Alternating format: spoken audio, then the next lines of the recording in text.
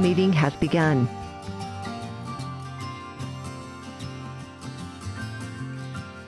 Good morning and welcome.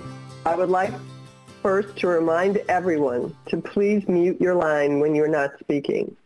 For media and press, the FDA press contact is Chanapa Tantibanchachai. Her email and phone number are currently displayed. My name is Julia Lewis and I will be chairing this meeting. I will now call the December 8, 2021 Cardiovascular and Renal Drugs Advisory Committee meeting to order. Dr. Moon Hee Choi is the acting designated federal officer and will begin with introductions. Good morning. My name is Moon Hee Choi and I am the acting designated federal officer for this meeting. When I call your name, please introduce yourself by stating your name and affiliation. Ms. Alakani?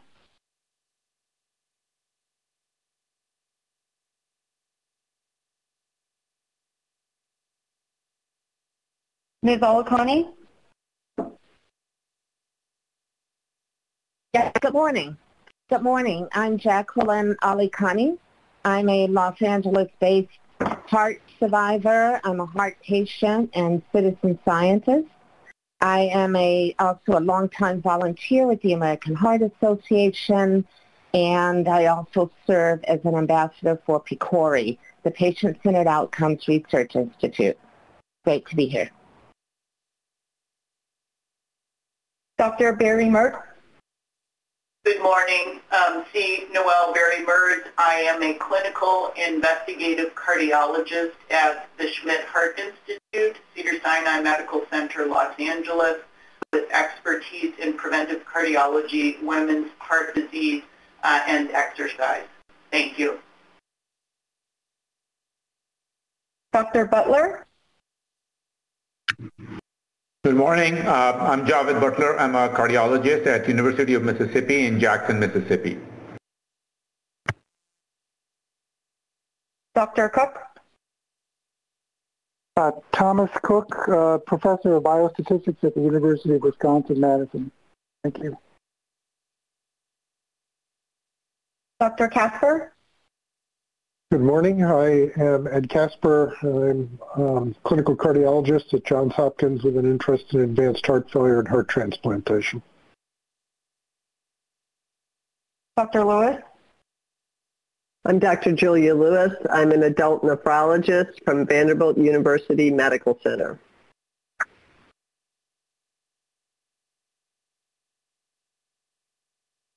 Dr. Montanaro? Hey, good morning. This is uh, David Moliterno. I'm professor of cardiology at the University of Kentucky. Dr. O'Connor? Good morning. Uh, uh, Dr. Christopher O'Connor. I'm a heart failure cardiologist and I'm president of the Inova Heart and Vascular Institute. Dr. Rossert? Good morning. I'm Jim Rossert. I'm a nephrologist working at AstraZeneca.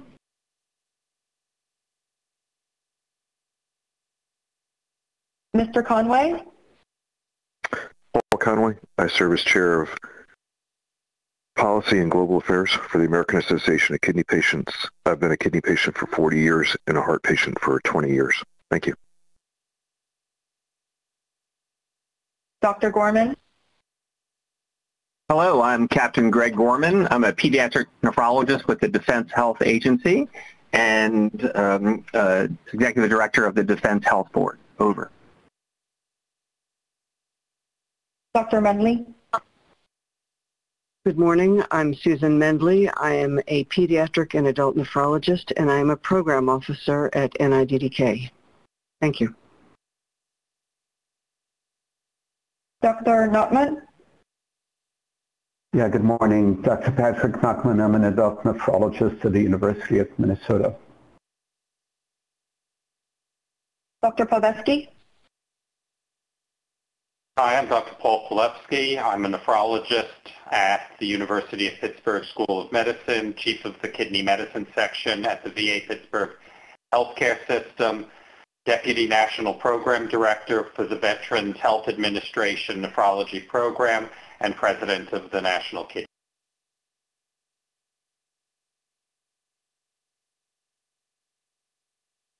Dr. Joffe? Hi, I'm Hylton Joffe. I'm the director of the Office of Cardiology, Hematology, Endocrinology, and Nephrology in FDA's uh, Center for Drug Evaluation and Research. Dr. Stockbridge? Uh, good morning. I'm Norman Stockbridge. I'm the Director of the Division of Cardiology and Nephrology at FDA. Dr. Thompson? Good morning. Uh, my name is Aliza Thompson, and I am the Deputy Director of the Division of Cardiology and Nephrology at FDA. Dr. Johansson? Morning. I'm a clinical analyst in cardiology and nephrology. Dr. Zhu? Good morning. Uh, I'm Dali Zhou, uh, the statistical reviewer in the Office of Biostatistics, CDER FDA. Okay, thank you.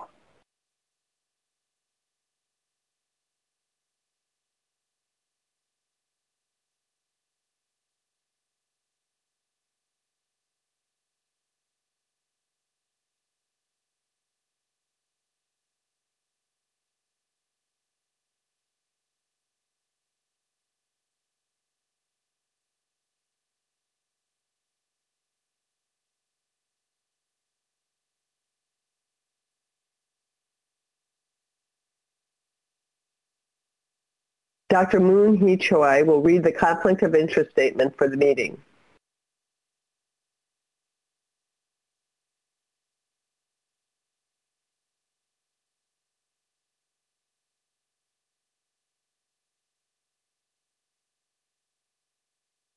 Dr. Moon Hee Choi will read the conflict of interest statement for the meeting.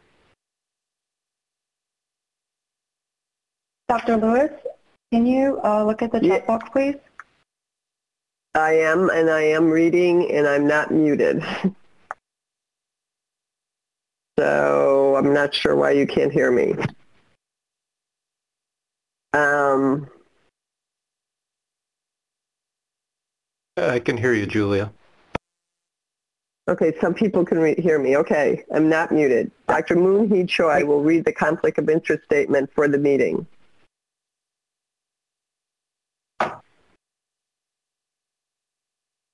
That is all it says.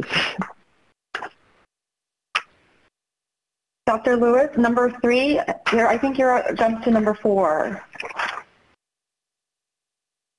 Okay, let me go back. Sorry. Okay, sorry about that. My fault. Uh, for topics such as those being discussed at this meeting, there are often a variety of opinions, some of which are quite strongly held. Our goal is a fair and open forum for discussion of these issues and that individuals can express their views without interruption. Thus, as a gentle reminder, individuals will be allowed to speak into the record recognized by the chairperson. We look forward to a productive meeting. In the spirit of the Federal Advisory Committee Act and the Government in the Sunshine Act, we ask that the Advisory Committee take care that their conversations topic take place in the open forum of the meeting. We are aware that members of the media are anxious to speak with the FDA about these proceedings. However, FDA will refrain from discussing the details of this meeting with the media until its conclusion. Also, reminded to please refrain from discussing the meeting topic during breaks or lunches. Thank you. Dr. Moon Hee Choi will read the conflict of interest statement for the meeting. The Food and Drug Administration is convening today's meeting of the Cardiovascular and Renal Drug Advisory Committee under the authority of the Federal Advisory Committee Act of 1972. With the exception of the industry representative, all members and temporary voting members of the committee are special government employees or regular federal employees from other agencies and are subject to federal conflict of interest laws and regulations. The following information on the status of this committee's compliance with federal ethics and conflict of interest laws covered by but not limited to those found at 18 U.S.C. Section 208 is being provided to participants in today's meeting and to the public. FDA has determined that members and temporary voting members of this committee are in compliance with federal ethics and conflict of interest laws. Under 18 U.S.C. Section 208, Congress has authorized FDA to grant waivers to special government employees and re- regular federal employees who have potential financial conflicts when it's determined that the agency's need for a special government employee services outweighs his or her potential financial conflict of interest, or when the interest of a regular federal employee is not so substantial as to be deemed likely to affect the integrity of the services which the government may expect from the employee. Related to the discussions of today's meeting, members and temporary voting members of this committee have been screened for potential financial conflicts of interest of their own, as well as those imputed to them, including those of their spouses or minor children, and for purposes of 18 U.S.C. Section 208, their employers. These interests may include investments, consulting, expert witness testimony, contracts, grants, CRADAs, teaching, speaking, writing, patents and royalties, and primary employment.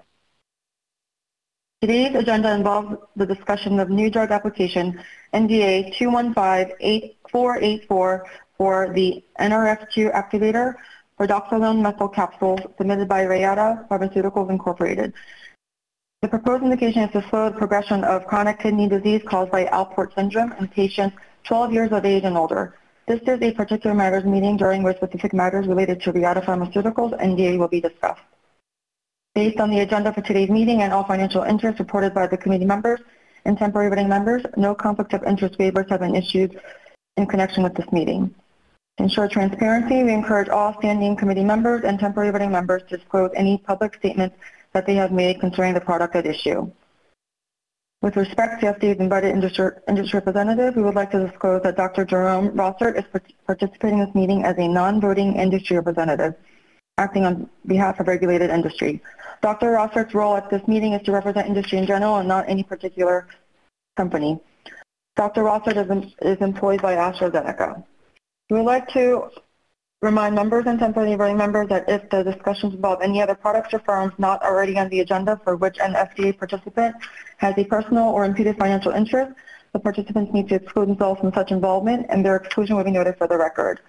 FDA encourages all other participants to advise the committee of any financial relationships that they may have with the firm at issue. Thank you. We will proceed with FDA introductory remarks from Dr. Aliza Thompson. Thank you. Again, this is Aliza Thompson.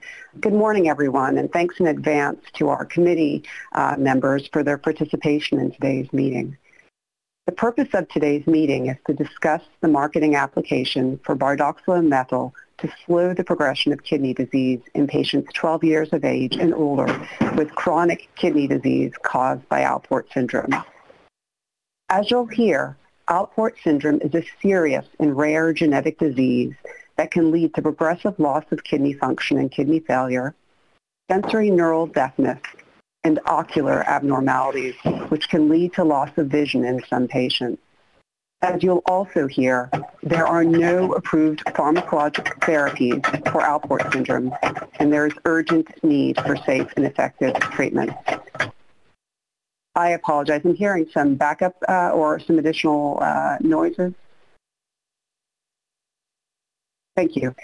In support of the proposed indication, the applicant conducted a randomized, double-blind, placebo-controlled study in patients with Alport syndrome. The study met its pre-specified primary and key secondary endpoints, which assessed on-treatment and off-treatment changes in kidney function as measured by estimated glomerular filtration rate, or EGFR. Nevertheless, we are bringing this application to an advisory committee because we believe the findings in the trial warrant public discussion. I want to emphasize that the FDA review team recognizes that there is significant unmet need for treatments that can slow the loss of kidney function in patients with Alport syndrome and reduce the risk of progression to kidney failure. I also want to emphasize that the FDA review team recognizes that the law allows for regulatory flexibility in determining what constitutes substantial evidence of effectiveness to the extent that such approaches are scientifically valid and do not compromise our regulatory standards of effectiveness. However, for the reasons that will be discussed today, the FDA review team does not believe the submitted data demonstrate that bardoxolone is effective in slowing the loss of kidney function in patients with Alport syndrome and reducing the risk of progression to kidney failure. As a backdrop to today's discussion, I would like to briefly discuss changes in EGFR as the surrogate endpoint in trials of chronic kidney diseases. Kidney failure is associated with significant morbidity and mortality. However, it is also a late outcome of chronic kidney diseases. As such, we often use a surrogate endpoint, specifically changes in EGFR, to assess whether a drug is effective in reducing the risk of progression to kidney failure and as a basis for full approval of drugs intended to treat chronic kidney diseases. I know that our advisory committee members are very familiar with the term surrogate endpoint, but for those of you in the audience who are not, surrogate endpoint is a clinical trial endpoint used as a substitute for a direct measure of how a patient feels, functions, or survives. A surrogate endpoint does not measure the clinical benefit of primary interest. Rather, it is expected to predict that clinical benefit. Over the last decade, our understanding of changes in EGFR as a surrogate endpoint for progression to kidney failure in trials of chronic kidney diseases has grown dramatically as the result of important work that was done by the larger nephrology community. And while there is an abundance of evidence supporting the use of EGFR as a surrogate endpoint, there is a catch. Drugs can have reversible pharmacodynamic effects on EGFR, and by that, I mean drugs can cause reversible increases in EGFR or reversible decreases in EGFR. Importantly, these reversible pharmacodynamic effects can differ from a drug's long-term effects on progression to kidney failure. These reversible pharmacodynamic effects are often of unclear clinical significance. Moreover, they can complicate the ascertainment of a drug's effect on long-term disease progression. In the case being discussed today, the reversible effect is an increase in EGFR, which appears to take several months to manifest fully. In the case being discussed today, we also see worrisome effects on albuminuria and blood pressure. So with that background in mind, I'd like to turn to the topics we would like the committee to address. The first topic we would like the committee to consider is whether Cardinal Phase 3 was adequately designed to assess for an effect on the progression of chronic kidney disease in patients with Alport syndrome. The second topic is whether the available data indicate that bardoxolone methyl slows the progression of chronic kidney disease and whether it is reasonable to conclude, based on the available data, that bardoxolone methyl will reduce the risk of progression to kidney failure when used chronically in patients with Alport syndrome. The third topic is bardoxolone methyl's safety profile. And as part of the discussion of this topic, we ask that the committee include discussion of two questions. The first pertains to bardoxolone methyl's effect on albuminuria, blood pressure, and other parameters, and whether these effects raise concern about its long-term efficacy and or safety in patients with Alport syndrome. The second pertains to the effect of bardoxolone methyl on body weight and the potential implications for pediatric patients. Finally, we ask the committee to vote on whether the evidence demonstrates bardoxolone methyl is effective in slowing the progression of chronic kidney disease and Alport syndrome and whether its benefits outweigh its risks. Although we are interested in how you vote, I want to emphasize that we are particularly interested in the rationale behind your recommendation. And with that, uh, I will turn the program back to Dr. Lewis, our committee chair. Thank you again for your time and for your help with this very important application.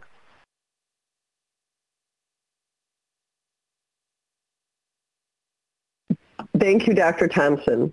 Both the Food and Drug Administration and the public believe in a transparent process for information gathering and decision making.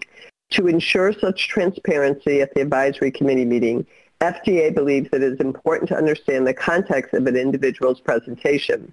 For this reason, FDA encourages all participants, including the applicant's non-employee presenters, to advise the committee of any financial relationships that they may have with the applicant, such as consulting fees, travel expenses, honoraria, and interests in the applicant, including equity interests and those based upon the outcome of the meeting.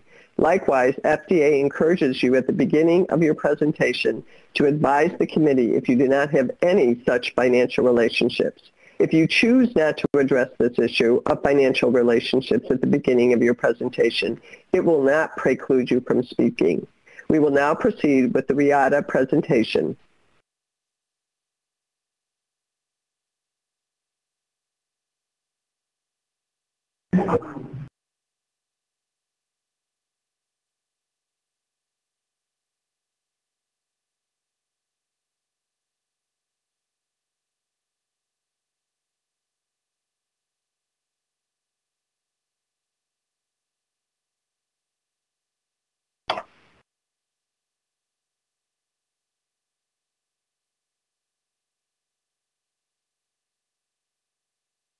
Good morning.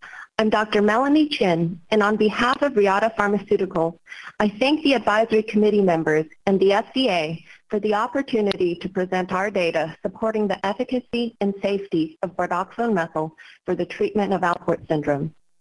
Most importantly, we thank the patients suffering from this rare and serious disease who have participated in our clinical trials, especially during the pandemic. Bardoxolone methyl received orphan drug designation from the FDA, and the proposed indication states, Bardoxolone methyl is an NRF2 activator indicated for the treatment of chronic kidney disease caused by Alport syndrome in patients 12 years of age and older. Bardoxolone methyl has been shown to slow the progression of kidney disease in Alport syndrome.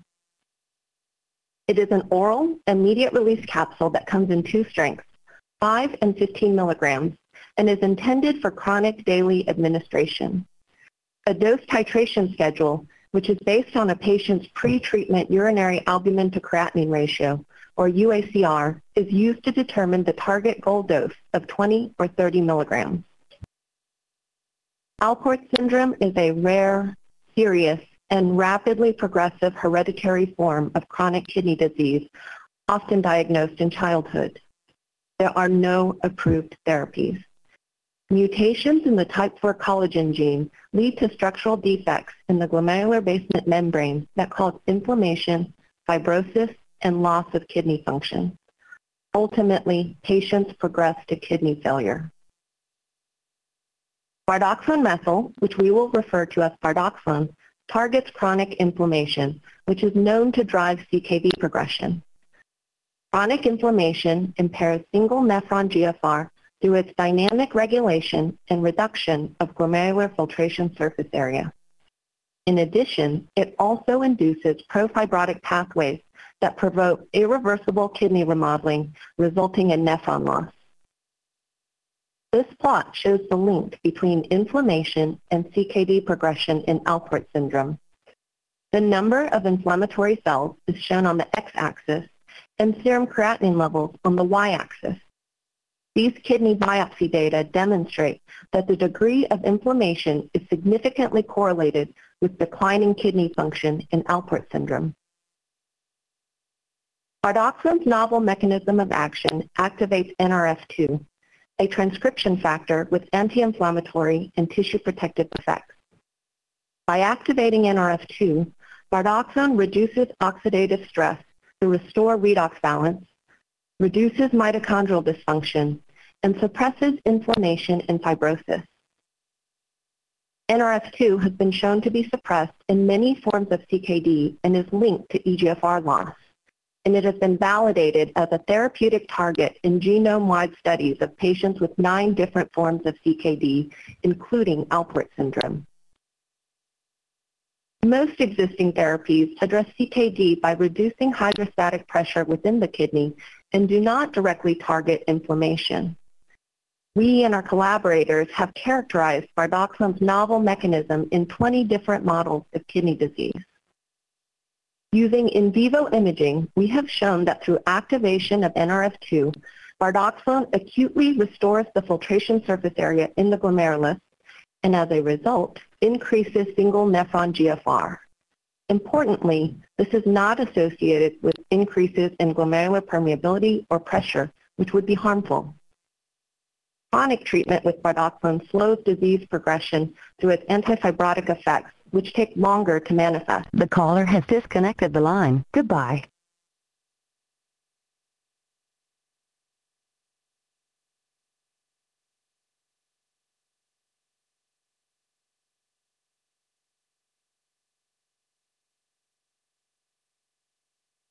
Panel this is Sam with FDA staff. Please hold on the line. You are not disconnected. Please hold.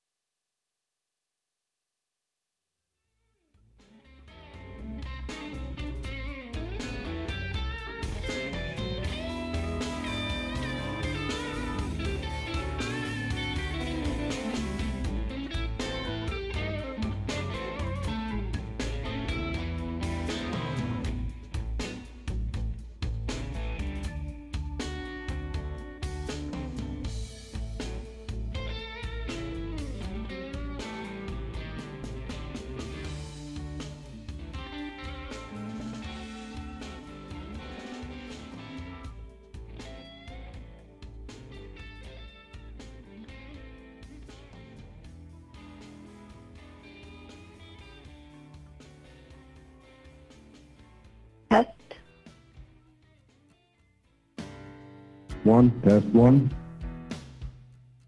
I can hear you. Can you hear me? The slides aren't moving and I can't hear the speaker. Okay.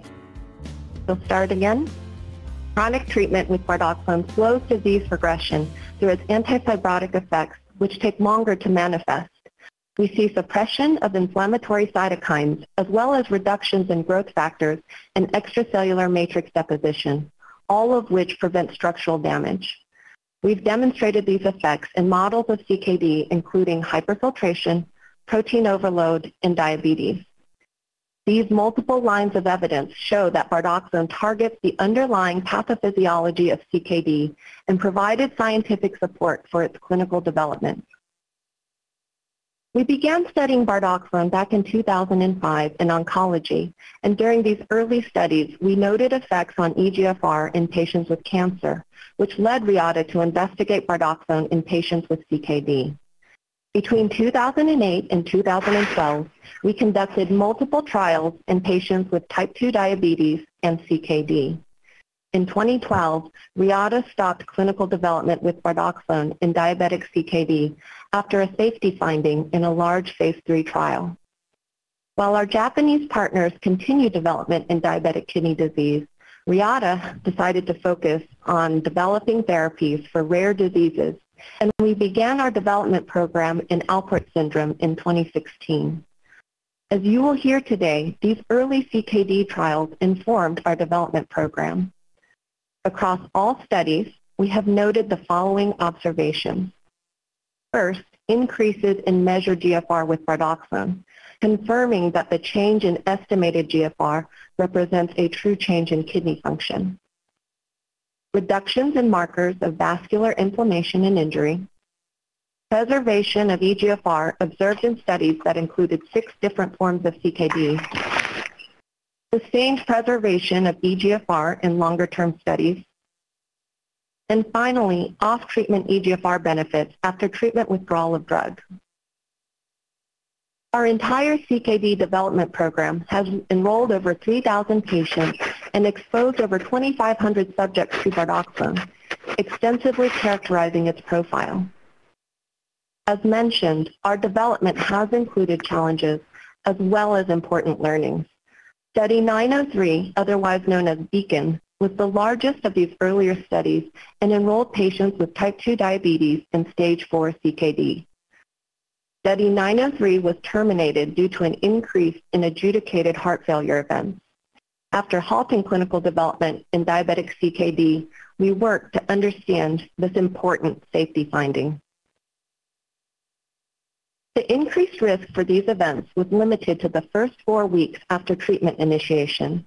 A series of post-hoc analyses indicated to us that bardoxolone was causing volume overload, which may have led to the heart failure seen in study 903. We also saw imbalances in general fluid and edema-related adverse events. Patients reported sudden increases in weight and blood pressure, but generally had preserved ejection fraction. There was no signal for myocardial injury, and troponins were unchanged. Importantly, we were able to identify risk factors for these events. BNP greater than 200 picograms per mil, and a prior history of heart failure. For patients without these risk factors, the risk for heart failure was 2% for bardoxolone and placebo. Our learnings from study 903 allowed us to continue clinical development with bardoxolone. In all studies conducted since 2012, shown here in yellow, we excluded patients with the risk factors identified in study 903. These trials have exposed over 600 patients. And as we will discuss in the safety presentation, we have not observed the risk for heart failure in patients with Alport syndrome, other forms of chronic kidney disease, or pulmonary hypertension. There were several factors that prompted us to initiate clinical development in Alport syndrome. From a scientific perspective, NRF2 suppression and increased inflammation is linked to EGFR loss and disease progression in Alport syndrome. Additionally, we were focused on developing therapies for rare diseases with significant unmet need, and the unmet need in Alport syndrome is clear. These patients have one of the most rapid rates of progression and reach end-stage kidney disease at a relatively young age, and yet there are no approved therapies. The sustained preservation of EGFR with bardoxolone seen in prior CKD trials could therefore be a meaningful benefit for this population. Importantly, these patients generally have few comorbidities that predispose them to the risk of heart failure previously seen in study 903. Here, we show key baseline characteristics of the study 903 population on the left and the randomized population from our pivotal Alport syndrome study, otherwise known as CARDINAL, on the right. The studied Alport syndrome population was much younger than the 903 population, and few had a history of diabetes. And by design, few patients with Alport syndrome had any history of cardiovascular disease, and patients had meaningfully lower baseline BNP levels than the patients in 903. This is consistent with the estimates for the overall Alport syndrome population, where less than 1% of patients had cardiac disease. And since study 903 only enrolled stage 4 CKD patients, baseline EGFR was meaningfully lower.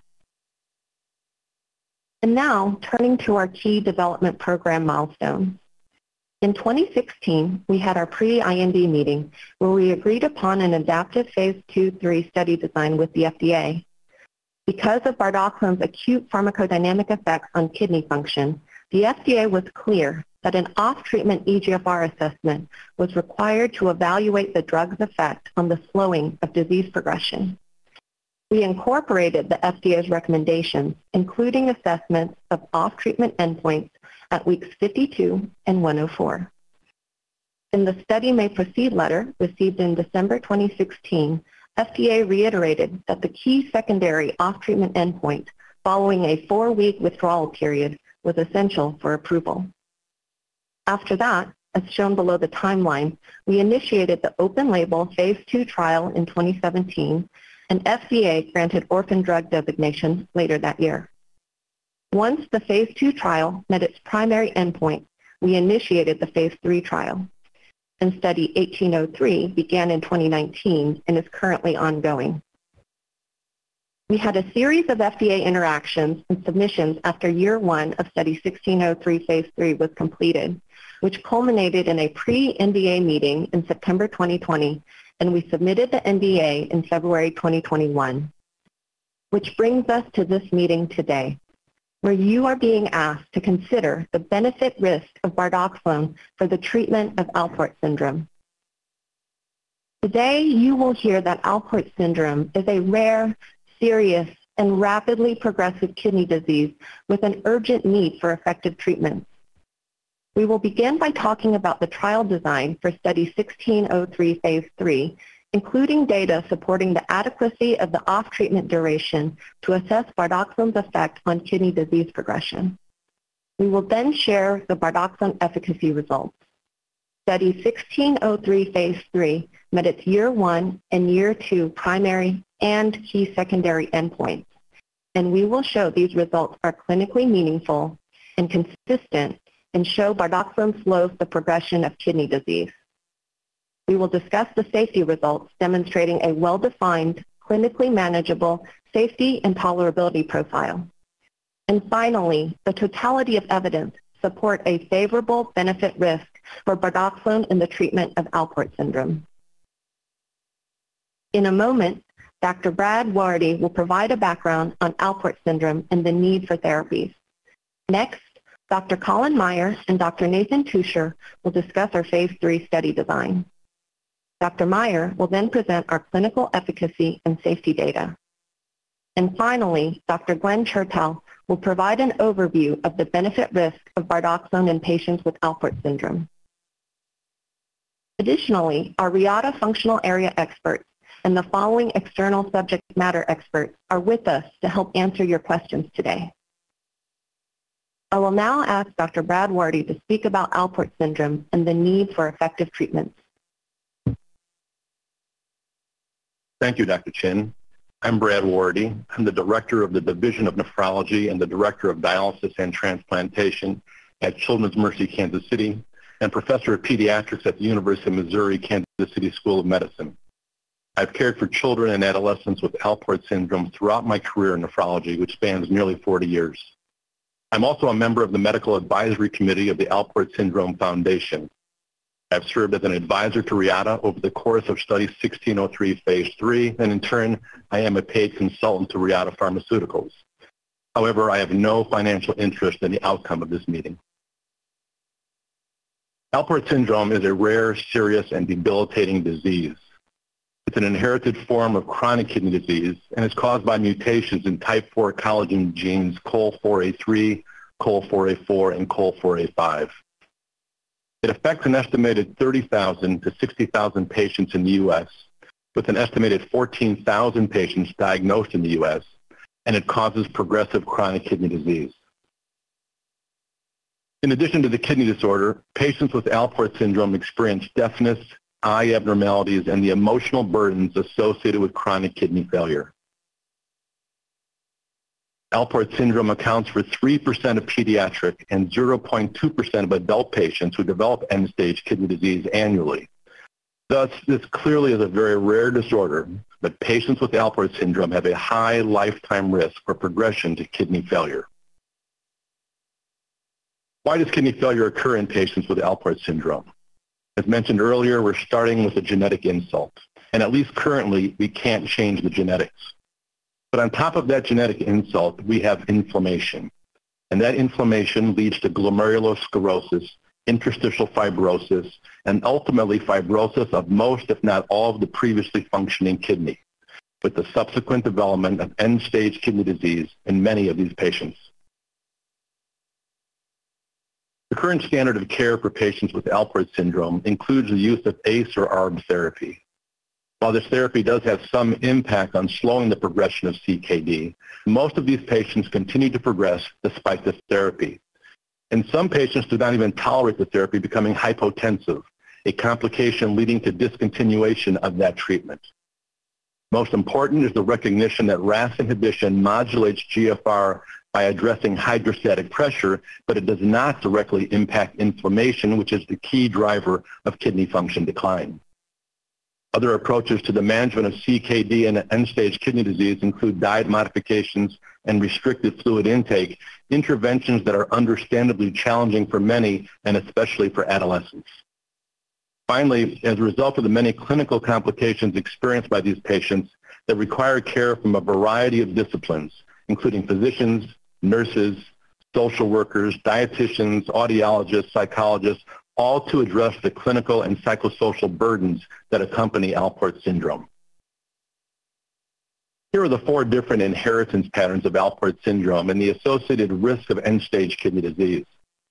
I want to bring your attention to the bottom row where, as you can see, the risk of end-stage kidney disease and the need for either dialysis or a kidney transplant in those with the most severe Alport syndrome, namely males with X-linked disease and males and females with autosomal recessive disease, is 100%.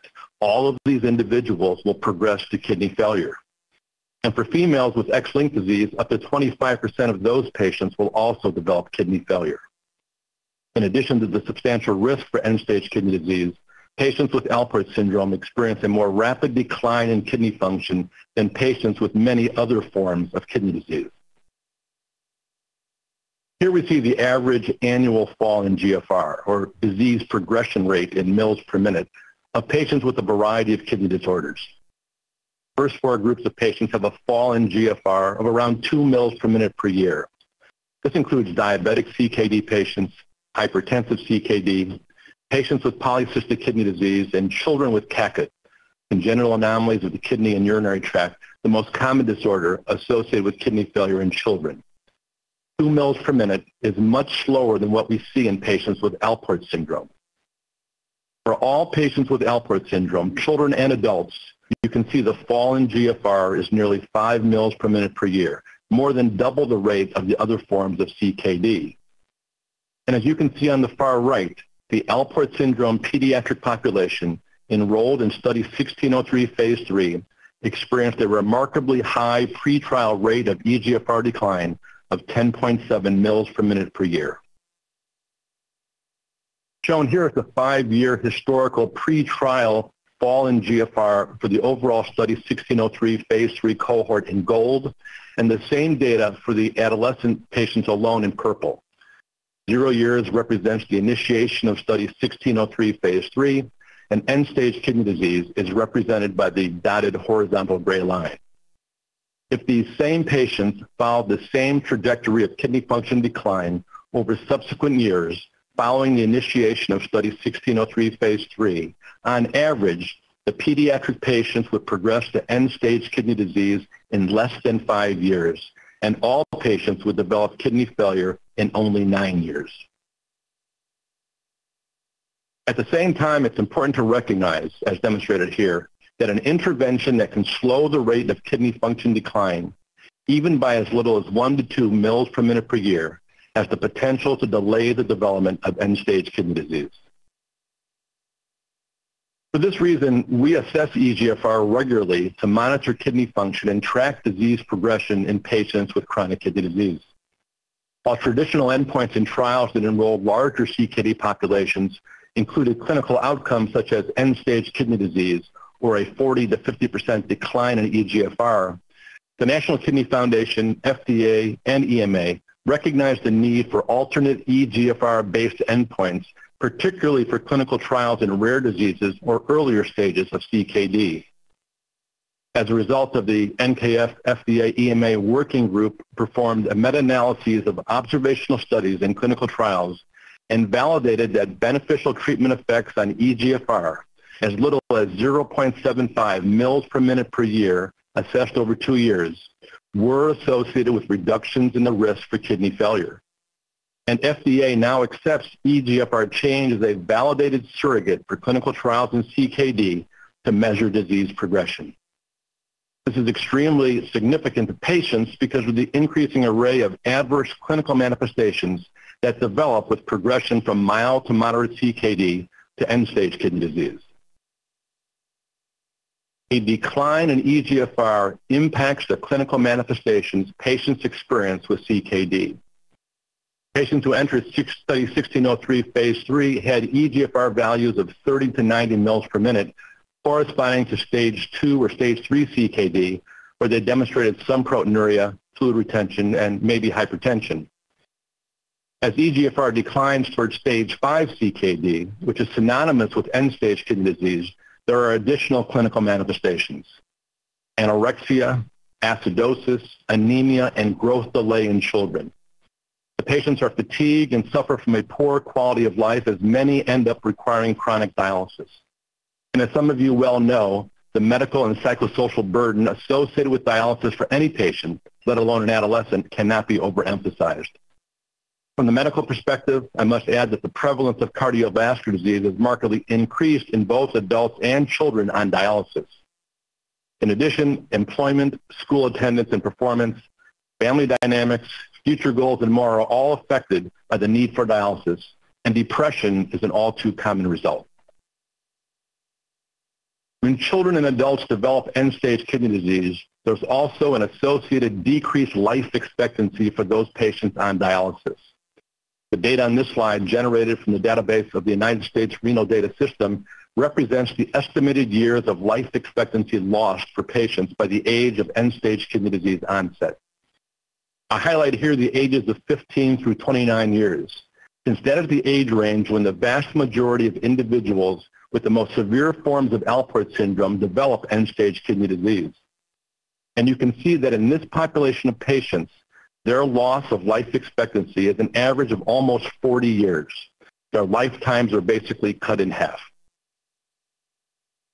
Understandably then, in addition to the medical impact of Alport syndrome, there are often significant psychosocial implications associated with this disorder. At the 2018 FDA patient-focused drug development meeting, individuals with Alport syndrome voiced their concerns. They emphasized that anxiety, depression, fatigue, and hearing loss most negatively impacted their daily living. Almost three quarters of the patients said that the disease interfered with their daily life. And one quarter of them reported having anxiety or depression related to the fear of developing kidney failure. And on a personal note, the vast majority of my patients with Alport syndrome and moderate to severe CKD are seeing a psychologist for just this reason. Not surprisingly, these patients also related how they are most interested in a medication that would slow their decline in kidney function. Because in their mind, it's not if, but it's when will they develop kidney failure. In short, new therapies are needed for Alport syndrome. There is no approved effective treatment. As I've shown you, this is a rare, serious, and debilitating disease which often presents in childhood and the rapid decline in kidney function has a significant impact on patients' quality of life and in fact leads to reduced life expectancy. And I think it goes without saying that if these patients could have available to them a therapy that has even a small treatment effect and that slows progression by as little as 1 to 2 mils per minute per year, it could result in a meaningful delay to kidney failure. Having this option would, without question, provide profound medical and psychosocial benefits to patients with Alport syndrome. Thank you for your attention. And now I'd like to turn the presentation over to Dr. Meyer. Thank you, Dr. Warady. Good morning. I'm Dr. Colin Meyer, Chief Research and Development Officer at Reata Pharmaceuticals. I'll now discuss key elements of the study design of our Phase 3 Alport syndrome trial. As Dr. Chin discussed in our pre-IND interactions, the FDA proposed a Phase 2-3 study design with a two-year treatment duration and inclusion of off-treatment EGFR endpoints. We incorporated all of the FDA suggestions into the study design and conducted the three trials shown here that are central to our NDA. Study 1603 Phase 2, an open-label trial that enrolled 30 patients and had the same treatment and visit schedule as the Phase 3 trial. While this was a two-year trial, the first 12 weeks established preliminary efficacy and safety in this patient population and gated enrollment in the Phase 3 trial.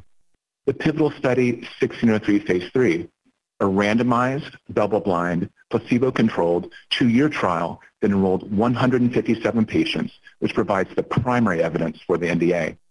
In study 1803, an ongoing open-label extended access trial that allows for evaluation of longer-term safety. The endpoints and design of Study 1603 Phase 3 are consistent with recent findings from the NKF, FDA, and EMA. As discussed by Dr. Warady, even small treatment effects on EGFR, a validated measure of disease progression, can translate to a beneficial effect on clinical outcomes in CKD.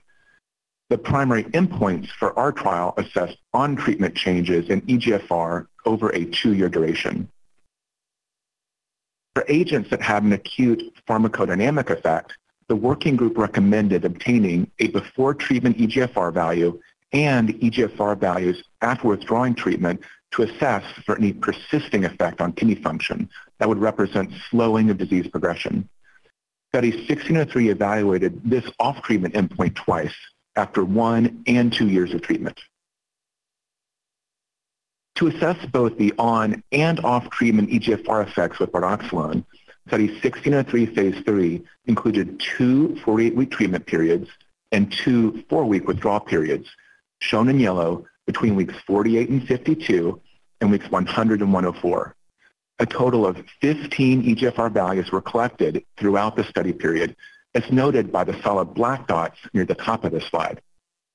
For patients who discontinued treatment, we obtained an off-treatment EGFR value four weeks after their last dose patients were randomized one-to-one to receive bardoxolone or placebo starting at 5 milligrams once daily and titrated in the first six to eight weeks to reach their target goal dose of 20 or 30 milligrams. We included off-treatment periods after both years of treatment because during our pre-IND meeting, the FDA indicated that the year one data might support accelerated approval. As noted earlier, FDA stated that the four-week off-treatment EGFR endpoint at week 104 would be critical for demonstrating efficacy and supporting full approval. To characterize the on-treatment effects that would inform use in clinical practice, we included on-treatment EGFR assessments at weeks 48 and 100. To address FDA's guidance, we incorporated the off-treatment EGFR assessments at week 52 and 104, four weeks after drug withdrawal. Other exploratory endpoints included a patient-reported outcome, the Patient Global Impression of Change, or PGIC, and frequency and time to first event in a composite of adverse kidney outcomes. Study 1603 Phase 3 enrolled patients with a genetic or histological confirmation of Alport syndrome who were 12 to 70 years of age. Based on feedback from the FDA, we allow patients with a wide range of kidney function, including EGFR values between 30 and 90 ml per minute, which represents CKD stages 2 and 3.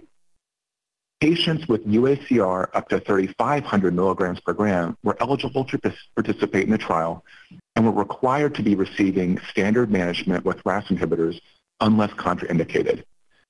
Based on learnings from Study 903, we excluded patients with clinically significant cardiovascular disease or BNP greater than 200 picograms per ml at baseline. Our earlier trials informed dose selection in our Alport syndrome program. Study 902 was an open-label, dose-ranging study in patients with type 2 diabetes and CKD that studied fixed doses of bardoxolone up to 30 milligrams. Increases in EGFR were dose-dependent and maximal at 15 to 30 milligrams with an appropriate safety profile. The efficacious dose was dependent upon baseline UACR.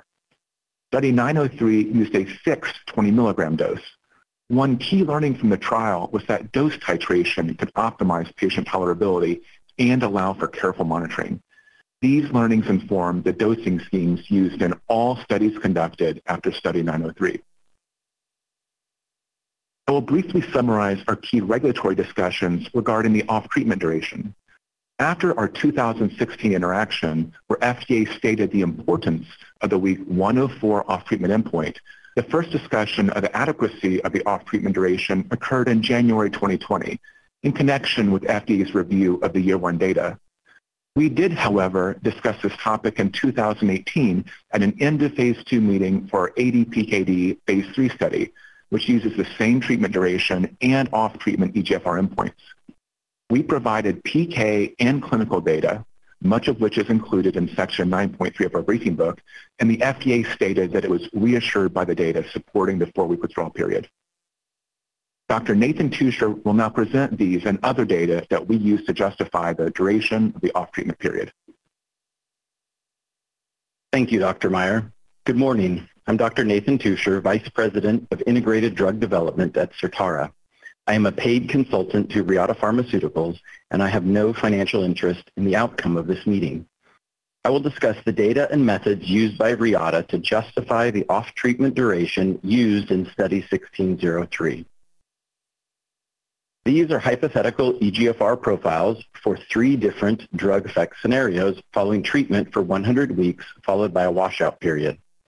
The placebo group in gray declines over time due to natural disease progression. A drug with only acute PD effects is shown as the green dotted line, and a drug with both acute and disease-modifying effects as the purple dashed line. The ability to accurately discriminate the contribution of these two effects is dependent upon the duration of the clinical study. Analysis that includes only the data after chronic administration is not capable of differentiating the green and purple lines. The most robust scientific approach to address this question is to also analyze data that only includes one of the effects. The same hypothetical EGFR profiles from the prior slide depict drug treatment for eight weeks the green and purple lines representing the acute PD effects only and acute and disease-modifying effects respectively overlap and are identical. Therefore, this short duration study represents a clinical model of the acute PD effects because there has not been time to accrue longer disease-modifying effects. The acute PD effects are most easily identified using short-term clinical studies. Reata conducted two short-term clinical studies to define the duration of the acute EGFR effects, and we believe that the data support the 28-day washout period. In contrast, the FDA used a PK/PD model based on long-term data to evaluate the acute EGFR effects. Bardoxolone has a pharmacokinetic half-life of 48 hours in short and long-term studies, and there are no active metabolites.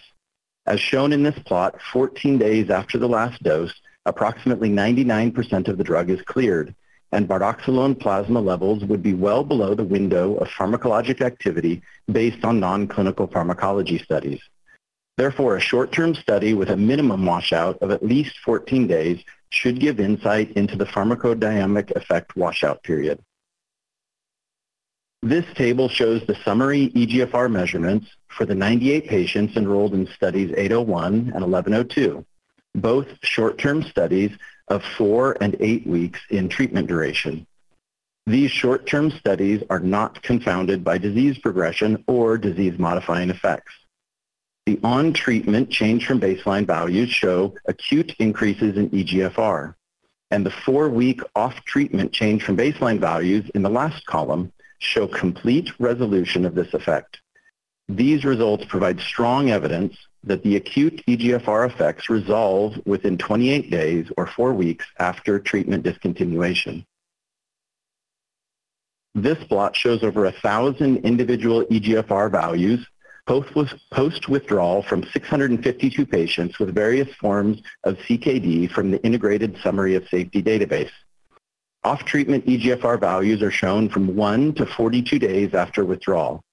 As you can see, over the first 14 days post-withdrawal, the EGFR change resolves, and the best fit line shows no association between EGFR change and days post-dose after 14 days. Importantly, between days 28 and 42, the EGFR change from baseline is constant suggesting that after week four, there is no further change in EGFR. The FDA used a PK/PD model to extrapolate beyond the observed 28-day data for estimation of the time to EGFR effect resolution. The FDA PK/PD model was based on data from the long-term study 1603 and the intermediate-term study 005. Both of these studies have sufficient treatment duration to accrue disease-modifying effects. Importantly, the FDA model did not include EGFR data from short-term studies 801 and 1102. Thus, the single EGFR effect estimated in the FDA model likely includes both acute EGFR effects and disease-modifying effects, which can confound the interpretation of the FDA model results and extrapolations. This plot is a simulation of the mean response for Study 1102 predicted by the FDA model based on the information provided in the FDA briefing document. The blue and gray lines represent the bardoxolone and placebo predicted EGFR change respectively, and the observed mean data are shown by the black dots. The simulated values during the washout period at week 12 are higher than the observed values, suggesting overprediction of the acute pharmacodynamic washout because the model was built on data that included both acute and disease-modifying effects. Similarly, for Study 801, the simulated values during the washout at week 8 are higher than the observed values. Taken together with Study 1102, this suggests the FDA model does not accurately predict the observed acute EGFR washout. I'll now, hand, I'll now hand the presentation back to Dr. Meyer. Thanks, Dr. Teuscher. In summary, we respectfully disagree with the FDA regarding the adequacy of the off-treatment period. We have demonstrated that observed clinical EGFR data most reliably support the adequacy of the 28-day off-treatment duration. The two-year design is an appropriate link to determine both the acute and chronic effects of the drug. The primary endpoint reflects the treatment effect in clinical practice, and the key secondary endpoints were included at FDA's request to assess for slowing of disease progression. I'll now discuss the clinical efficacy data. I will share the data demonstrating the effectiveness of bardoxolone in patients with Alport syndrome, including the pivotal study 1603 phase 3 results, as well as supportive data from study 1603 phase 2 and study 1803. The pivotal trial was a global multi-center study that enrolled patients at 48 sites in six countries. Two-thirds of patients were enrolled in the U.S., and a central lab analyzed EGFR data for key efficacy endpoints. The evolving COVID-19 pandemic occurred during the last nine months of the study and complicated study conduct. COVID-19 related measures were required to preserve patient safety and to maintain data collection in the study despite temporary site closures, travel restrictions, and logistical challenges. These measures included implementing home health visits, adjusting study visit schedules, and allowing flexibility in the week 100 and week 104 EGFR collection windows. We enrolled a population that was representative of the overall Alport syndrome population. Demographics were balanced between the two groups. We randomized 23 adolescent patients, representing approximately 15% of enrolled patients, and most patients had X-linked disease. The baseline characteristics were also representative of the overall Alport syndrome population and were balanced between treatment groups.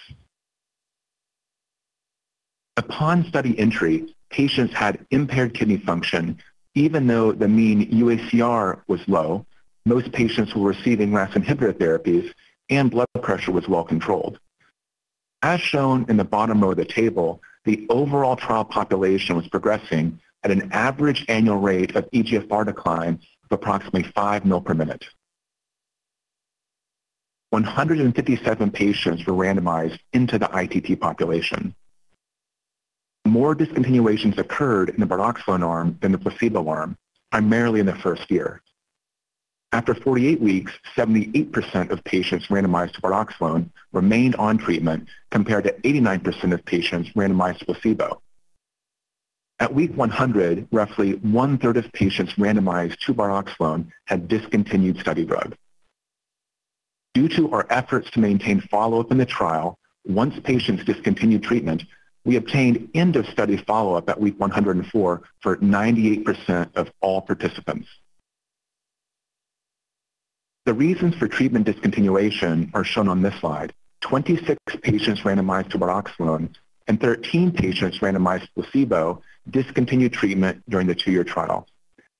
10 patients randomized to bardoxolone discontinued due to adverse events, and no more than two patients discontinued due to any one type of adverse event. Seven bardoxolone-treated patients discontinued due to protocol-specified criteria, primarily due to management of aminotransferase increases, which were not associated with liver injury. I will now walk you through the analysis methodologies. The primary endpoints compare the effects of treatment after 48 or 100 weeks. We analyzed EGFR changes from the on-treatment periods using a mixed model repeated measures, or MMRM approach. The model included all EGFR values collected through 48 or 100 weeks, irrespective of study drug administration, and missing data were not imputed. The key secondary endpoints evaluated the off-treatment EGFR change following one or two years of treatment to assess for effects on kidney disease progression. Because these endpoints compared mean changes in EGFR at discrete time points, that is, four weeks after stopping drug in year one or year two, and ANCOVA was specified to compare changes from baseline in EGFR at 52 and 104 weeks, or four weeks after the last dose for patients who discontinued study drug. In this analysis, we imputed missing EGFR data based on the treatment group.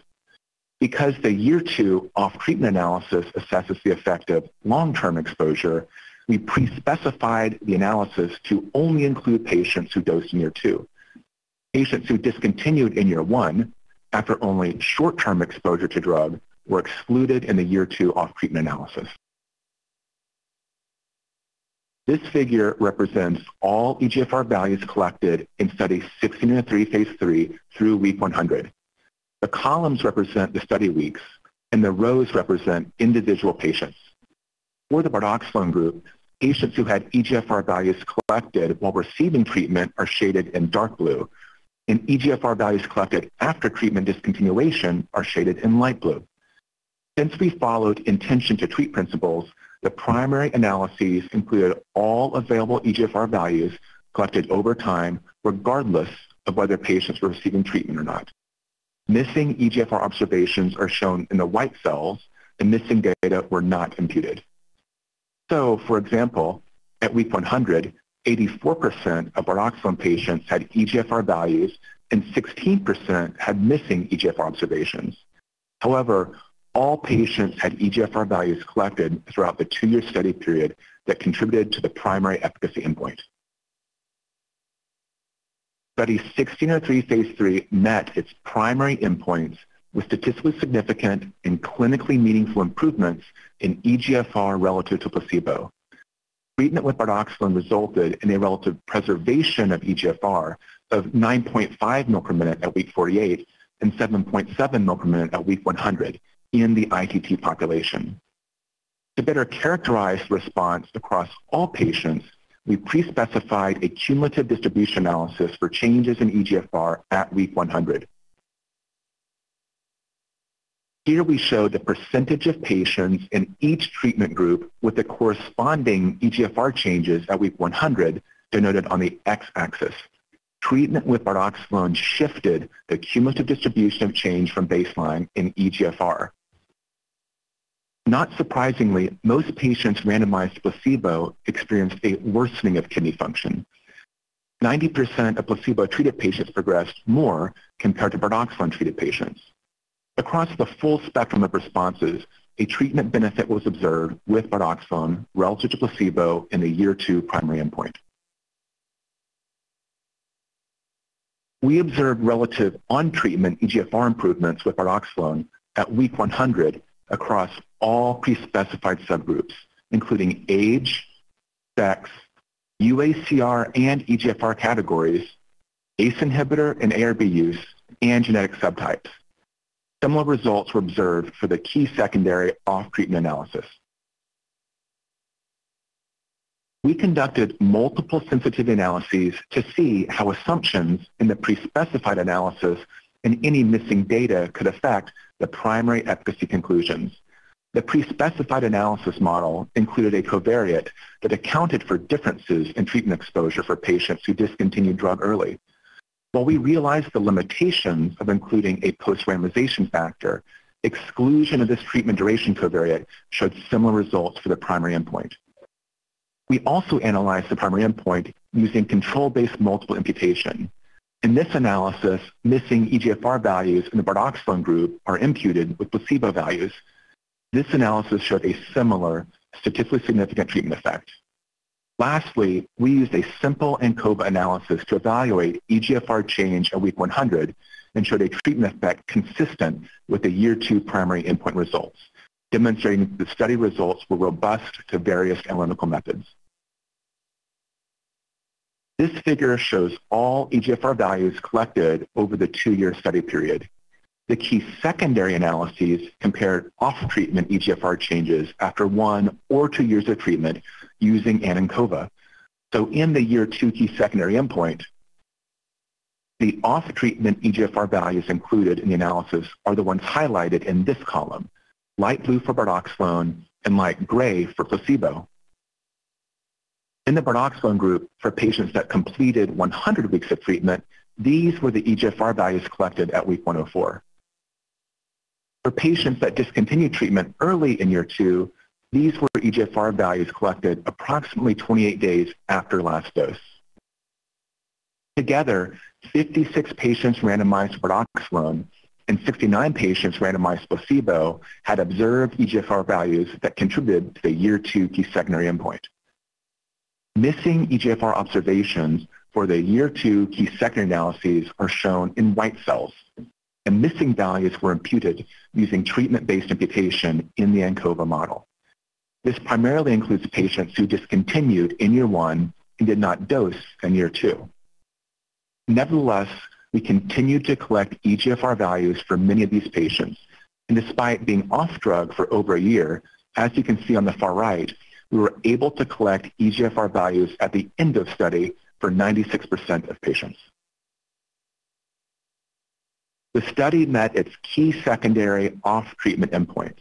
After a four-week off-treatment period, patients randomized to bardoxolone had a statistically significant preservation of EGFR compared to placebo at weeks 52 and 104. These data demonstrate that bardoxolone has a beneficial effect of slowing disease progression. Now, it's important to remember that based on the observed PK/PD profile of bardoxolone, we chose a target for week duration for the off-treatment period in the key secondary endpoints. As shown on this slide, we collected EGFR values over a range of days, from 14 to over 70 days post-dose. We analyzed the off-treatment EGFR values by weekly post-dose increments we saw no association between the number of days post-dose and the magnitude of the off-treatment EGFR values for either treatment group. Off-treatment EGFR values collected in the earlier part of the analysis window in the left two columns were not higher than values that were collected later on the right. If the acute EGFR effect were still present during this period, we would see a negative trend over this duration, which was not observed. Importantly, we see here that the timing for collection of off-treatment EGFR values in study 1603 phase 3 did not affect the difference between treatment groups or impact interpretability of the study's key secondary efficacy results demonstrating a slowing of disease progression. We also conducted several sensitivity analyses to probe the reliability of the key secondary results. In particular, we performed a tipping point analysis to see how missing data could have affected results. Patients with missing off-treatment EGFR values at week 104 would have had to have declined an average of 14 mil per minute from baseline. This decline would be unlikely. Still, we wanted to explore the likelihood of this happening. Again, the tipping point threshold required to lose significance, minus 14 mil per minute, is much lower than the mean EGFR changes in the bardoxolone or placebo arms, which were minus 4.5 and minus 8.8 mil per minute respectively. Recall that data from patients who discontinued in year one were not included in the year two key secondary analyses. However, we actually obtained off-treatment EGFR data four weeks after the last dose for 16 of the 21 bardoxolone patients. All of the EGFR values in the bardoxolone arm would have had to have been below this red line for the results to lose significance. Their off-treatment EGFR values show that did not happen. Finally, we performed additional sensitivity analyses that explored alternate analytical or imputation methods. As seen in this forest plot, all of these analyses showed similar treatment effects. The final analysis used all off-treatment EGFR values collected at the end of study as close to week one 104 as possible.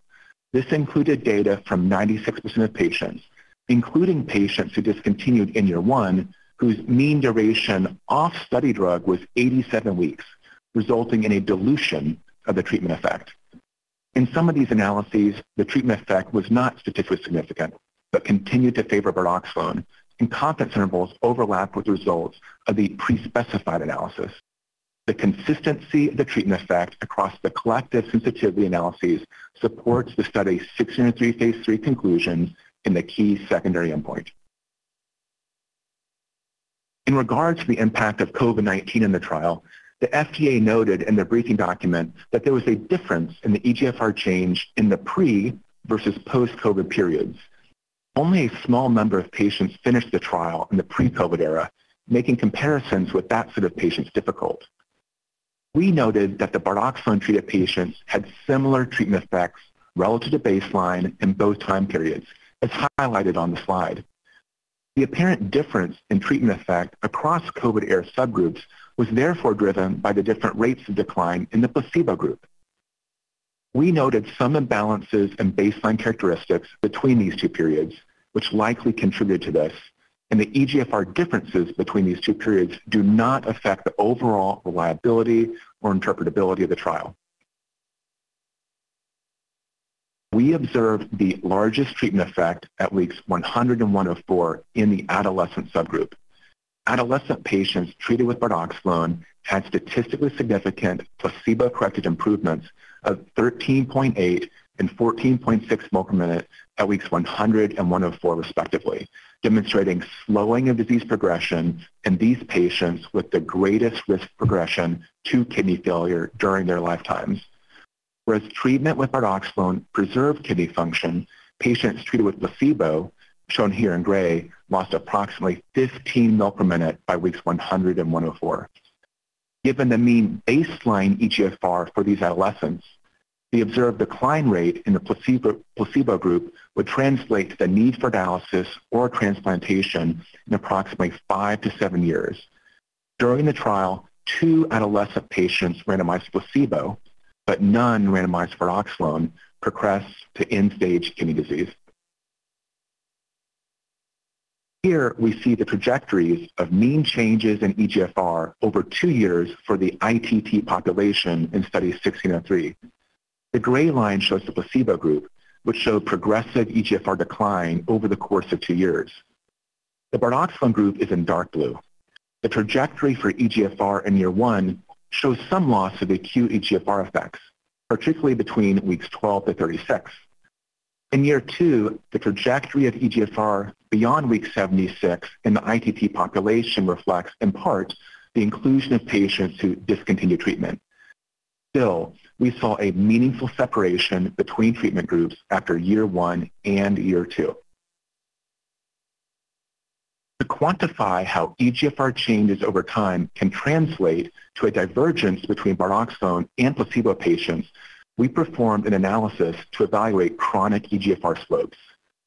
Study 1603 phase 3 was, designed, was not designed to evaluate a conventional slope analysis over two years primarily through the treatment interruptions between year one and year two. So we used a piecewise linear model to evaluate individual patient trajectories within each year. This showed a divergence between treatment groups when considering the chronic slope in year two.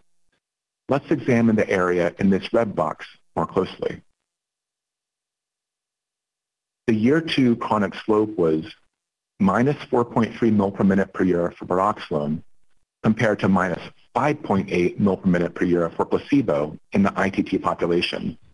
This represents a slowing in the loss of kidney function of 1.5 ml per minute per year, which is also consistent with slowing disease progression.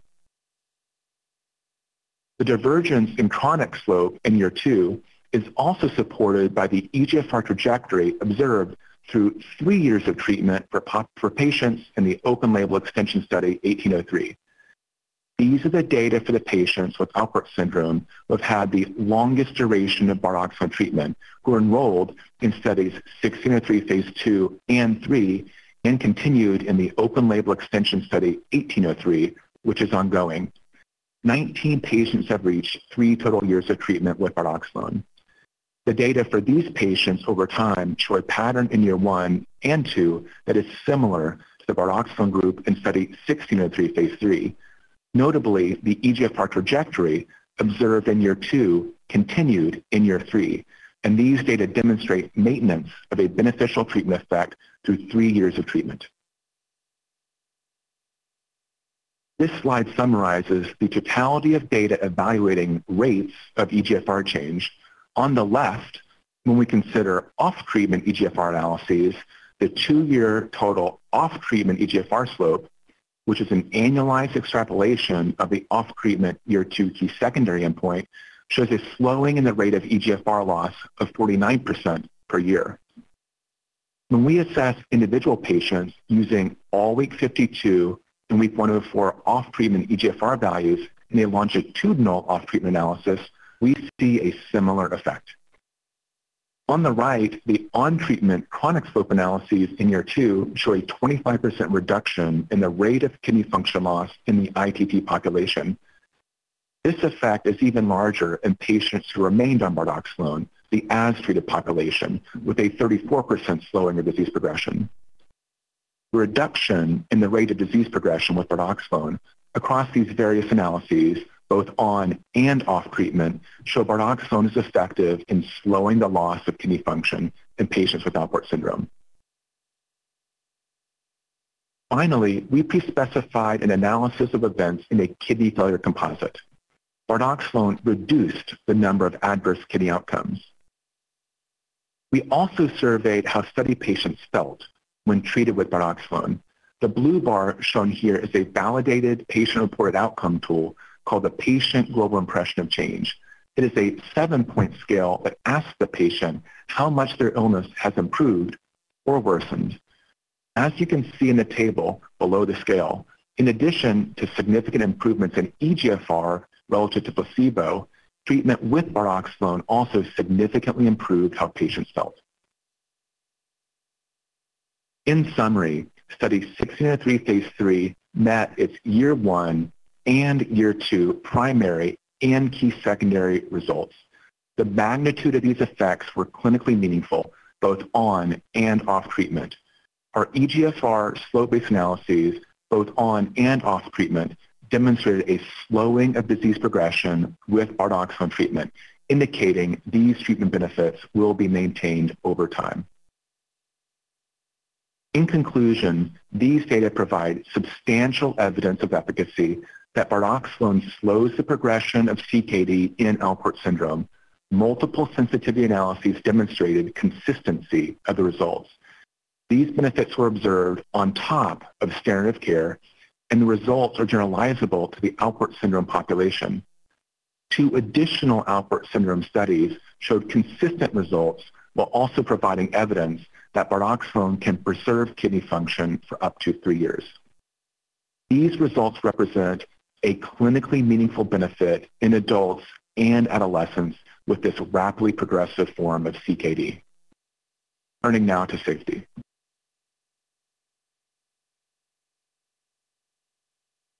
I'll now present the key safety data from pivotal study 1603 phase 3. I will cover the relevant safety information for bardoxolone, including adverse events from our Alport syndrome development program special safety topics of interest are key safety elements of our proposed label and our pharmacovigilance plan. Bardoxolone has a comprehensive safety data set from trials that enrolled more than 3,000 patients with over 2,200 patients exposed, and the safety profile is well characterized. Prior CKD experience informed risk mitigation strategies implemented in the Alport Syndrome Development Program. To avoid heart failure previously observed in Study 903, in all trials conducted since 2012, we narrowed eligibility criteria and increased monitoring during the first few weeks of treatment. In addition to more frequent monitoring, we implemented flexible dose titration to accommodate differences in individual patient tolerability. Bardoxolone's safety profile in Alport syndrome was generally consistent with prior trials. The overall adverse event profile for the pivotal study 1603 phase 3 was similar across adults, adolescents, and other subpopulations. There were no deaths and there were no fluid overload or cardiac serious adverse events in the bardoxolone treated patients. The majority of AEs were mild or moderate in intensity and tended to occur within the first 12 weeks. The number of patients who reported an SAE in the bardoxolone group was approximately one half that reported in the placebo group, and no SAEs were reported in adolescent patients treated with bardoxolone. Discontinuations due to adverse events were higher in the bardoxolone group, and no more than two patients discontinued due to any one adverse event. These are the commonly reported adverse events with bardoxolone. Those highlighted in blue are those that we've identified as adverse drug reactions and are included in the proposed label. Several of the ADRs and common AEs have been well characterized and will be discussed as safety topics of interest. Fewer bardoxolone-treated patients reported an SAE compared to placebo. SAEs reported by two or more patients are shown in this table, including kidney failure events, which were balanced across treatment groups. Overall, there were no imbalances in SAEs. Symptoms of Alport syndrome are not just limited to the kidney and often include depression and anxiety, as well as hearing and vision disturbances. These non-kidney manifestations affect patients' daily lives even before they reach kidney failure. Adverse events for all of these categories were reported less frequently in bardoxolone-treated patients. With over 2,200 patients with various types of CKD exposed to bardoxolone in trials, we've observed several common adverse events. We've divided them into areas of clinical interest shown here.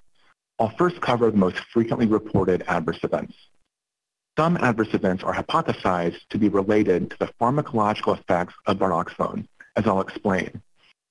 NRF2 regulates multiple pathways and many observed clinical findings with bardoxolone may be explained, at least in part, by the presumed mechanism of action. Muscle spasms are the most common AE reported with bardoxolone. They were mostly mild to moderate in severity and not associated with increases in creatine kinase or other evidence of muscle injury. They typically present as lower extremity muscle cramps, similar to a Charlie horse. Flexible dose titration helped resolve them, and only two patients discontinued. Hyperkalemia events were all mild or moderate in severity, and nearly all events were reported in patients receiving concomitant ACE inhibitors or ARBs. Hyperkalemia is a known side effect of this class of drugs. None of the events were serious or resulted in study drug discontinuation. Although increased albumin, albumin in the urine, as assessed by UACR, can be a marker of injury, bardoxolone's pharmacological effect on EGFR can also increase UACR in a manner that differs from disease progression or injury. The combined effects of increasing filtration rate and decreasing albumin reabsorption explain the increases in albumin excretion seen with bardoxolone we have shown in non-clinical studies that increases in single nephron GFR are not associated with increased intraglomerular pressure and do not affect glomerular permeability to albumin, demonstrating the integrity of the filtration barrier remains unchanged. Additionally, we have also shown that bardoxolone decreases the expression of megalin, the primary protein involved in albumin reabsorption in the proximal tubules. This plot shows UACR over time. Consistent with prior trials of patients with pre-existing albuminuria, treatment with bardoxolone increased UACR in patients with Alport syndrome. After an early increase that is accounted for by the increases in EGFR, UACR generally remains stable through two years of treatment. The stabilization of UACR while continuing treatment and its return to baseline after two years of treatment and withdrawal of drug is not consistent with glomerular damage. Injury to the glomerular filtration barrier would be expected to cause a continued increase in UACR over time that does not return to baseline or placebo after withdrawal, which was not observed. Importantly, the increases in UACR are not associated with accelerated EGFR loss. We analyzed patients by quartiles of UACR change at week 12, shown in the middle column, and assessed EGFR changes on and off treatment after two years in the right two columns. The quartile of bardoxolone-treated patients with the largest UACR increases at week 12 had the largest on-treatment and off-treatment EGFR changes relative to the other quartiles of bardoxolone-treated patients and all placebo quartiles after two years of treatment. These data are consistent with a UACR profile that is due to the drug's pharmacologic effect and is opposite of a pattern of injury small but reversible increases in BNP were seen with bardoxolone treatment, with mean values remaining below the upper limit of normal. Importantly, the increases in BNP were not associated with blood pressure elevations or fluid overload adverse events. Overall, fewer cardiac adverse events were reported in the bardoxolone group compared to the placebo group. Blood pressure was unchanged relative to placebo through two years in study 1603 phase 3. Moreover, in a thorough QT study in healthy volunteers at doses up to 80 milligrams, we have shown that bardoxolone does not affect blood pressure. As mentioned earlier, we saw an increase in heart failure events in study 903 and associated increases in blood pressure, including 24-hour ambulatory blood pressure monitoring that was assessed in a subset of patients. After Study 903, we implemented risk mitigation across all trials. And in a trial of patients with pulmonary hypertension, we conducted 24-hour ambulatory blood pressure monitoring, as shown on the right. In this trial, we saw no increases in blood pressure, supporting that a risk mitigation strategy could be effective. Prior to initiation of our Alport syndrome program, our Japanese partner reinitiated clinical development in patients with diabetic kidney disease.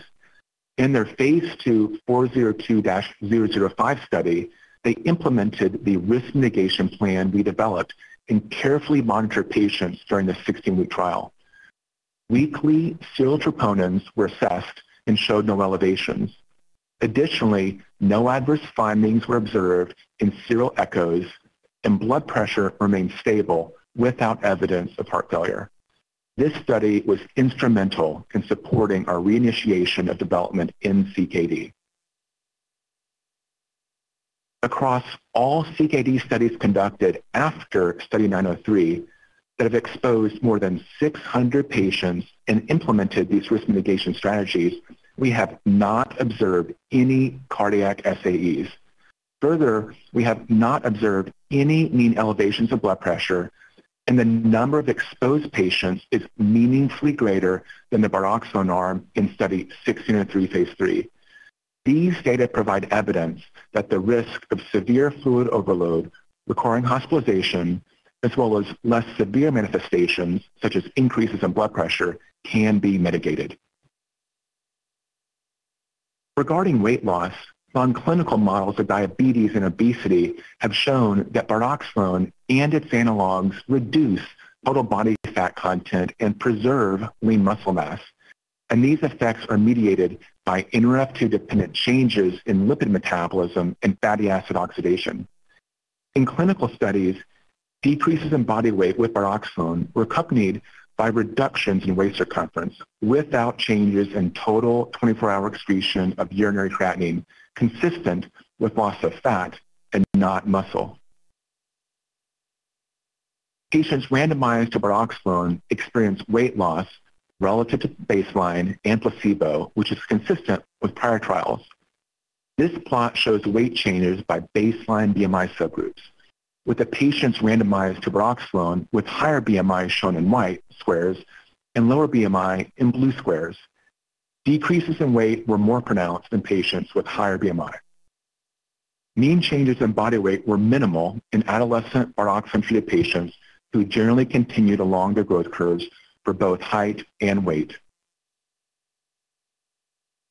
We have shown in multiple non-clinical studies that NRF2 activation regulates ALT and AST production in multiple organs, and the clinical profile of aminotransferase increases in study 1603 is consistent with pharmacological induction of gene expression rather than injury.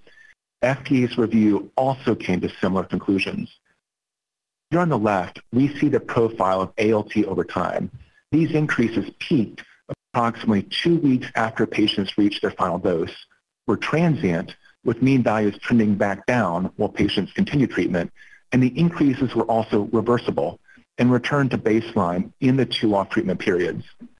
Importantly, these increases were associated with reductions in total bilirubin, as seen on the right, and across all studies, there were no cases of Hy's Law. We are collecting longer-term data in Study 1803, an open-label extension study. This study has enrolled 96 patients and has demonstrated no new safety signals with up to three years of treatment. There have been no treatment-related serious adverse events reported to date supporting longer-term safety with bardoxolone. Based on the safety findings, we have proposed careful monitoring.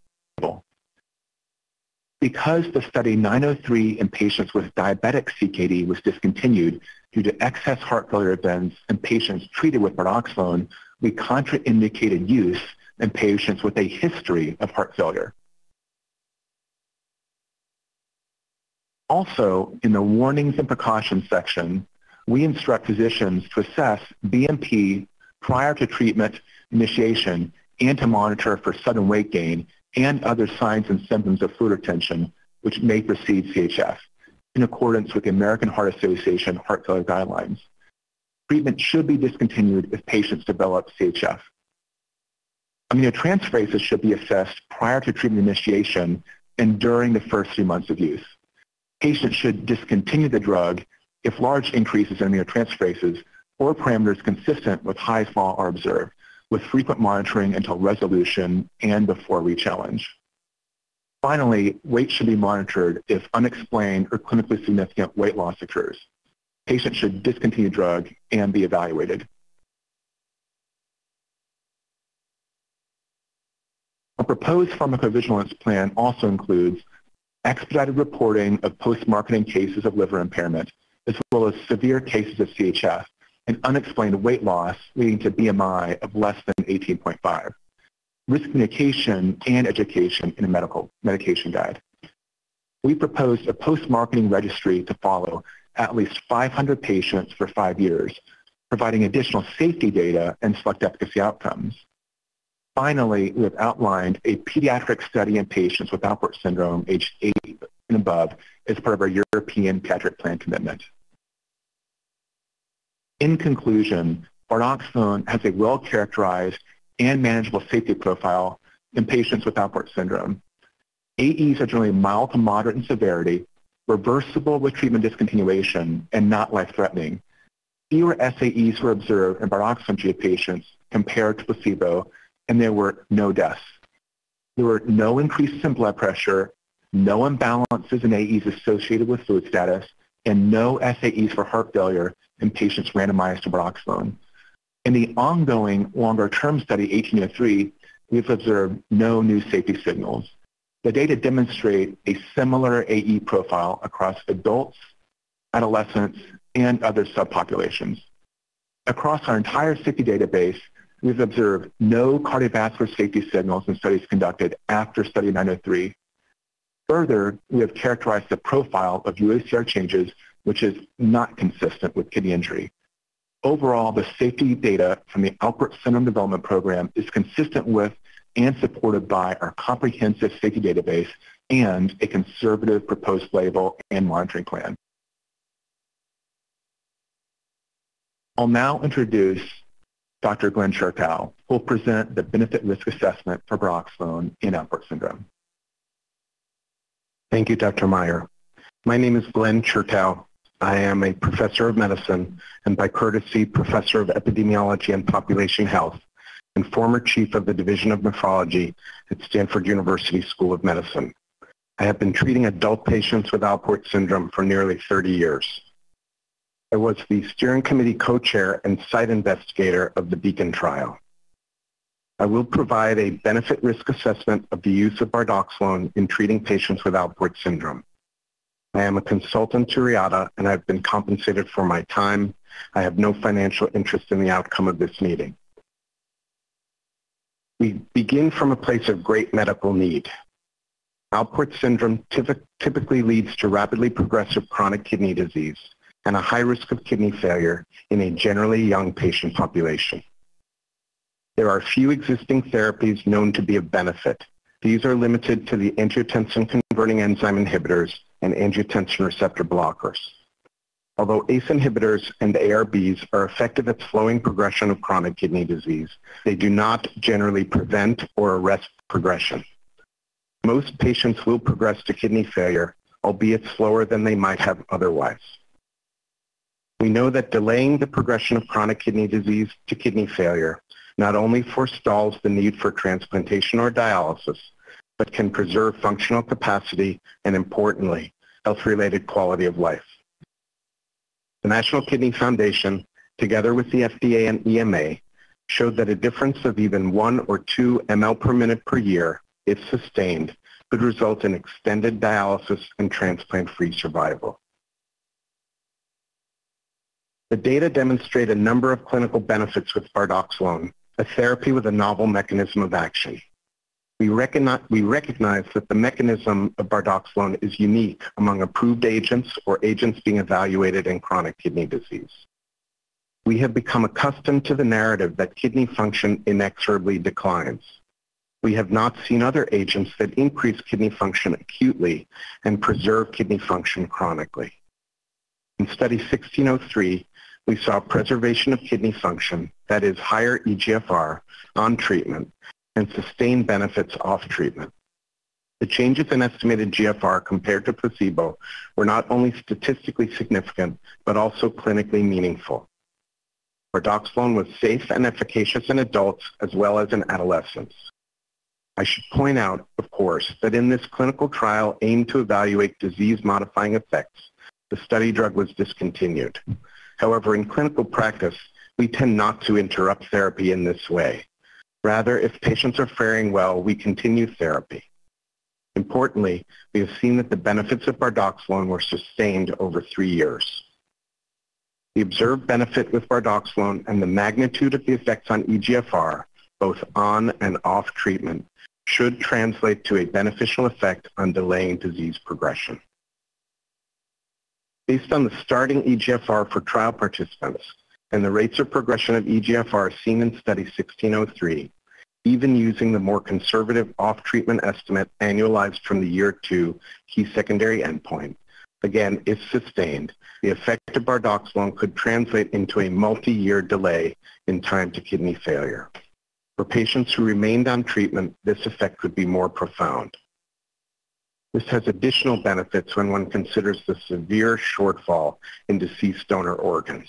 In my region of the country, waiting times exceed the life expectancy of nearly all older patients requiring dialysis, approximately 10 years. And for younger patients, like those with Alport syndrome, delaying progression might mean the difference between a single preemptive kidney transplant lasting throughout middle age or beyond and the need for two or more kidney transplants and the need to start or restart dialysis. We must evaluate the risks of bardoxolone in the Alport syndrome population, which were not serious or life-threatening and were clinically manageable. Elevations in the aminotransferases were generally observed within the first 8 to 12 weeks, transient in nature, and not accompanied by increases in total bilirubin or clinical evidence of liver injury. Muscle spasms, which have been seen consistently in studies with bardoxolone, are rarely severe and often wane over the course of several weeks. there was a decrease in body weight, which was proportional to the baseline BMI. In other words, obese adult patients tend to lose more body weight than non-obese patients. Adolescents treated with bardoxolone appear to maintain their individual growth curves. While albuminuria tends to increase early in the course of bardoxolone treatment, the increase is not sustained and is proportional to the rise in EGFR. In the pivotal 1603 phase 3 study and all CKD studies conducted after Beacon, there were no increases in mean systolic or diastolic blood pressure, serious cardiovascular events, or deaths. Monitoring patients with Alport syndrome for these and any other potential adverse effects is feasible in nephrology practices. Adult and pediatric nephrologists typically serve as either the primary or principal care physician for patients with Alport syndrome. We evaluate blood pressure and volume status at every follow-up visit for these patients. We routinely measure laboratory data, including assessments of liver enzymes and total bilirubin, as well as kidney function and electrolytes. We also commonly measure UACR or UPCR, the urine protein to creatinine ratio, to monitor progression of disease in response to therapies, including ACE inhibitors or ARBs. The frequency of clinic visits increases as chronic kidney disease advances to stages 3B, 4, and 5. In early stage Alport syndrome, at least on the adult side where I practice, we might see a patient once or twice a year, whereas patients with more advanced disease are typically seen every two to three months. In summary, Bardoxolone offers the potential to sustain kidney function and reduce the progression of kidney disease for several years without requiring either dialysis or kidney transplantation, as suggested by the on-treatment as well as the off-treatment effects. Balanced against the potential risks, which are clinically manageable, it is my clinical perspective that the benefits of bardoxolone outweigh the risks and offer a much-needed therapy to patients with Alport syndrome and the physicians who treat them. I'll now turn the presentation back to Dr. Meyer, who will provide concluding remarks. Thank you, Dr. Chertow. Bardoxolone offers a novel and effective approach to treating patients with Alport syndrome who have high risk progression to kidney failure, often at a young age. We have demonstrated through multiple analyses that bardoxolone slows the progression of kidney disease in patients with Alport syndrome, and the treatment effect, both on and off treatment, is large and clinically meaningful. We as the sponsor are committed to the Alport syndrome community and to the safe use of bardoxolone for a post-approval registry, risk management plans, and documentation of long-term outcomes. We hope to work with the agency to bring the first treatment option to these patients, their families, and their treating physicians. We thank you for your careful consideration.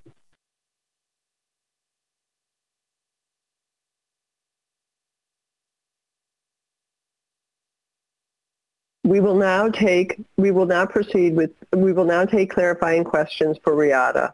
Please use the raise hand icon to indicate that you have and remember to lower your hand by clicking the raise hand icon after you have asked your question. When acknowledged, remember your name. If for the record before you speak, and direct your question to a specific presenter if you can. If you wish for a specific slide to be displayed, please let us know the slide number if possible. Finally, it would be helpful to acknowledge the end of your question with a thank you and the end of your follow-up question with, that is all for my questions we can move on to panel member. I'm going to uh, begin first question. If the um, sponsor could please bring up slide C, C17. Um, in a orphan drug application, which uh, has often a surrogate outcome, and in this case one that there's some controversy about, the totality of data is important. Um, and so the preclinical data and the mechanism of action and hypothesis are very important. I have several questions about slides the conclusions. I have read all the um, references listed under the slide and I think a couple others that were not in the, the briefing doc document. Um, my first question revolves, and this would be a yes or no answer, In the diabetic study that was on Beacon, um, there were no diabetic uh, animal model studies done prior. Um, SOLA, which is listed here as 2010, in 2013, uh, unfortunately, after the Beacon trial was well and almost stopped, did a diabetic rat study which showed loss of weight, increased blood pressure, increased albuminuria, glomerulosclerosis, and increased LFTs. I was unable to locate any use of bardoxolone in one of the animal models of Alports. So my first question is, was, was such a study done? Um, and if so, could you share the data? Secondly, a claim is made that there is no effect on intraglomerular pressure the Ding 2013 um, reference shows an increase in filtration fraction with no change in renal plasma flow. The most evidence-based explanation for that would be an increase in intraglomerular pressure, which would be associated with an increase in albuminuria. A definitive study to um, decide whether what is really happening in the glomerulus, and obviously intraglomerular pressure increases, as the sponsor has acknowledged, are bad, would be a micropuncture study, or micropuncture studies done with bardoxolone. Thirdly, um, I was the hypothesis, uh, which is novel, that there's a increase in glomerular surface area. I was unable to find any other examples of any drug that did did increase in glomerular surface area or intervention of any sort, um, or that was associated with a benefit. So if there is such a thing, um, please share with the committee. And uh, lastly, I, well, I'm unaware of examples of drugs that cause an increase in albuminuria but that have been demonstrated to show a benefit in chronic kidney disease. And if there's an example, could you please share with the committee? So I guess that's four quick questions. Please keep to yes, no, or as short as you can. Thank you, Dr. Lewis. We acknowledge that the mechanism is novel, and while we have not conducted uh, studies of of Alport syndrome, we have conducted numerous studies in other uh, chronic models demonstrating um, anti-fibrotic effects. It's, it's okay. Just yes or no. Done, no, it's fine. No, it's fine. I'm sorry. I'm we just trying to, done, we're late. Go ahead. We have Go not ahead. done micropuncture, right. but we've done two photon laser microscopy. And we okay. are unaware of other drugs that have been and, shown um, to increase the surface area. Okay, thank you. And lastly, drugs that increase albuminuria but have been demonstrated to preserve kidney function. We are unaware, but note that uh, the profile is, is unique and different than agents that are associated with uh, injury or disease progression. Thank you. Um, then I think the first person with a question is Dr. Palevsky. Dr. Palevsky, please unmute. Thank you. I was in the process of unmuting as you asked. Dr. Paul Palevsky. Um, maybe I missed it, um, but I did not see a description of methodology for EGFR calculation and whether it was based entirely on serum creatinine um, or whether you used other established markers such as cystatin C. Um, my one reason for concern is the associated weight loss and um, it would be important to know whether there's any data on change in creatinine generation associated with the weight loss that occurs over um, uh, time. My third question um, relates on slide uh, CE22, um, which is the uh, plot of the um, EGFR change. And I note that when drug is reinstituted um, after the um, uh, after week 52, the increase in EGFR from um, the uh, um, off-drug period is substantially appears to be substantially less than um, at year one, which raises concern that the um, pharmacodynamic effect of the drug had not worn off over those four weeks. Can you address, please address that, that issue? Thank you.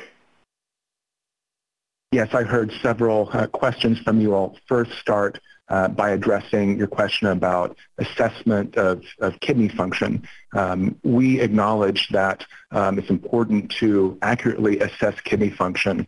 Um, and slide up.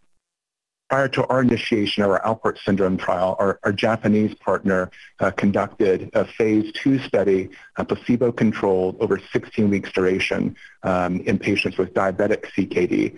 Um, and as shown on the left, uh, there was an increase in inulin clearance, so obviously independent of serum creatinine, and that change was correlated uh, with the change in estimated GFR per creatinine-based assessments. Furthermore, on the right, um, in that same study, they collected 24-hour urines to demonstrate that there was no change in excretion of 24-hour urines. We've also demonstrated that in three other trials. Um, in regards to how it was calculated okay. in the Alport syndrome trial. Before you go on with that, with regard to that, so you said that's 16 week rather than um, uh, a, a more prolonged course of 48 weeks where there may have been um, uh, more weight loss and therefore more change in creatinine generation. Do you have data at a 48-week time point? No, we do not have data at a 48-week time point, but we have it um, at um, um, 16 weeks here and, and other um, other timeframes that show no evidence of any changes in excretion of creatinine. So um, to answer your question directly about EGFR assessment, um, in the Alport syndrome trial, uh, CKD epi uh, was used for adults and, and bedside Schwartz equation was used for, for kids. But the, there are multiple CKD epi equations. You just use the creatinine only equation. That is correct. Do you have data on cystatin C? No, cystatin C was, was not collected. And then to address uh, your question uh, about weight, if we can slide up.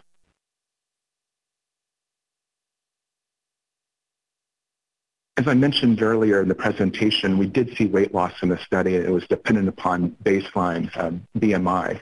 Shown here is the EGFR change um, stratified by those subgroups. Um, and you can see that at the very end of the trial, there's very similar um, EGFR change despite the large differences um, in weight uh, for, you know, for these patients. And so demonstrating that the change in serum creatinine is different uh, than the change in weight. And then to address your question about washout, if we could pull up uh, the scatter plot, uh, the week 50 uh, or the week 104 data, so on the left here, this is all EGFR values that contributed to the key secondary analysis. Um, and on the slide on the right um, is all except these four outliers. And so uh, Dr. Tuscher, can you please comment um, on this? Nathan Tuscher. Um, over the after the washout, there's no continuing change in EGFR after day 14. Um, it's a very flat, even though wide distribution of data. We could go back to CE22 also, which was the original question. Um, it's important to note that there is disease progression. The difference between uh, the peak of the bardoxolone treated and the peak uh, or, or in the same time point for placebo is quite similar, even though it doesn't look like the rise is as much.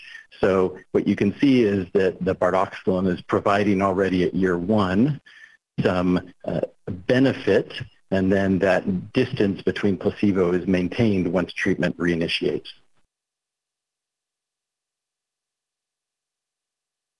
Thank you. Dr. Merz?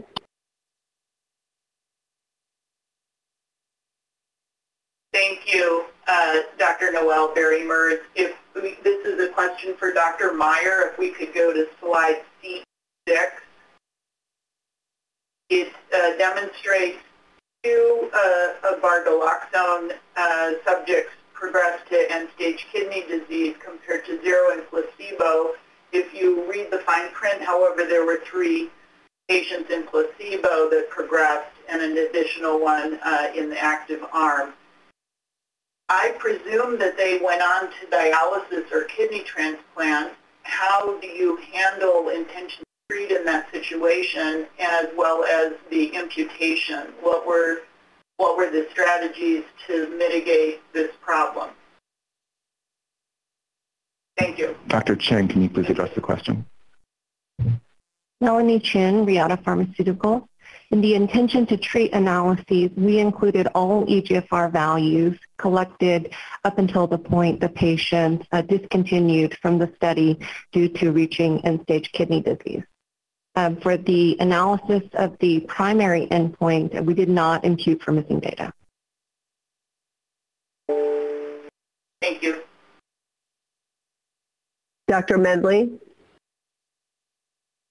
Thank you. This is Susan Mendley. Um, Dr. Myers, on slide CS20, you stated that adolescent patients generally continued along their baseline growth curves for height and weight. But when I reviewed the Reata provided briefing materials um, on page 155, um, section 9.9, section uh, figure 54, I note that at least three and perhaps four of the adolescent males had failure of age-appropriate weight gain such that they fell off their growth curve and crossed two or more percentile lines, generally considered a pathologic growth pattern. Can you provide any data to this committee to reassure us or patients or parents that this pattern of failure to gain weight in a normal fashion does not increase the risk of stunting in a population already at risk for growth failure. Thank you. If we recognize the, the limitations of the small data set and are committed to collecting additional data in the post-marketing setting and, and recommend careful guidance. I'd like to have Dr. Brad Warady uh, specifically comment um, on, on these data and to address your questions. Brad Warady, slide up, please. So as mentioned, um, there were some crossing of lines uh, in the uh, adolescents on bardoxolone, not dissimilar from what occurred in the placebo population. I think it's important to recognize that when one looks at the bardoxolone uh, patients, again, who were small in number, uh, that their average height uh, at baseline was already 171 centimeters, and their average weight was 65 kilos. These individuals who were a, a mean age of 15 years were in large part fully grown. Uh, next uh, slide up, please. And then this is the data for the adolescents on bardoxolone to look at their weight uh, over the course of the study. And you can see for the most part, uh, their weights were maintained uh, and they did not demonstrate significant weight loss, which was uh, seen in some of the uh, adult individuals who had very high BMIs. So again, this is something that would clearly need to be monitored uh, long-term uh, in patients who are treated like we do for all CKD patients who are followed up in the clinics. Thank you. Um, would everyone please put their hands down who have had their questions answered? And our next, uh, our next uh, panel member with a question is Dr. Butler. Thank you very much. This is a question for Dr. Myers, slide CE11. Realizing that uh, smaller numbers makes interpretation different, difficult, but I was just wondering if you can comment on your interpretation of baseline EGFR and whether there's a trend of less benefit with advanced uh, lower GFR. We would expect that patients with a lower GFR and more irreversible loss of kidney function you know, would have a smaller treatment effect. Um, so when we um, kind of account for the baseline GFR, uh, the relative change is closer, um, but yes, uh, there is less treatment effect. We do know do note, however, that it, it still favors um, bardoxolone, and I'd like uh, Dr. Chertow to comment um, on on this treatment effect. Thank you, Glenn Chertow. Um, I would just say that the uh, the treatment uh, effect is clinically meaningful in both groups. Thank you. Thank you. Dr. O'Connor. And Uh, please Dr. remember to state your, right, thank you, Dr. O'Connor. Everybody remember to state their name first. Uh, Dr. Christopher O'Connor here, um, and this is a question for Dr. Uh, Tusher. Uh, and uh, the slide that corresponds to figure 32, page 96 of the briefing document regarding the natriuretic peptide levels. Um, and and uh, thank you for taking uh, a serious mitigation effort for the current trial, the Cardinal trial, after showing an increase in heart failure in the in the Beacon trial. Uh, and while we have um, uh, normal natriuretic peptide levels at baseline, uh, if you could pull that slide up that corresponds to figure 32, it appears that the drug actually increases uh, natriuretic peptide levels uh, within this intranormal range, which uh, um, also has important prognostic uh, significance in sort of preclinical heart failure and other cardiovascular disease. And then during the washout, uh, the natriuretic peptide level comes down. Uh, you reinstitute the drug, it, it elevates again, and washout, it comes back down. Are you familiar with uh, animal studies that have shown that this um, class of drug could have direct myocardial injury effects? And second question is, was there any uh, asymmetric post-randomization uh, withdrawal of RAS inhibition between the treatment and placebo group? To answer your second question first, uh, there is no evidence of asymmetric withdrawal of RAS inhibition. Uh, to, to answer your first question, slide up. We, we do have direct evidence uh, from animal studies uh, with a close bardoxolone analog that demonstrate that there is increased BNP expression that's associated with reduced cardiac hypertrophy. Uh, this is consistent with the metabolic effects uh, that BNP has uh, beyond the effects um, on, on fluid. Slide up. And we actually see differential expression um, or BNP levels in the Alport syndrome phase 3 trial. Shown here are BNP levels uh, by baseline BMI subgroup. So in the patients who had higher BMI, who lost more weight, uh, we saw larger increases in BNP. Um, I'd like to have Dr. Uh, Bangalore comment on the on the clinical profile of BNP uh, that we saw in our Alport syndrome trial. Hi, Sripal Bangalore, uh, interventional cardiologist, NYU Medical Center. I'm a paid consultant for Reata Pharmaceuticals and I have no financial interest in the outcome of the meeting.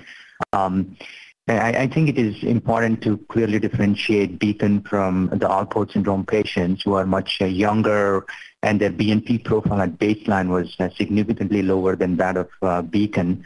Um, and, and, I think that being said, given the fact that these patients will be on these medications for a long time, and some of them may develop the profile similar to Beacon, the risk medication measures uh, outlined, close monitoring of uh, fluid status, uh, blood pressure, uh, monitoring for any elevation in blood pressure, and close monitoring of heart failure, I, I think should uh, maximize the benefit and at the same time decreasing the risks of these patients.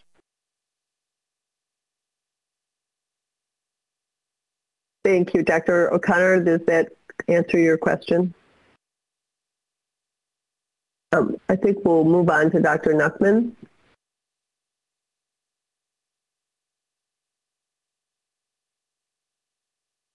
Yes, uh, thank you, Patrick Nachman. Uh, I have a couple of questions uh, regarding the patient population that was included in the phase three trial.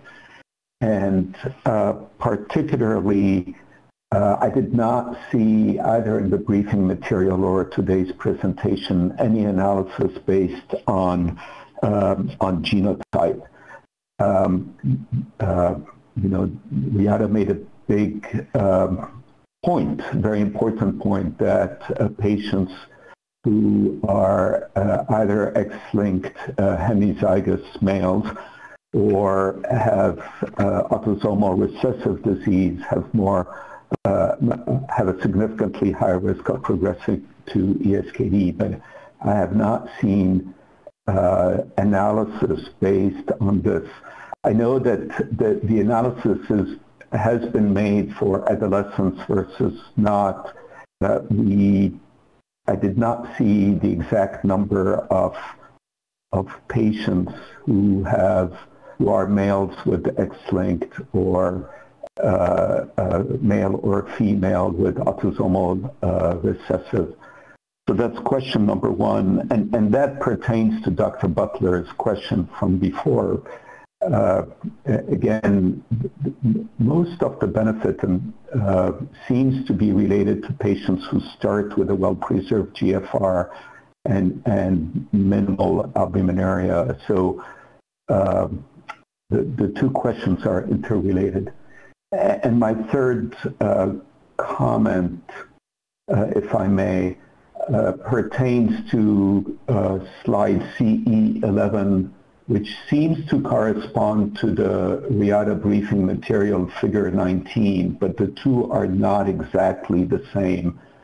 Um, there are some significant differences in, in the reported um, benefits and confidence intervals between the two. And if you could comment on why the two uh, are, are so different, uh, specifically for, for patients with UACR more than 300 for X-linked uh, Alport syndrome uh, and for low GFR. Um, thank you.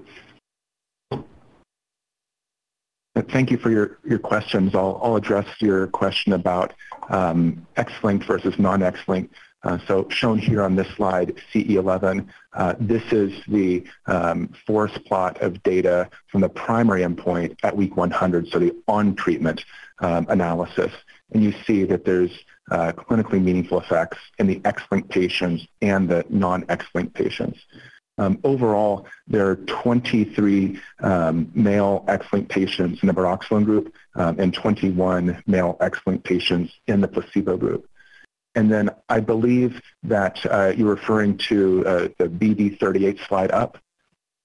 This is a similar uh, forest plot, but this is for the uh, key secondary week 104 analysis. And so uh, once patients had withdrawn drug, and we still see um, a clinically meaningful treatment effect um, in the X-linked as well as the non-X-linked patients. And we recognize that there is a larger treatment effect in patients with um, earlier uh, stage disease, uh, but these patients progress very rapidly uh, as highlighted in the pediatric patients. And so in our view, you know, it's optimal to get to them before they have um, too much irreversible loss of kidney function that uh, bardoxolone could not affect.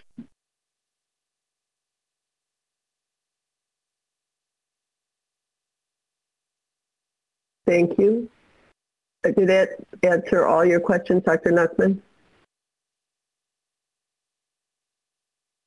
We'll go on to Mr. Paul. Con oh, Dr. Nachman, we're all, are you, yes? Yes, thank you. Um, we'll go on to Mr. Paula Conway. Thank you, Doctor. Uh, my question is actually for uh, Dr. Meyer. Um, in looking at the FDA briefing materials under the appendices 6.1, page 39, I was a little bit intrigued about uh, the back and forth that had occurred with FDA, and I'm interested in your perspective on, or some clarification on why the uh, company chose not to engage with FDA at the end of um, the second trial, because there appears to be, based on the footnote number two there, a fair amount of correspondence back and forth on EGFR. And I'm just interested in your own language, um, uh, your description of that. Yes, and so um, we had numerous interactions um, with the division um, about um, um, multiple CKD programs uh, in this time frame. I think that provides helpful context. In 2016, in our pre-IND meeting, um, we actually proposed a phase two study um, for our Alport syndrome study. And in the meeting, uh, the division recommended a phase 2-3 approach that included a uh, two-year treatment duration and two off-treatment periods. Um, I was present at that meeting. Uh, we engaged in dialogue with the division as collaborative, um, and in the end, um, they um, acknowledged um, our design. Um, we submitted our protocol uh, to the, the division. in our study may proceed letter, uh, they noted uh, that the week 104 endpoint following a four-week drug treatment withdrawal period would be critical for evaluating efficacy and supporting approval. Um, and as I uh, was mentioning in my, my presentation, we had a parallel program in polycystic kidney disease um, that uh, where we engaged with FDA for an end of phase two meeting in February of 2019. Um, and this was approximately a year and a half into um, enrollment of the pivotal phase three Alport syndrome trial. And we had a same basically proposal for the design, two years internal treatment duration, two off treatment periods, um, with a 28-day window. And in that meeting, um, uh, individuals um, in uh, the meeting at FDA inquired about the sufficiency of the off-treatment period. Um, and so we specifically discussed uh, the 28-day topic. Uh, we reviewed data, much of the same data that uh, Dr. Tuscher reviewed, um, and then we submitted it to them as they requested, and they said they were reassured by that data. They then, a few months later, um, asked um, for an end of phase two meeting uh, for Alport syndrome. Um, and so once again, a year and a half into the conduct of the phase three trial, we had just discussed the design, um, and we thought we had addressed all of FDA's comments. And we didn't discuss the Alport syndrome trial again until after we um, reviewed the year one data with them. And so just to clarify, there, there was a lot of back and forth. We were listening to FDA, um, and we incorporated you know, all recommendations from them into our trial.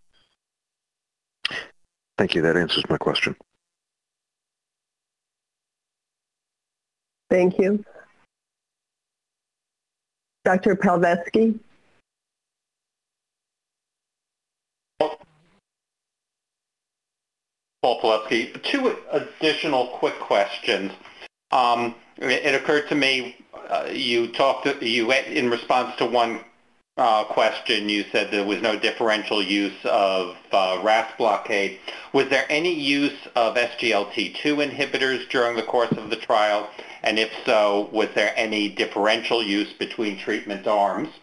And then the, the second question, in your briefing documents, um, you talk about the effect of bardoxolone on um, uh, regulation of uh, expression of megalin which is involved in proximal tubular uh, protein reabsorption. Do you have any data to inform us as to whether the changes in proteinuria are due to um, increases in glomerular protein leak or a change in tubular reabsorption? Thank you. This is Dr. Meyer, and to address your first question quickly, uh, no patients within the syndrome trial were using concomitant SGLT2 inhibitors. Uh, regarding your second question, uh, we've performed uh, many non-clinical studies to probe um, the effects on proteinuria. Clinically, it's hard to differentiate between the increases in GFR um, and the uh, megalin contribution, um, but we do see both effects experimentally. Uh, we do see that in, associated with increases in single nephron GFR using two-photon laser microscopy uh, that there is not an increase in permeability uh, in wild-type animals or animals uh, with diabetic uh, uh, kidney disease.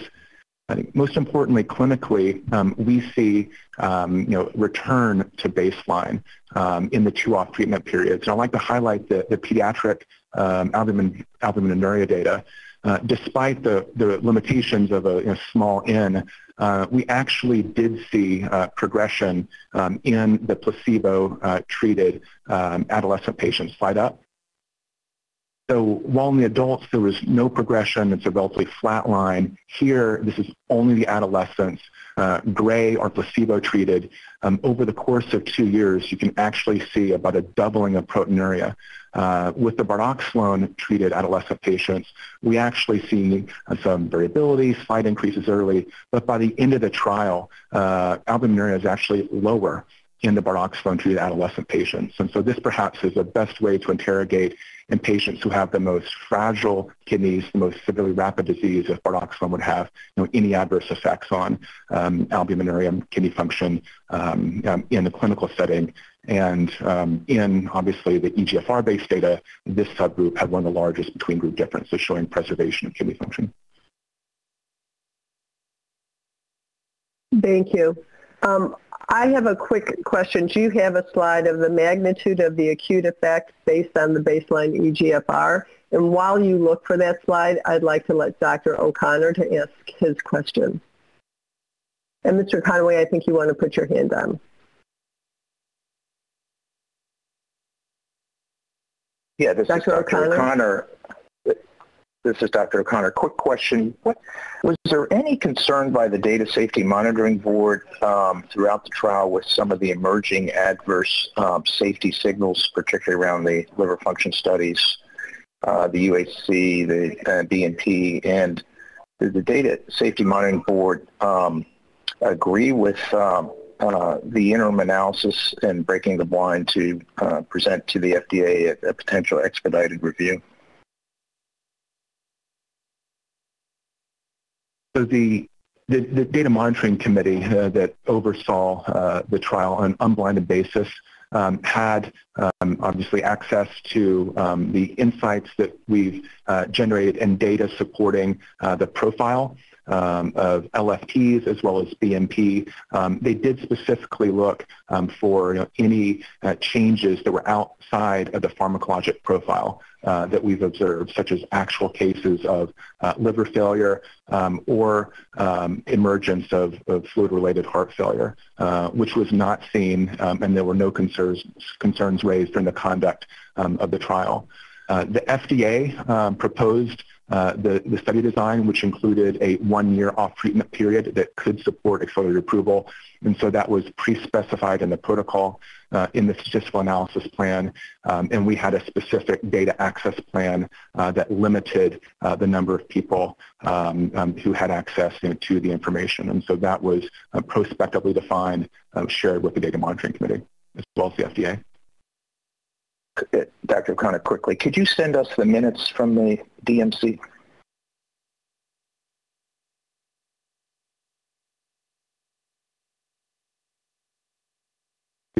Are you requesting it from, from us, the sponsor?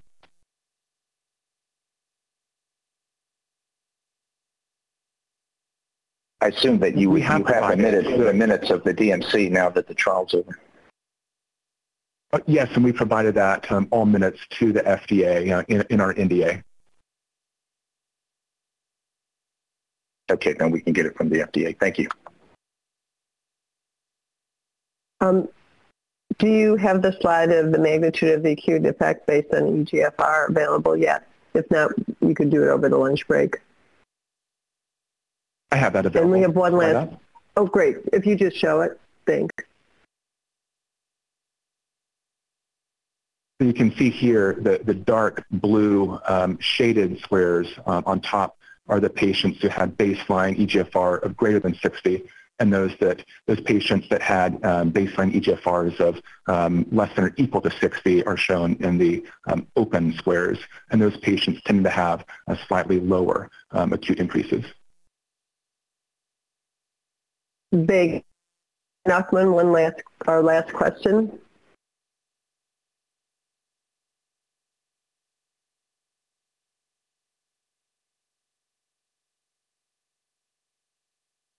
Dr. Nachman, can you, you want to unmute? Yes.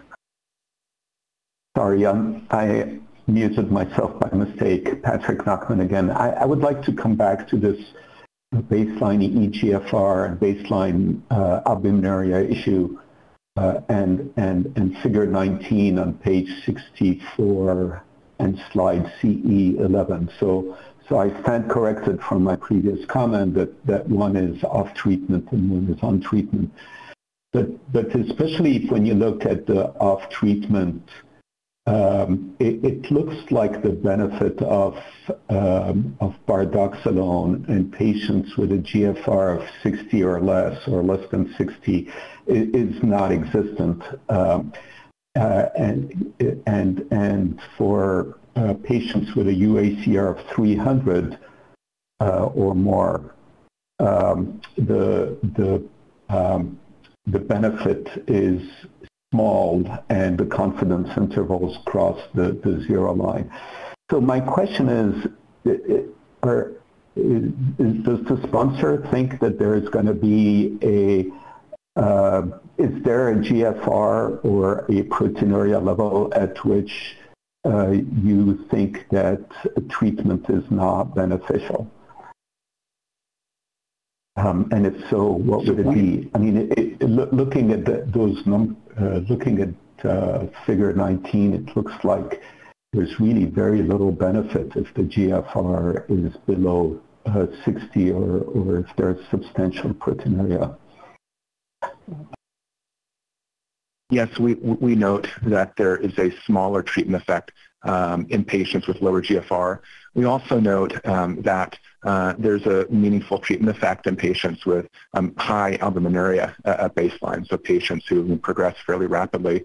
Um, and we also uh, acknowledge that due to this you know, relatively small trial in the rare disease, it, it's hard to make uh, firm conclusions about subgroup analyses. Uh, we did have a, a post hoc finding you know, in patients with low GFR that um, it appeared that many of those patients were not at their goal dose. And when patients are at their goal dose, uh, those patients tend to have um, a, a better treatment effect. Slide up.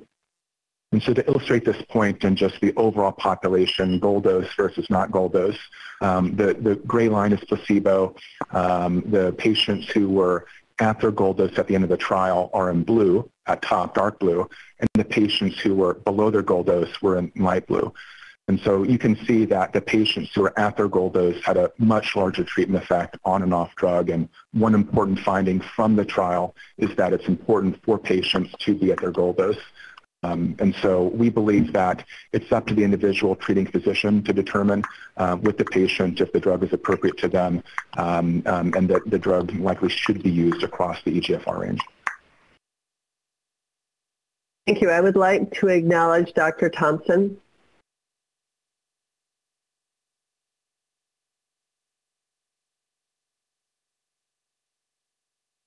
Dr. Thompson.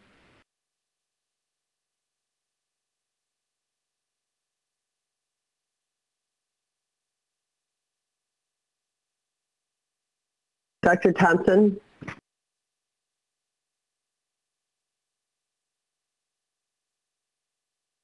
Hmm. Dr. Thompson, I was told you had a question. Um, maybe, or had a comment. Um, maybe after the break? I actually do not have a comment. This is Dr. Thompson. Oh, okay. Sorry. Um, well, panel members, we are, um, unfortunately, because we got a late start um, and had very good questions, and I want to thank all the panel for their questions. Um, we are behind schedule. Um, if it's okay with you guys, could we do a five-minute break to try to catch up some of that time? Um, so I would say we will, it's roughly 12.09, let's say it's 12.10. We'll return at 12.15. Um, we will take a quick five-minute break, a little bit more, six minutes. Please remember that there should be no chatting or discussion of the meeting topics with other panel members during the break. We will reconvene at 1215.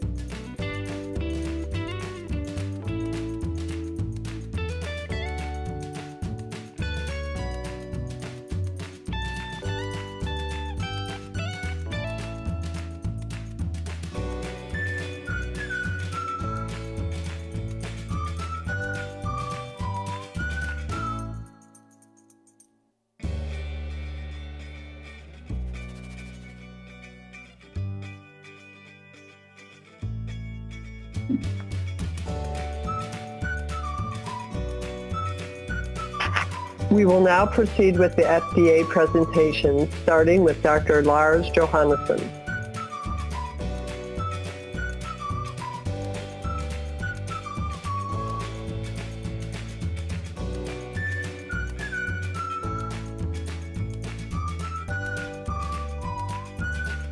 My name is Lars Johannesson. I'm a clinical analyst in the Division of Cardiology and Nephrology. I'll be presenting the FDA team's findings of bardoxolone's efficacy and safety together with Dr. Dali So, the Office of Biostatistics. I want to start the presentation by stating the four AC points to consider. The first point is that Cardinal Phase 3 was adequately designed to assess for an effect on the progression for, of chronic kidney disease Alport syndrome. Second point where the available data indicate that bardoxolone methyl slows the progression of chronic kidney disease, whether it is reasonable to conclude based on the available data that bardoxolone methyl will reduce the risk of progression failure when used chronically in patients with Alport syndrome.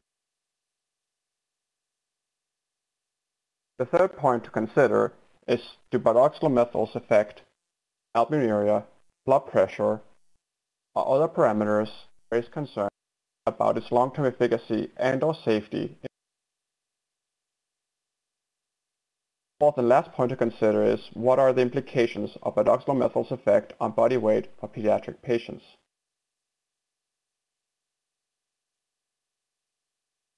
The presentation is divided into three parts.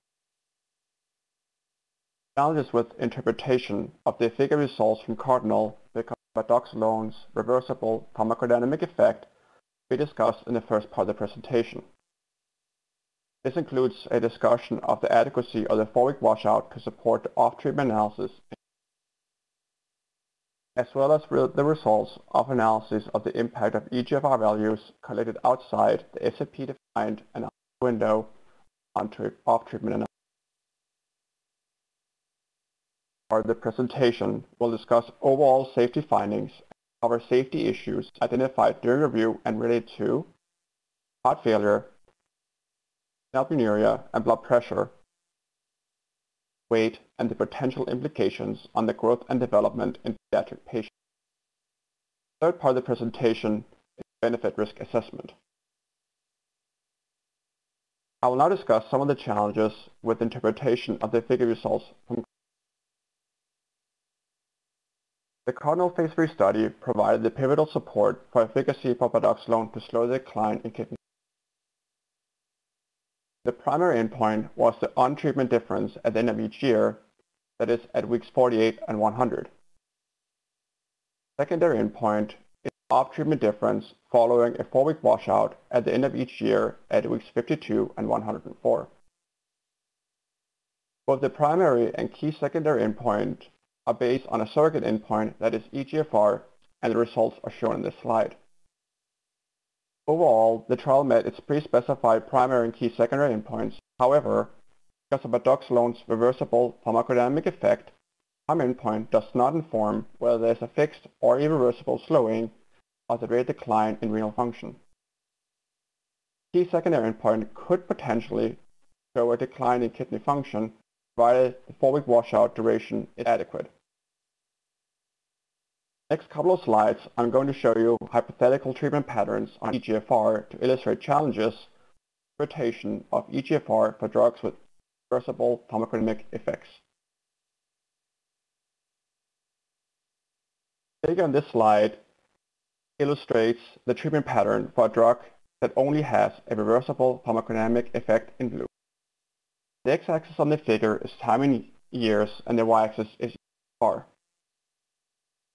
On treatment, there is an increase in EGFR, but the rate of decline in EGFR over time, that is the slope, for the placebo group in gray and the treatment group in blue.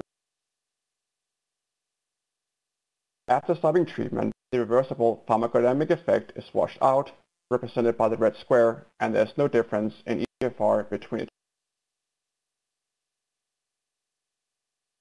If the treatment group difference is measured too soon after stopping treatment, that is, before the reversible pharmacodynamic effect has resolved, group difference could be observed, which is reflective of the reversible pharmacodynamic effect and not a slowing in decline in EGF. On the next slide, I'll show an example of a treatment pattern for a drug with both a reversible pharmacodynamic effect and a slowing in decline.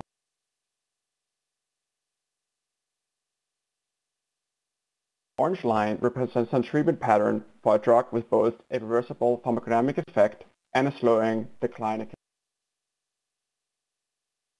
This treatment pattern, there is a slower rate of decline in EGFR or a less steep slope on and off treatment. Slower rate of decline translates to an increase over time on treatment, therefore a larger difference between orange and the gray line at the end of treatment as compared to the blue and gray lines. Unlike the reversible pharmacodynamic effect only, the blue line, a drug that slows disease progression, full difference off treatment. Detectable off treatment difference, drugs slowed the rate of decline in each on treatment, increase over time in the treatment trials, endpoint selection is critical for drugs with reversible pharmacodynamic effects. Differentiate between a reversible pharmacodynamic effect slowing the rate of progression. At the pre-IND meeting, the review team indicated that the endpoint would need to capture an effect of the irreversible loss of kidney function. Post-treatment effects of assessment of kidney function be needed to differentiate bardoxolone's pharmacodynamic effect on kidney function from its effect on disease progression. During the course of development, the review team grew concerned, concern, grew concerned about the timing of the applicant's post-treatment assessment, whether it was adequate to different, differentiate the pharmacodynamic effect on kidney function, effect on disease progression, and voiced this concern to the applicant. Next, I want to discuss the challenges with interpretation of off-treatment in EGFR and adequacy of the four-week washout. Our main efficacy concern is whether the observed effects on EGFR are indicative of an effect on disease progression, Alport syndrome.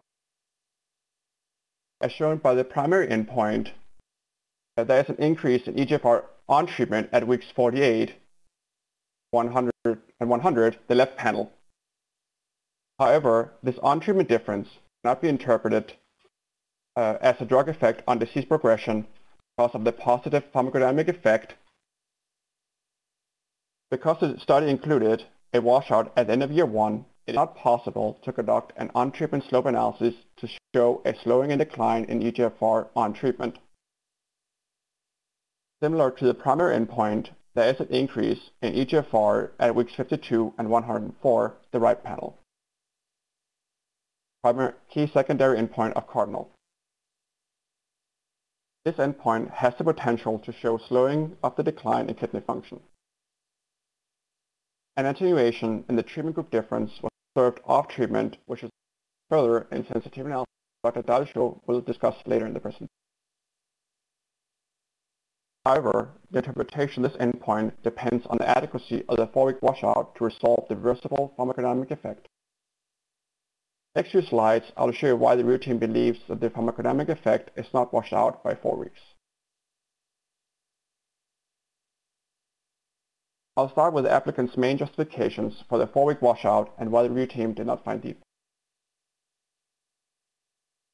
First justification is based on the time course of resolution of other pharmacodynamic markers do not agree with the assumption that the time course for EGFR will follow the time course of other pharmacodynamic markers that are not related to renal function. Second justification is based on bardoxolone's pharmacokinetic response analysis that EGFR are changes, EGFR changes are directly proportional to bardoxolone concentration. I do not believe that this assumption is consistent with observed data or the proposed, proposed mechanism of action, Nrf2 pathway expression of genes involved in modulating inflammation, oxidative stress, and cellular Third justification is based on a pool analysis of short treatment duration studies that is less than eight weeks, suggestive of adequacy of four weeks in patients with CKD and type 2 diabetes.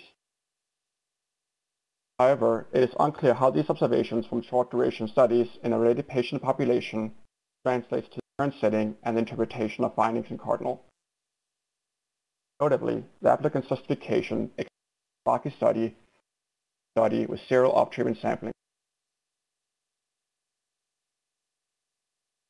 Baki was a phase 2 study in patients with CKD and type 2 diabetes. The study included 16 weeks of dosing and 12 weeks of off-treatment. Figure, I'm showing the time course of EGFR as indicated by the dashed lines bardoxolone the solid lines study. If you focus on the time of steady-state bardoxolone plasma concentration, the solid lines, at the last dose titration as indicated by the blue rectangle. We observe that despite having reached steady-state concentration, GFR, as shown by the dashed line, over the following weeks, maximal effect occurring around week 60. This delay is indicated by the onset delay error. Now focus on the off-treatment period, which is shown by the offset delay arrow. The delay between bardoxolone concentrations, solid line, essentially gone by week 20, no decrease in EGFR, the dashed line. Bar appears to wash out around 8 weeks in Tsubaki, longer than the 4-week washout implemented in Cardinal. From Tsubaki therefore suggests that 4-week washout in Cardinal might not have been sufficient. Delayed onset and offset changes in ER appear consistent with the reported mechanism of action of bardoxolone pathway to assess the adequacy of the four-week washout implemented Cardinal, the team developed a fit-for-purpose PK. The PKPD model incorporates the decline in kidney function and allows for delay in the onset and offset of GFR relative to bardoxolone concentration.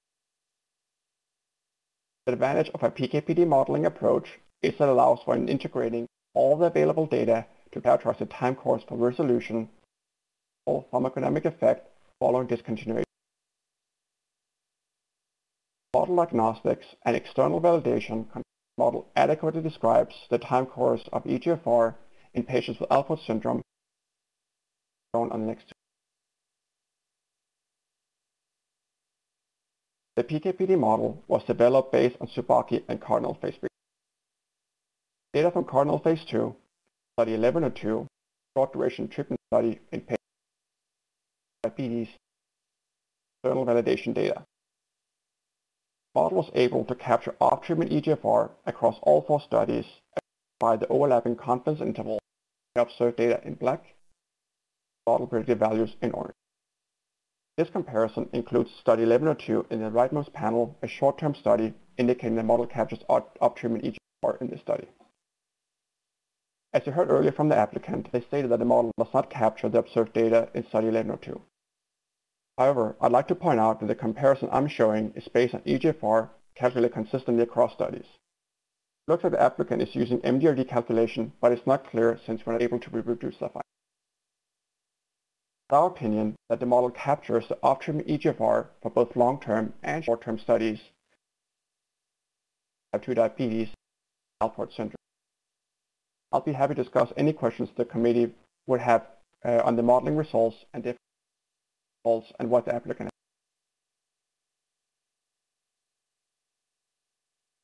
The PKPD model captures the time course of EGFR in the Cardinal phase 3 study shown in the slide.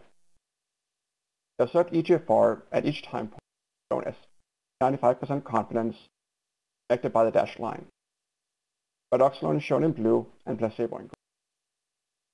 Model predicted time course is shown by the solid line and shaded. The model was able to capture the general time course of change or well in both treatment groups, but slightly underpredicts the peak increase around week 12. The model has two important findings. Firstly, model indicates that the increase in GFR observed by bardoxolone treatment led to a reversible pharmacodynamic effect there is not a slowing in the rate of decline in kidney. Secondly, the model indicates that the duration of the four-week washout in Cardinal phase 3 is called the reversible pharmacodynamic effect of bardoxolone. The model is used to extend the time of washout. The reversible pharmacodynamic effect on EGFR observed with bardoxolone has resolved around week 110 around, or around 8 weeks after treatment. Additional statistical analyses related to the off-treatment analysis will be presented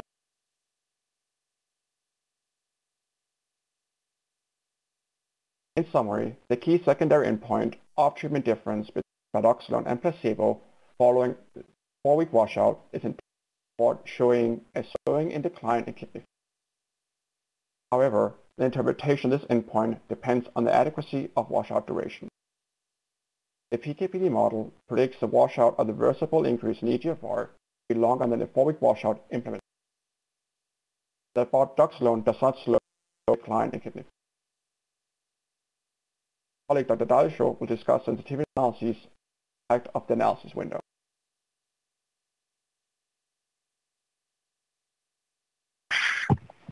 Hi, my name is Dali Zhou, statistical reviewer for bardoxolone. Um, I will present the efficacy issue regarding the impact of year two off-treatment endpoint analysis window and the corresponding sensitivity analysis. As discussed by Dr. Johannesson on the prior regulatory device, the most appropriate outcome to assess is an off-treatment EGFR analysis based on EGFR values collected after any acute PD effect has resolved. Thus, we will focus on the year two off-treatment analysis, um, year two off-treatment endpoint in this section. The year two off-treatment endpoint is changed from baseline in EGFR at week 104. This endpoint achieved statistical significance with the least square mean difference of 4.4 and p-value of 0.2, uh, 0.02. However, this analysis is based on observed data from 80% of the patients, excluding a substantial amount of actual observed data. As shown in the second row, 20% patients were excluded from the analysis in total. The exclusion rate is unbalanced between the two arms. Percentage of patients excluded in bardoxolone almost doubles that in placebo arm. Among these excluded patients, 25 patients were excluded because they discontinued treatment permanently in year one and did not take any dose in year two. These patients had available off-treatment EGFR values collected, but the data were not used in the analysis. They were considered as missing and were imputed under the missing at random assumption. That being said, the imputation considers them as if they would perform similarly as the patients in the same treatment arm who continued the study treatment to year two. The inclusion-exclusion of the data used in this analysis was based on the applicant's defined analysis window, which will be further explained in the next slide. Here is the applicant's definition of the week 104 off-treatment analysis window, defined as at least 14 days after last dose in year two. Two issues related to this analysis uh, window definition that we think are critical are listed here. Firstly, the last dose in year two in this definition excluded the 25 patients who discontinued treatment before year two.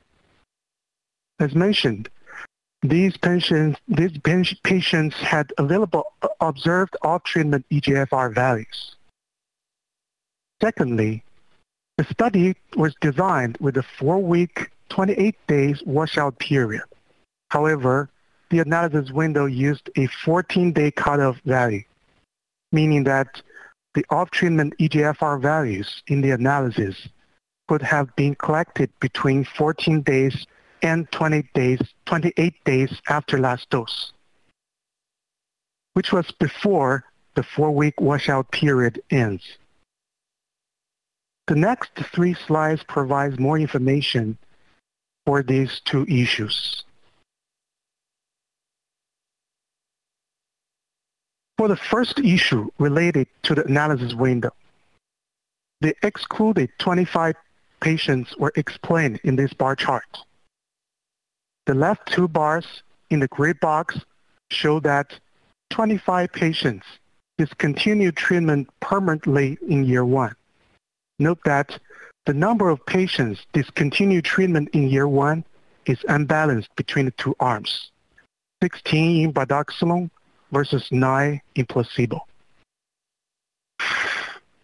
All of these 25, 25 patients had available off-treatment EGFR values collected at least 14 days after last dose.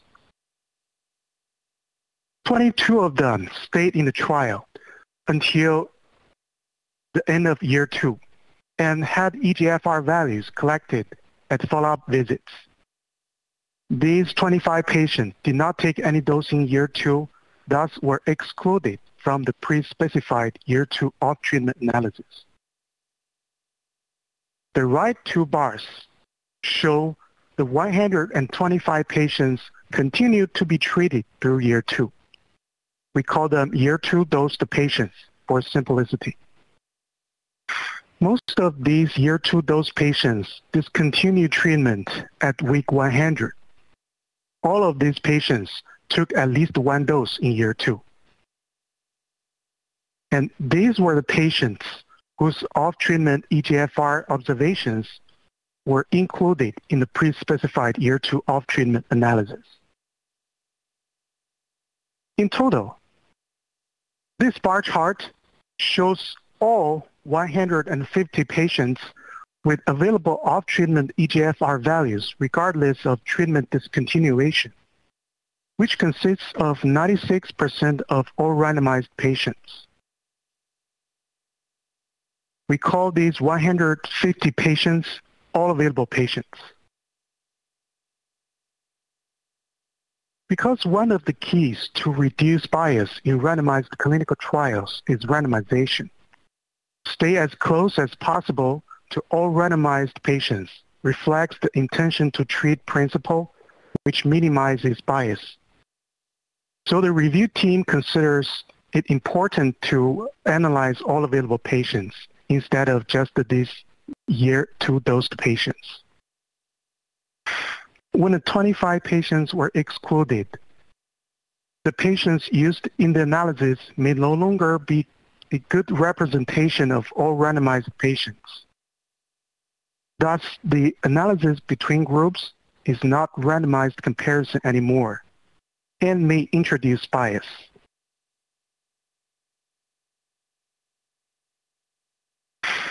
For the second issue related to the analysis window, a 14-day cutoff was used for a four-week washout. As discussed earlier by Dr. Johannesson on the adequacy of the four-week washout period, it is not clear if a four-week, 20-day washout was long enough for the reversible PD effect on EGFR to be fully resolved.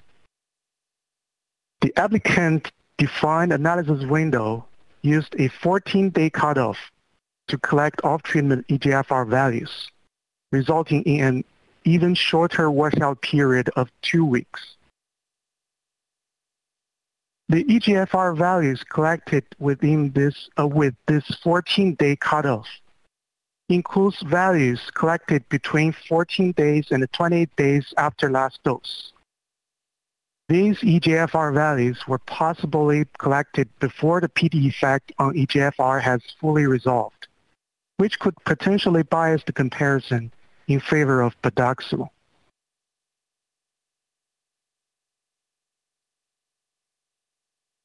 Let me further illustrate the groups of patients with off-treatment EGFR values collected using the pre-specified 14-day cutoff versus a 4-week 28-day cutoff. This bar chart shows all 150 available patients with off-treatment of EGFR values collected at least 14 days after last dose.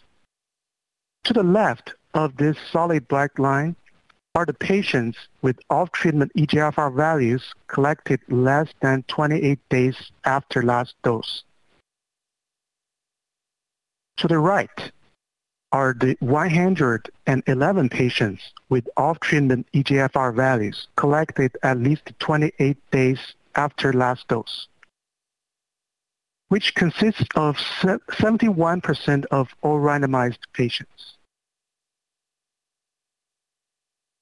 So not all patients had full four-week washout period before their off-treatment EGFR values were collected because of the visit window definition.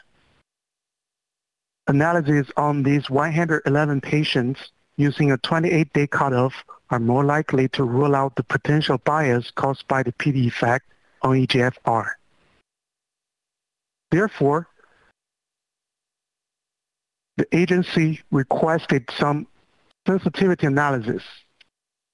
In addition to the pre-specified sensitivity analysis for the year two off-treatment endpoint.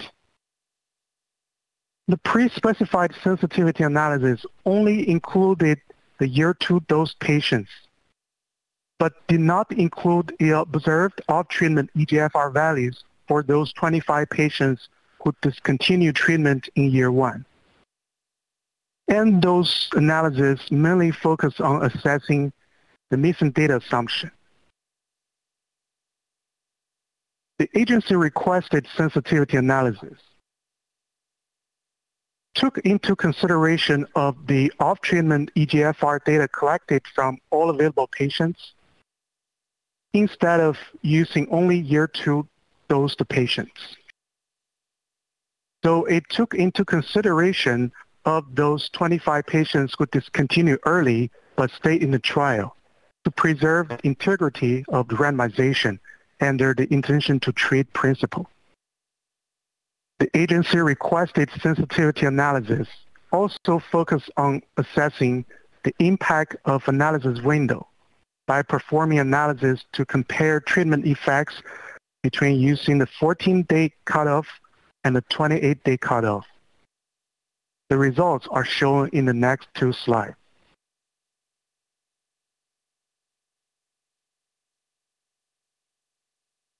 The first set of sensitivity analyses were performed on year two dosed patients.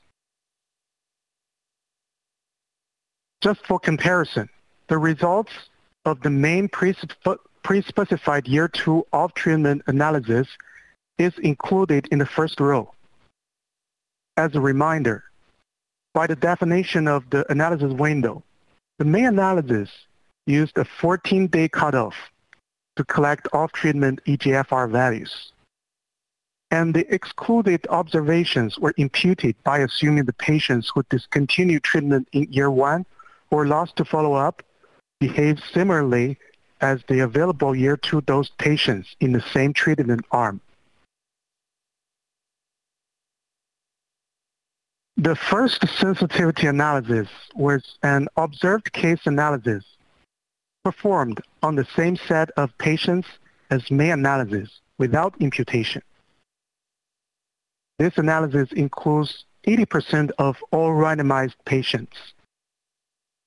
Because the pre-specified year two off-treatment analysis imputes data under the assumption that the excluded patients behave similarly as those year two dose patients. The treatment effect in the observed case analysis is similar to that of the main analysis.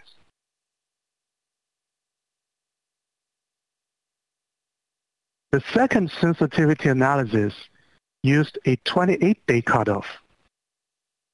Patients with EGFR values collected between 14 days and 28 days after last dose were excluded. Results show that the, the treatment effect becomes smaller when the 28-day cutoff is used. Note, this analysis used observations from only 55% of all randomized patients.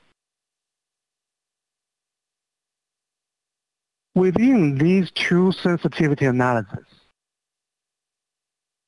we consider the second sensitivity analysis with 28-day cutoff provides a better estimate of the true treatment effect since this analysis is more likely to rule out the PD effect.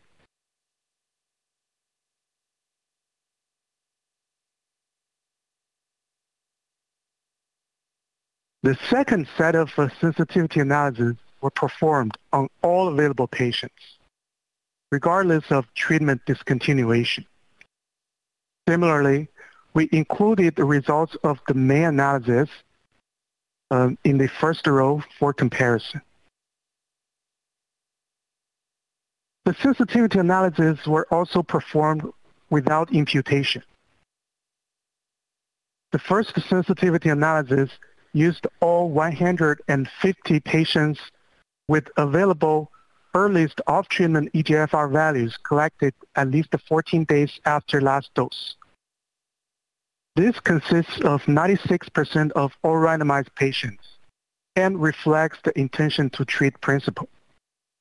Results show that the treatment difference becomes smaller when all available patients were used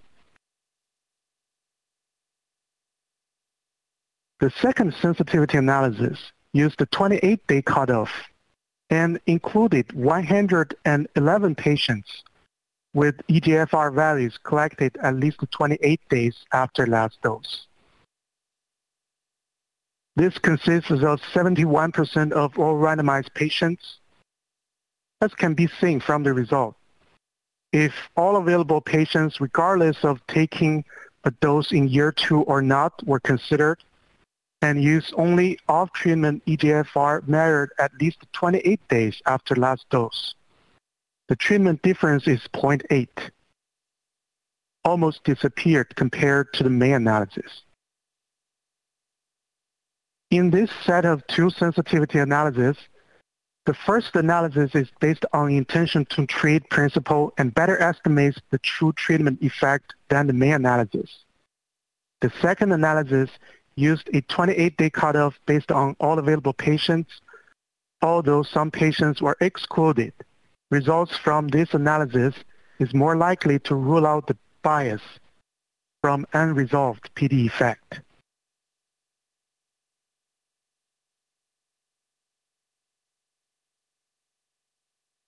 From these four agency-requested sensitivity analyses, we can see that when including only the EGFR values collected at least 28 days after last dose, the treatment difference becomes smaller. And when all available patients were considered, regardless of treatment discontinuation, the treatment difference becomes smaller or almost disappear. Note for each patient discontinue treatment early. Multiple off-treatment EGFR values could have been collected. For example, in this figure, if a patient discontinued treatment at week 24, the first EGFR value could have been collected at or around 28 days after treatment discontinuation. And the last EGFR value could have been collected at or around 104, 104 weeks after randomization at the follow-up visit. The four sensitivity analyses shown above used the change from baseline to their first off-treatment EGFR values. If the last off-treatment EGFR values collected at or around week 104 were used, the treatment differences shown in the above table are smaller or becomes negative.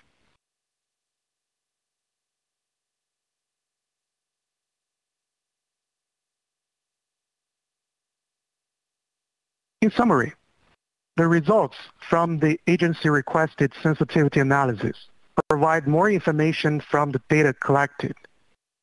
The results show that if the 28-day cutoff is used for the analysis window, treatment effect becomes smaller. If the 28-day cutoff is used, and when data from all available patients were taken into consideration, treatment effect almost disappear. However, there are limitations on these agency-requested sensitivity analysis. These analyses are all observed case analyses, and some of them excluded a considerable number of patients. These analyses should be considered as exploratory only, but not conclusive. Thank you. And now let me turn it back to Dr. Johannesson. Dr. Shaw. Next, I'll present an overview of the safety database and overall safety findings. The experience in 157 pages, the safety evaluation focused on the Cardinal Phase 3 study, which included 157 patients with Alport syndrome and is supplemented by Beacon, a Phase 3 study, which included 2,185 patients with stage 4 CKD and type 2 diabetes. Notably, Beacon was terminated early due to a numerical imbalance of all-cause mortality and higher rates of fluid overload-related serious adverse events, including heart failure in the bardoxolone arm. In Cardinal Phase 3, there were no deaths and concerning imbalances in serious adverse events. There are more discontinuations reported in the bardoxolone group for increases in liver enzymes, BNP or NT-proBNP, and acute kidney injury based on pooling of related adverse events using customized medical query.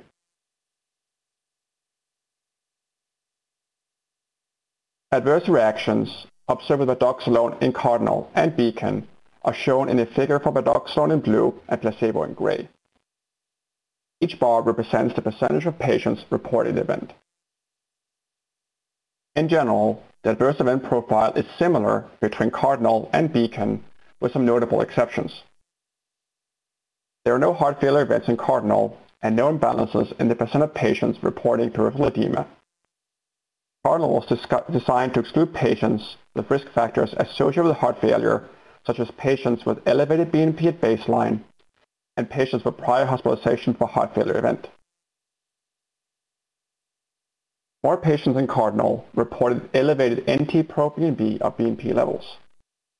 In Beacon, however, BNP levels were not routinely monitored while on treatment and were collected at week 24 in a subset of patients. More patients in Cardinal reported elevated liver enzymes, which I'll discuss more on the next slide. Bardoxolone also caused changes in a variety of laboratory parameters and vital signs. Increases were observed for NT-proBNP, B, BNP, liver enzymes, urinary albumin-creatinine ratio, or UACR, ferritin, albumin, serum potassium, and blood pressure. Decreases were observed for serum magnesium, creatinine kinase, hematocrit, hemoglobin, and body weight. The mechanism of these observed changes are not understood. Bardoxolone also caused an increase for the liver enzymes AST and ALT. The increase in these liver enzymes did not coincide with an increase in bilirubin and no Hy's Law cases were observed. The increase in liver enzymes subsided with continued dosing and resolved during the washout, suggesting the possibility of enzyme induction without significant liver injury. Next, I want to discuss the risk of heart failure with bardoxolone. Although there were no heart failure events in Cardinal, heart failure remains an important safety issue and heart failure was observed in the Beacon study. Beacon was designed to determine if bardoxolone was effective at delaying the progression to end-stage renal disease in patients with an EGFR between 15 and 30 ml per min type 2 diabetes. Heart failure occurred within the first four weeks after randomization with a statistically significant hazard ratio of 1.8. BNP was not routinely measured during the Beacon trial, but there was substantial elevation in BNP at week 24. Cardinal Phase 3 was designed to exclude patients with high risk for heart failure based on the findings of Beacon. were excluded with a history of heart failure hospitalization, cardiac disease, elevated baseline BNP greater than 200. Furthermore, patients with EGFR less than 30 ml per min were excluded. By enrolling patients with low risk for heart failure, there are still increases in NT-proBNP and BNP with bardoxolone treatment. Not clear if a lack of heart failure events in Cardinal is generalizable to the patient population with Alport syndrome who will be taking bardoxolone. Next few slides discuss the observed increases in albuminuria and blood pressure with bardoxolone. Both Cardinal Phase 3 and Beacon, bardoxolone increased albuminuria as measured by urinary albumin-creatinine ratio, or UACR. Increase in albuminuria is associated with adverse kidney and cardiac outcomes. Figure shows the time course of the UACR for bardoxolone in blue and placebo in gray. During both years, there's an increase in UACR relative to baseline uh, and placebo, and UACR decreased during the washout period as indicated by the shaded areas. UACR was observed in pediatric patients and patients with baseline UACR below and above 300 mg per gram. The observed increase in albuminuria raised concern about potential adverse effects on long-term kidney function.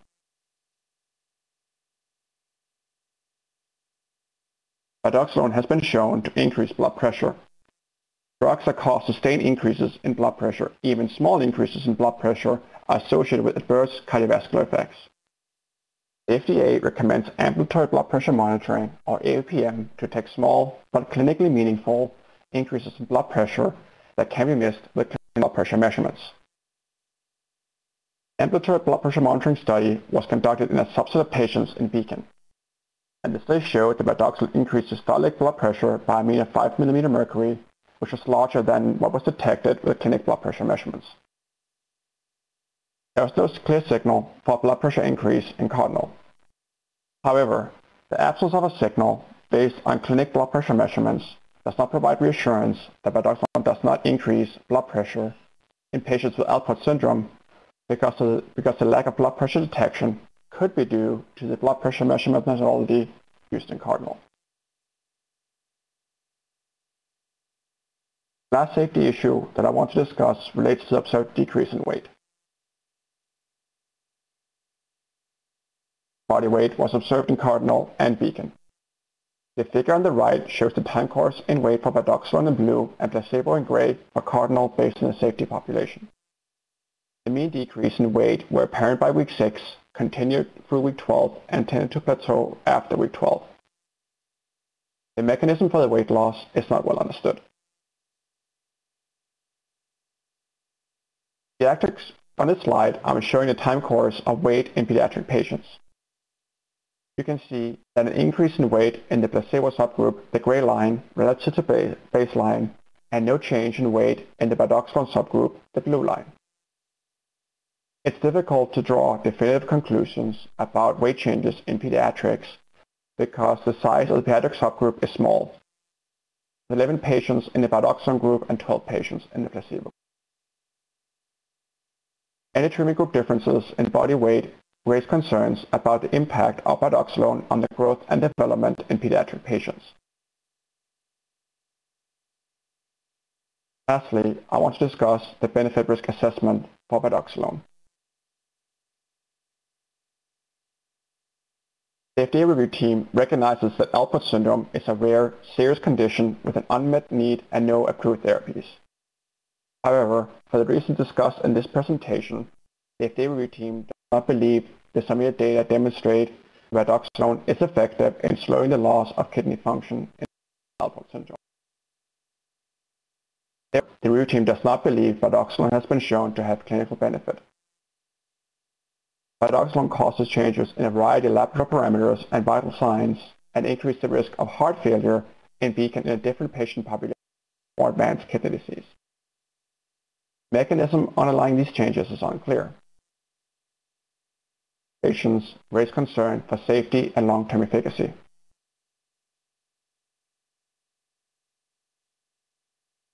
Cardinal excluded patients with severe chronic kidney disease EGFR less than 30 ml per min, who are more proximate to kidney failure. In principle, a treatment that causes a large fixed increase in EGFR that persists on treatment could delay initiation of dialysis in a population proximate to dialysis. However, the rationale for starting such a therapy at earlier stage of disease is unclear. Moreover, whether such a strategy is effective and results in a benefit that outweighs the risks would need to be prospectively studied in a target population.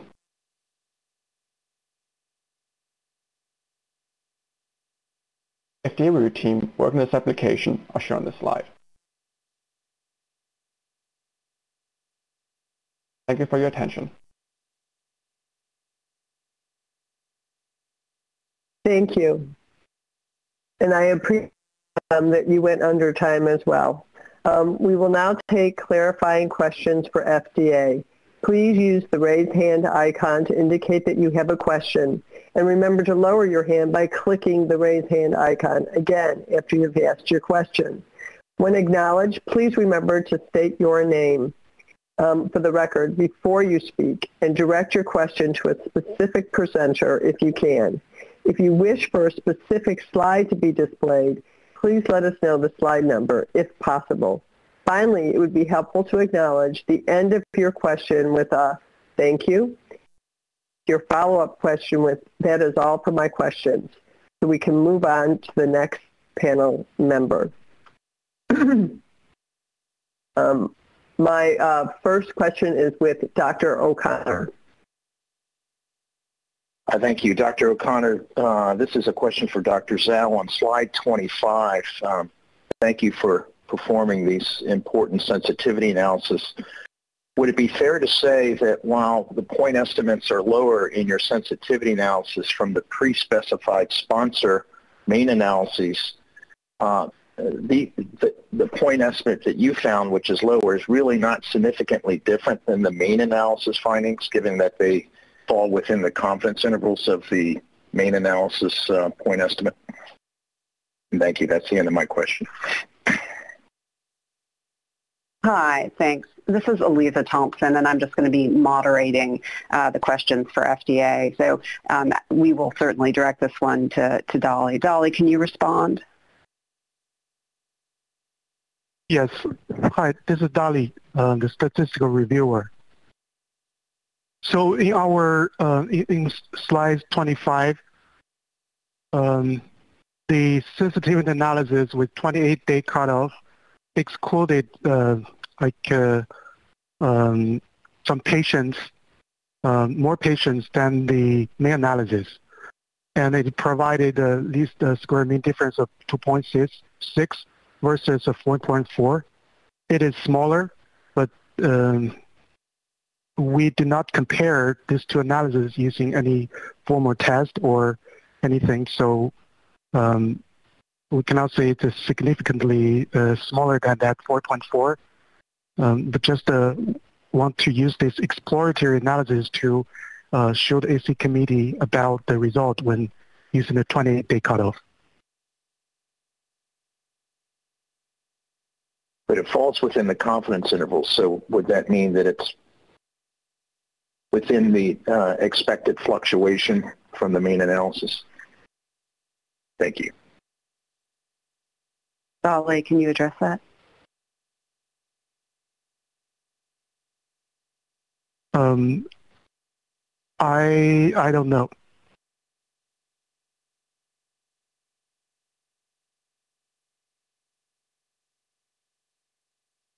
And, this is uh, uh, Aliza Thompson. Uh, just to, um, and, and, maybe you are in fact asking a different question, but I think the um, purpose of some of these analyses were, um, you know, as well to explore, you know, the, the, the time window uh, being used and, and, and, whether it was uh, sufficient. But um, I'll, I'll stop as well. Thank you. Mr. Conway?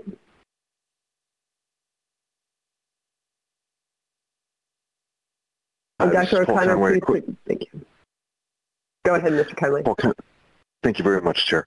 Um, my question is also on uh, slide 25, and at the top I'd say thank you to the FDA for including reference on pages 9 and 10 of your briefing document about the uh, NKF and Alport Syndrome Foundation uh, session that was held and the patient insights, obviously, that were revealed in that.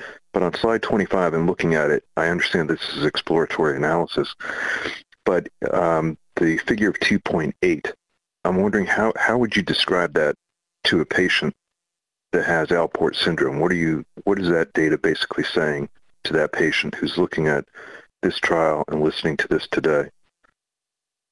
What does that data show? Great. And if we could please slow, show uh, this slide for all to see.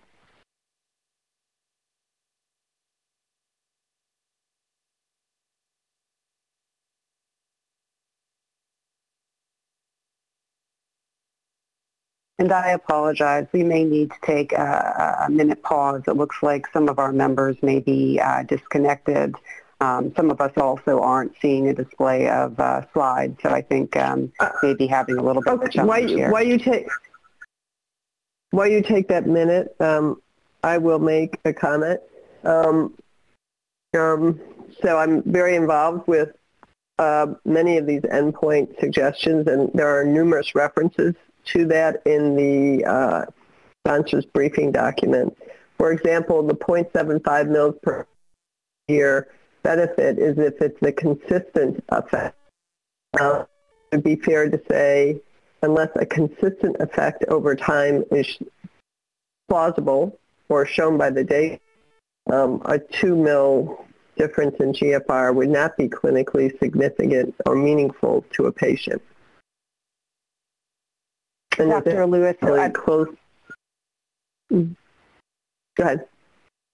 Do you have your slide, Dr. Thompson? Yeah, I think we now have our slide up and our other members on uh, uh, on the team. I, I, uh, maybe I can offer some comments from a, a clinical sp- perspective, um, and then also just want to note, uh, Dr. Lewis, that um, we have another statistician who can respond to a, a prior question. Um, so if we can revisit that question as well uh, at some point, um, that would be great. Um, in terms of just maybe to take a step back. Um, I just want to speak to how we think about uh, uh, GFR decline as a surrogate endpoint. Um, if you think about it, typically in our trials, the size of the treatment effect in terms of the absolute uh, size that we see in a trial um, can be can be very small. And so our assumption uh, about whether that you know two mil per minute per year uh, difference will translate into a clinically meaningful effect on progression to kidney kidney failure assumes that that treatment effect will continue to accrue over time across the various stages of the disease. So the curves continue to diverge over time. Um, that's the concept uh, behind it. Um, so, you know, just looking at one time point and noting two differences, uh, that doesn't uh, necessarily tell you in, what you need to understand is whether that's continuing to accrue over time uh, uh across the various stages of disease. Does that answer your question or do you need additional clarification? Uh, no, that answers it. Thank you. Dr. Lewis and Dr. Thompson. To, go ahead. Yeah, I do. I apologize. Um, Jialu, can you respond to the earlier question? Hi, this is Jialu Down from uh, the FDA statistician from Office of Biostatistics. Can you hear me? Yes. Okay. So um, I'm sorry. There's been an internal error. You will be disconnected now. Goodbye. Uh, can you still hear me? Yes. Yes. Okay. I, I hear a message that it's disconnected. Um, okay, getting back to the earlier question, um, I believe the question was uh, in the main analysis, the uh, estimate is 4.4 with a confidence interval 0.7 um, to uh, 8.1, and then one of our sensitivity analysis using the 20 day, 28-day cutoff show the point estimate of 2.6, whether um, we would consider the two um, are different.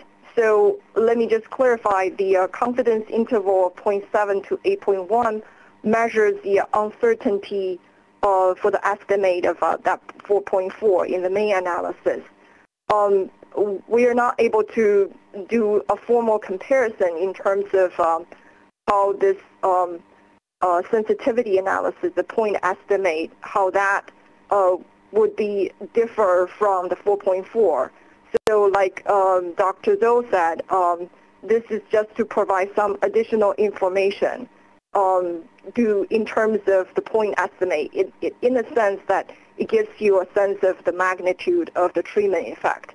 Um, the confidence interval of each estimate provides the uncertainty around that estimate.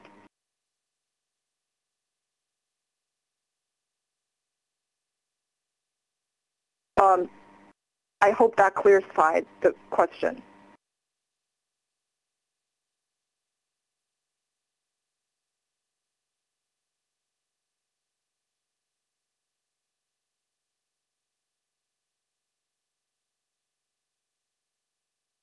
Yes, it does.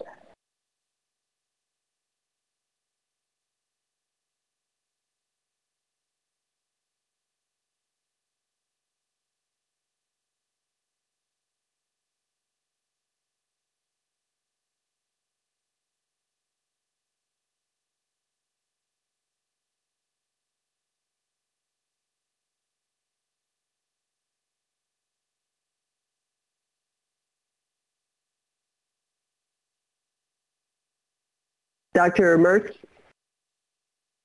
Thank you, Noel, Bairey Merz. Um, I have a similar question uh, as prior for Dr. Zhao, uh, again on slide 26. We were told in the morning that uh, they had 94% uh, follow-up status of all, all participants for their intention to treat. And so my question is, in your um, all subjects uh, used, how were the end-stage chronic kidney disease uh, participants, were they included or not? They would have been on dialysis or received a transplant. Thank you. Dolly, can you please address? Yes. So um, I suggest you refer to the analysis with 14-day cutoff that includes 150 percent, uh, 150 patients. And um, I didn't check if they're on uh, patients are on dialysis or end of stage uh, renal disease, but um, for these 150 patients, they had um, this EGFR values collected for them are used in this analysis are the earliest EGFR values after their last uh, after 14 days after their uh, last dose. So it's not necessarily at the end of study, but it could be close to the last dose, uh, could be close to the time when they um, uh, stop the study treat, treatment. Thank you. I, I would suggest that we should know that. Thank you. Um, may I May I help with that a little bit? Um, so often, there are not very many ESRD events, so I'm not sure it's going to impact much, but often you could use an EGFR of less than 15 as a value for someone who went on dialysis if you didn't have approximate in time close value. Did either your analysis do that for the ESRD patients? Dolly, can you uh, address? If not, Jialu? Uh, I, I think I can. I haven't done that analysis. Uh, um, but did, did you refer to the composite endpoint that the sponsor uh, provided earlier this morning? Or another, uh, something different? I think uh, the composite endpoint, it, the com- wow, I hear music. Um, somebody must have put us on hold, yeah. Um, the composite endpoint is like different and includes three things, but but one way to handle if you're doing a GFR analysis, people who like kind of crash into dialysis or whatever, and you don't have a recent GFR that's less than 15, is to assume anyone on dialysis has a GFR less than 15. I bet you didn't do that, and I bet the sponsor didn't either, but but I'm just asking, and I think that's what Dr. how you used ESRD pay, how you counted them for GFR. I'll let you think about it I, I just for time's sake because I think I might be confusing you more than I'm helping you. Um, Dr. Palevsky? Oh, can you guys hear me? Okay.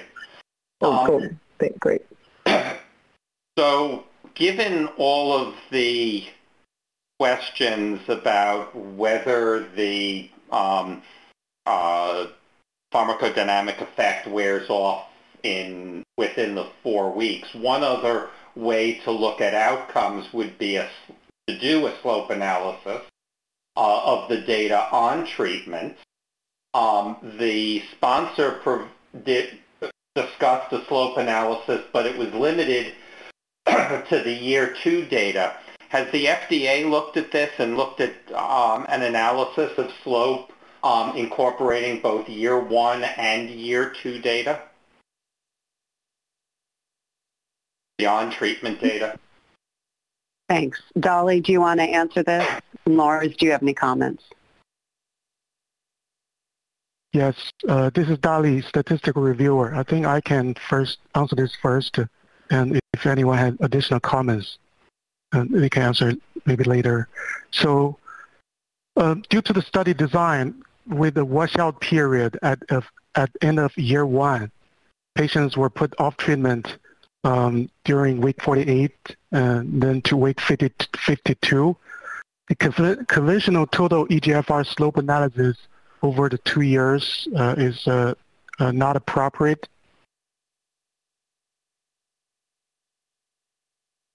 Although, Um, you- could you Sorry. do an analysis censoring the data from the week 48 um, to uh, week 52 when the medication was restarted?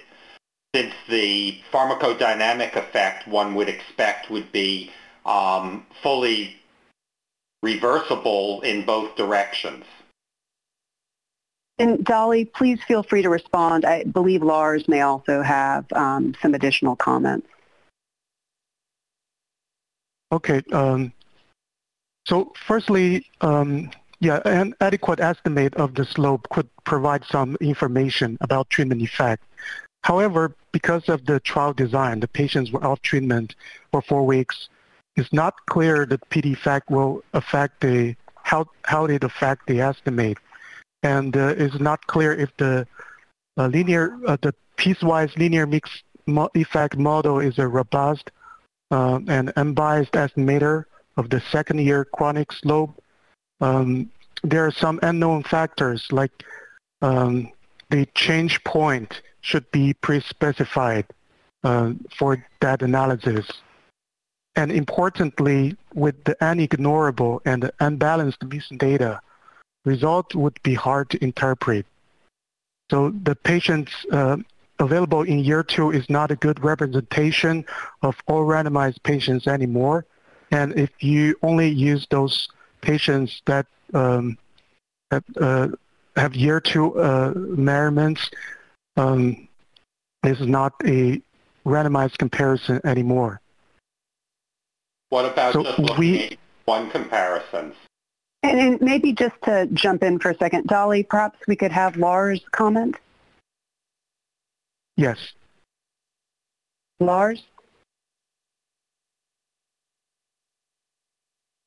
Last sentence in clinical analyst. Can you hear me? Yes. Okay, Thank you. So I had some audio issues on my end. So I'm just going to try and go to slide 16. Oh, sorry, that's a bit of a lag here, mine. Um, see if I can get to slide 16.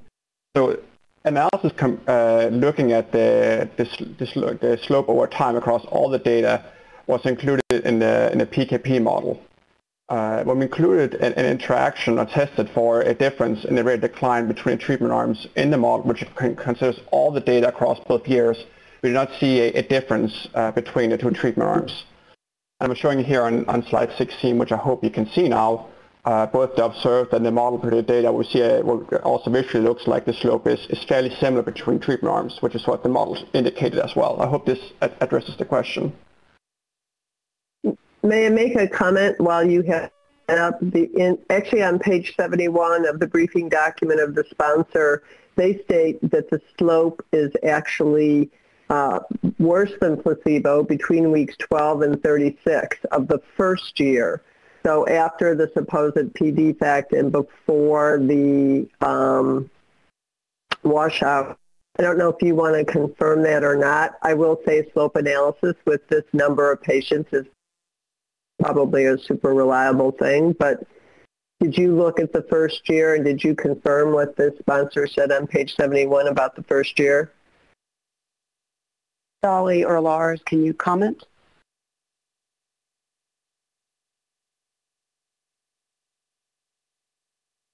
Um, this is Dali. I didn't look at this year one.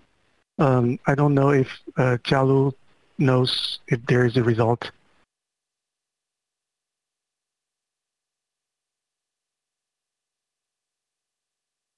Hi, this is Jialu Zhang. Um, we have not confirmed that um, uh, year one slope analysis. Um, in essence, we don't um, believe such uh, slope model is um, helpful in a sense um, based on the data and the design of the study.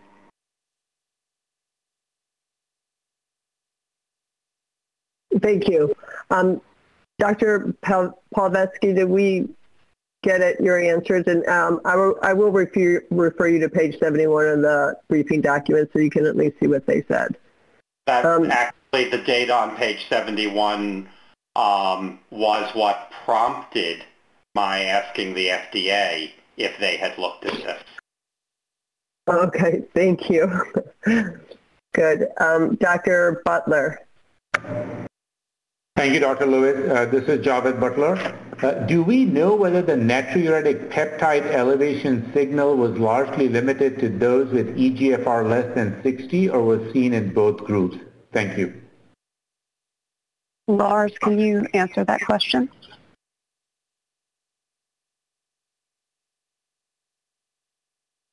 Lars Johansson, clinical analyst in the, in the I did not do that analysis. Okay, thank you.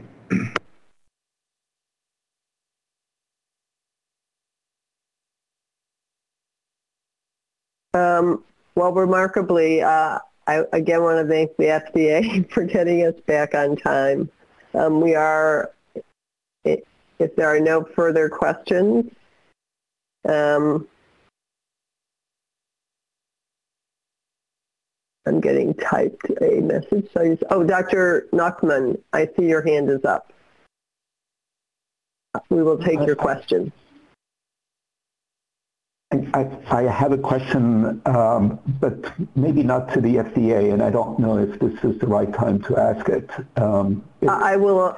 Well, it is the right time, and since we have a few minutes, I will allow the question to the sponsor, uh, sponsor to direct the, to make their question, their answer brief, please. So, um, Patrick Nachman again. Uh, I'm, I'm having a little bit of a a hard time wrapping my brain around the concept that you know, a lot of the discussion we're having is whether the effect of the study drug is uh, purely a, a, pharmacodynamic slash hemodynamic effect, uh, as opposed to an effect of the drug on on inflammation, on fibrosis, and on the the hypothesized increased in uh, in, in glomerular surface area.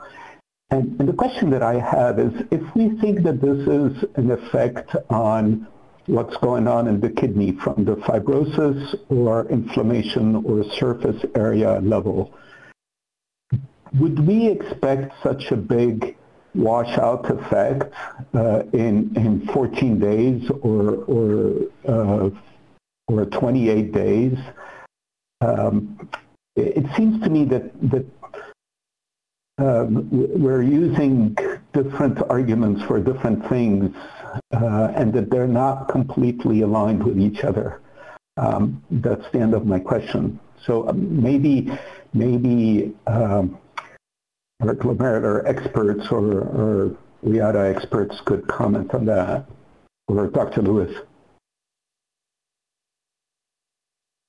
This is Colin Meyer. I'd be happy to respond.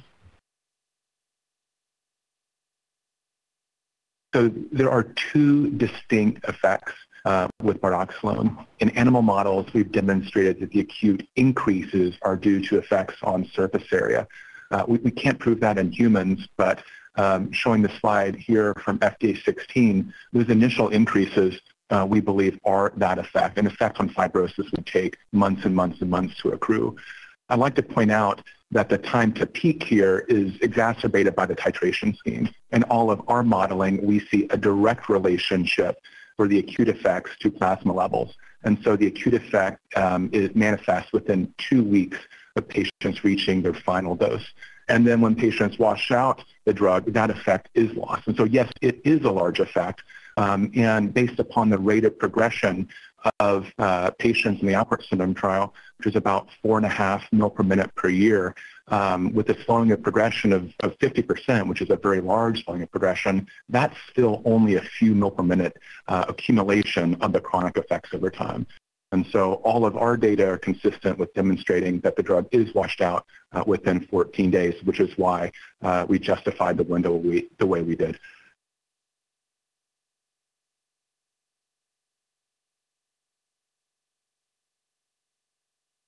Does, does,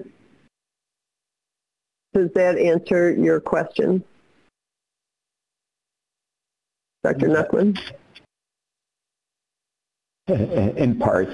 Um, I think our comments to each other about it will be in when we get to the questions from the FDA, if that's okay. And then you, I think they'll be, that'll be the more appropriate time for me to comment. Okay? All right. Um, we will now break for lunch. We will reconvene at 2.15 p.m. Eastern Time. Panel members, please remember that there should be no chatting or discussion of the meeting topics with other panel members during the lunch break. Additionally, you should plan to join at around 2 p.m. to ensure, as we learned this morning is very important, um, you are connected before we reconvene at 2.15 p.m. Thank you.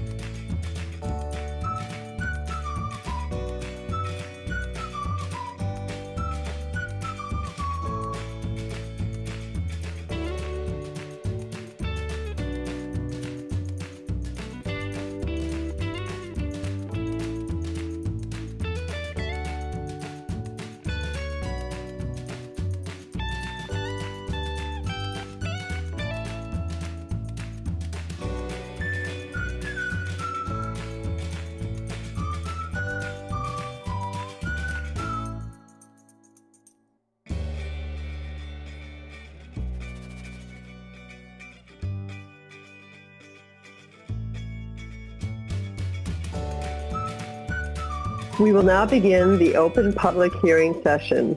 Both the FDA and the people, public, believe in a transparent process for information gathering and decision making. To ensure such transparencies at the open public hearing session of the advisory committee meeting, FDA believes that it is important to understand the context of an individual's presentation. For this reason, FDA encourages you, the open public hearing speaker, at the beginning of your written and oral statement to advise the committee of any relationship that you may have with the applicant, its products, and if known, its direct competitors. For example, this financial information may include the applicant's payment of your travel, lodging, or other expenses in connection with, the participate, with your participation in the meeting. Likewise, FDA encourages you at the beginning of your statement to advise the committee if you do not have any such financial relationships. If you choose not to address this issue of financial relationships at the beginning of your statement, it will not preclude you from speaking. The FDA and this committee place great importance in the open public hearing process. The insights and comments provided can help the agency and this committee in their consideration of the issues before them. That said, in many instances and for many topics, there will be a variety of opinions. One of our goals for today is for this open public hearing to be conducted in a fair and open way where every participant is listened to carefully and treated with dignity, courtesy, and respect. Therefore, please speak only when recognized by the chairperson, and thank you for your cooperation. We have a large number of speakers today. Each will be limited to three minutes. I apologize in advance. To be fair, I will stick to the clock. So if I interrupt you, again, my apologies, but it is only fair to stick to the clock. Speaker number one, your audio is connected now. Will speaker number one begin and introduce yourself? Please state your name, organization you may represent for the record. Hi, my name is Afton DeLuca. Um, I don't represent a specific organization, just myself and my family. Um, I have no financial relationships with any party associated with this hearing. Um, as I said, my name is Afton DeLuca. I'm from Madison, Alabama. I'm an Alport syndrome patient and the mother of an Alport syndrome patient, my six-year-old son, Cameron. Alport syndrome has impacted multiple generations of my family, including my grandmother, two of my uncles, my mother, myself, and my son. I have overcome a lot of misinformation and bias as a female with Alport syndrome. Before finding a nephrologist who suspected that I was experiencing more than a UTI, my family was told that women were not affected by this disease. They are simply carriers. This belief is misinformed at best and at worst, life-threatening. While I'm empowered by the information I've gained through my diagnosis, the knowledge that I live with a condition that could rapidly worsen at any time and has no curative treatment has caused me both anxiety and depression at times. Distress is further compounded by the fact that many of my doctors have never treated a patient with Alport syndrome before, having only read about it in medical textbooks. Consequently, many of the physicians have not taken the possibility of disease progression or the need for preventative treatment options seriously in my case. In addition to advocating for my own health, I'm also relentlessly focused on making sure my son gets the best possible care. In my experience, the treatment protocols for children are often just as misunderstood as those for adults. I believe that the approval of an Alport-specific treatment option would increase physician awareness of this rare disease and provide them with a safe and effective treatment to offer their Alport patients. Approval would also mean that my son has the opportunity to manage his condition with an effective oral medication instead of invasive procedures like dialysis and kidney transplant that both of my uncles endured throughout their 20s. It could potentially buy him years or even decades of health that his great-uncles didn't have. The approval of bardoxolone would offer our family a chance to free ourselves from a legacy of organ failure at a time when Cameron, representing the youngest generation of my family, should be focused on finding his place in the world instead of finding a new kidney and bearing the burden of a new disease, a lifetime of organ rejection medicines being permanently immunocompromised, and always worrying about losing the organ.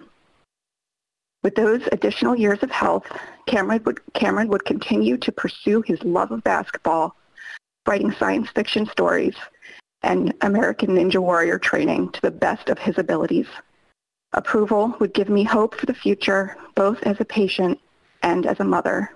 Thank you for your time and the chance to share my family story.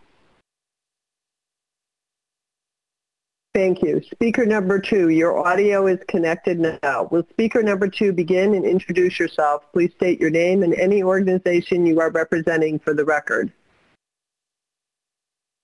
My name is Lisa Bonebrake. I have no financial relationships to disclose. I'm 55 years old and have X-linked syndrome. I'm the parent of two young men. It's my youngest son, age 19, who inherited my genetic mutation for Alport syndrome. As a tween and teen, Alport syndrome swiftly took away my son's identity, self-confidence, and quality of life. Doctors emphasized the only way to slow disease progression was for Grant to take ACE and or ARB medications. Though blood pressure was naturally very low, the increasing doses of these standard of care medications complicated his life at every turn. He took ice packs to school and tried to hide them under his shirt to keep himself cool enough not to get dizzy. If he stood up too fast or exerted a bit of energy playing a game or sports, he would crawl to the grass or someplace safe to pass out. It was a daily challenge for him to wake up. The fatigue was constant. Due to illness, fatigue, and stress, Grant missed school so often that at one point he spoke of how our family would be better off if he was no longer on this earth.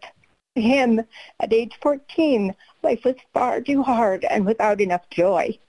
Because these medications were not making a difference in his lab results and were affecting his quality of life, we were motivated to seek out a clinical trial. Grant and I began the Cardinal study on the same day together four years ago. Within several months, Grant's lab results improved enough that the PI asked how he felt about taking Grant off his ACE medication. His blood pressure was so low it was dangerous for his other organs, let alone that frequent passing out. The change was almost immediate. He started feeling stronger, less tired and stressed, and able to be physically active. His outlook and emotional health improved significantly. For us, participating in this study has been about time. It gave Grant time to get through his high school feeling well, keep up with his peers, get into an excellent college. After four years of feeling good on the study, really good, Grant's labs began to be concerning this past August. End-stage renal failure came within three months. He began dialysis two weeks ago. His older brother has stepped forward to be his living donor. Transplant surgery is imminent. But during those four years, Grant became stronger, and so did his brother, now older than 18 and able to be willing and a qualified donor. I continue to do well on the study, and I'm hopeful that I won't spend my retirement years on dialysis. The study has also given me time. Time to be strong enough to get my kids off to college and to now work full-time in a very meaningful job, helping other families with Alport syndrome. As Alport families await novel therapies and potential genetic cure, so many are suffering and deserve an alternative to the standard of care which often is not tolerated or barely tolerated. There are other therapies currently being studied. Perhaps bardoxolone will be a complement to them or a bridge. My family believes that other families should have access to bardoxolone to give them time as well. In fact, I wish I had more time today. There is so much more to Thank say. you. Thank you. Thank you. Speaker number three, your audio is connected now. Will speaker number three begin and introduce yourself? Please state your name and any organization you are representing for the record. Uh, my name is Shari Lara. I am a patient. I have participated in the study, been paid a stipend and reimbursed for my travel. I live in the rural area of Lander, Wyoming. My brother and I were diagnosed with Alport syndrome in the 70s, inherited from my mother. My brother was a pioneer in kidney research under Dr. Tom Starzl. He lived on the seventh floor of the Colorado Medical Center during these studies. My brother's first transplant was at the age of 13 by Dr. Starzl. This transplant lasted about 13 years. His second transplant lasted until his death in 2016. My sister, dad, and I lived in Wyoming, and my mom and my brother had to live in Denver during this time. I still don't know how my parents could have afforded to run two households with only my dad working during this time. We would drive to Denver every Friday night after my dad got off work to spend the weekend with my mom and Tim. When Tim had to go on peritoneal dialysis, my parents were trained on how to operate this machine.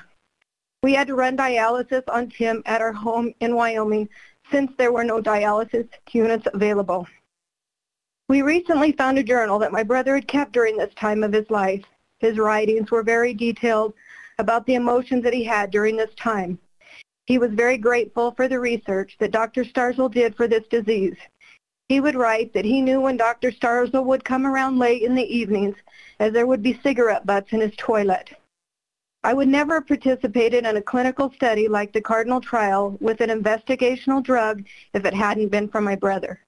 My brother would have participated in this study without a thought. He knew what he'd lived with so at such a young age and wouldn't want anyone else to go through what he had to.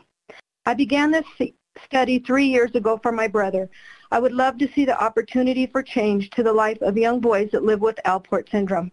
If this drug can extend the life of one's kidneys in order to postpone dialysis and a transplant, what a success that would be.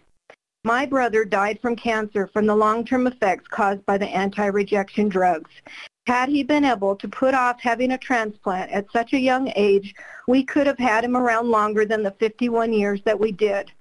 When I started this study, my GFR was 35, and I'm very proud to say it is at 49. Because of this improvement, I am hopeful that I will be able to delay the need for transplant and the terrible effects of anti-rejection drugs hopefully delaying long-term side effects like cancer until much later in life. Please consider these views when deciding what might be, meaning, be a meaningful benefit that would support approval of this drug. Thank you very much for your time. Speaker number four, your audio is connected now. Will speaker number four begin and introduce yourself? Please state your name and any organization you are representing for the record. Good afternoon. My name is Phil Seymour. I am a configuration manager for an aerospace company and I live in Orange County, California. I have no financial connections to disclose. I'm 58 years old and I've lived with Alport syndrome all my life, although I was not diagnosed until my mid-30s. At the time, my kidney function was over 50%, and despite continuous monitoring and taking a variety of medications, my kidney function declined to near stage 4 CKD around five years ago. All despite my treatment for Alports, which has been taking ACE or ARB, monitor my labs, see my nephrologist every six months, eat healthy, and pretty much cross my fingers. This is more of a decades-old kidney failure risk mitigation process and a treatment, a never-ending daily regimen of a plethora of prescriptions and over-the-counter medications. That was all I had, at least until they came aware of the Cardinal trial in 2017. And with the approval from my nephrologist, I successfully enrolled in a phase two trial at the local Los Angeles site. In Cardinal, I was able to take the highest allowable dose of the BARD trial drug, and the results have been amazing, even, even bewildering. For the first time ever, my kidney function actually improved. When I started the trial drug, my eGFR was just around 30, yet during the next few years, I was able to improve my eGFR up to the mid-40s. To me, this meant that my parts of my kidneys were not truly scarred and unusable as so many Alport patients experience, but were actually increasing their functionality.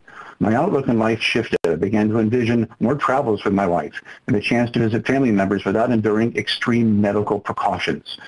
At work, I've been able to delay for years any discussion of extended time off I'd need to take when I progressed to needing transplant surgery.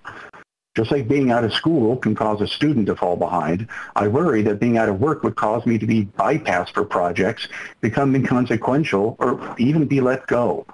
With my family, uh, with my wife permanently partially disabled, I've become the sole income earner for my family. Thus, avoiding dialysis and transplant is critical to our financial stability. The only persistent side effect of this trial drug that I've encountered has been the increased muscle cramping that can be minimized with proper hydration. The side effect cost is quite acceptable to me. And beyond cramps, the single events of high liver enzymes and boosted NT-proBNP values were determined to be inconsequential and not indicative of organ decline. I have indeed already seen a bountiful delay of 45 years of my disease progression, for which I owe to the BARD and to the clinicians involved in the trial.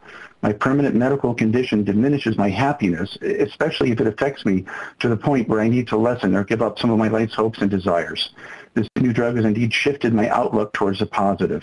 I've gained years of improved health, and I am pleased with my future trajectory. Thank you. Speaker number five, your audio is connected now. Will speaker number five begin and introduce yourself? Please state your name and any organization you are representing for the record. Good afternoon. My name is Cassandra Smith, and I am only representing myself. Um, I am a patient with Alport syndrome, a mother of two patients with Alport syndrome, and a registered nurse. I'm here today to speak with you regarding bardoxolone methyl and the treatment of our rare disease and its potential impact on patient-defined quality of life. While pharmacodynamics, the study design, and statistics have largely been discussed today, I just humbly ask that we recenter our thoughts on those who are directly impacted by today's decision, such as myself and my children. Um, I ask you to reflect on my daughter, Leah, uh, pictured here. She's 10 years old and she loves ballet, painting, and her brothers most of the time. She has Alport syndrome. Um, I ask you to reflect on my son, Miles, also pictured here. Um, he is five years old and he adores his big sister, his Nintendo, and his mom. And he also has Alport syndrome. And I ask you to reflect on me and the other patients presenting to you today while making your decision. Who are the names, the faces, and even the voices of the numbers that have been displayed on our screens. And I ask you also to reflect on yourselves and your own lives. Please take a moment and imagine with me. What were you doing at 18 years old? Were you finishing high school, pursuing college or a career? What were you doing at 24?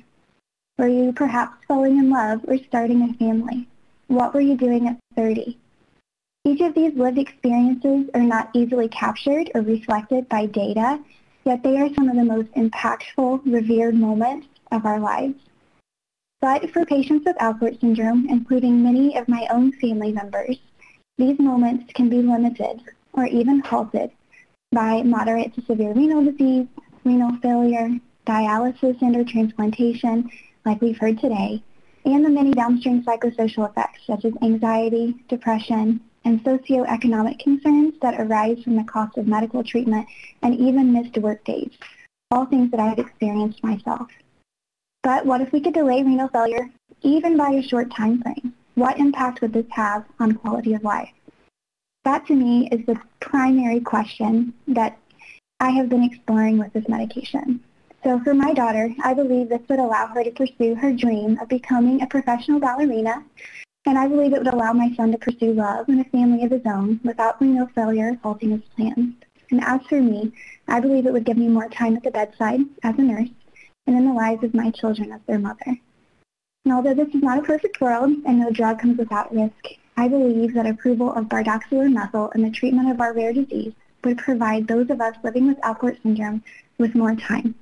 More time prior to renal failure, more time for the opportunities we all wish for our loved ones and have even had for ourselves, leading to an overall improved quality of life.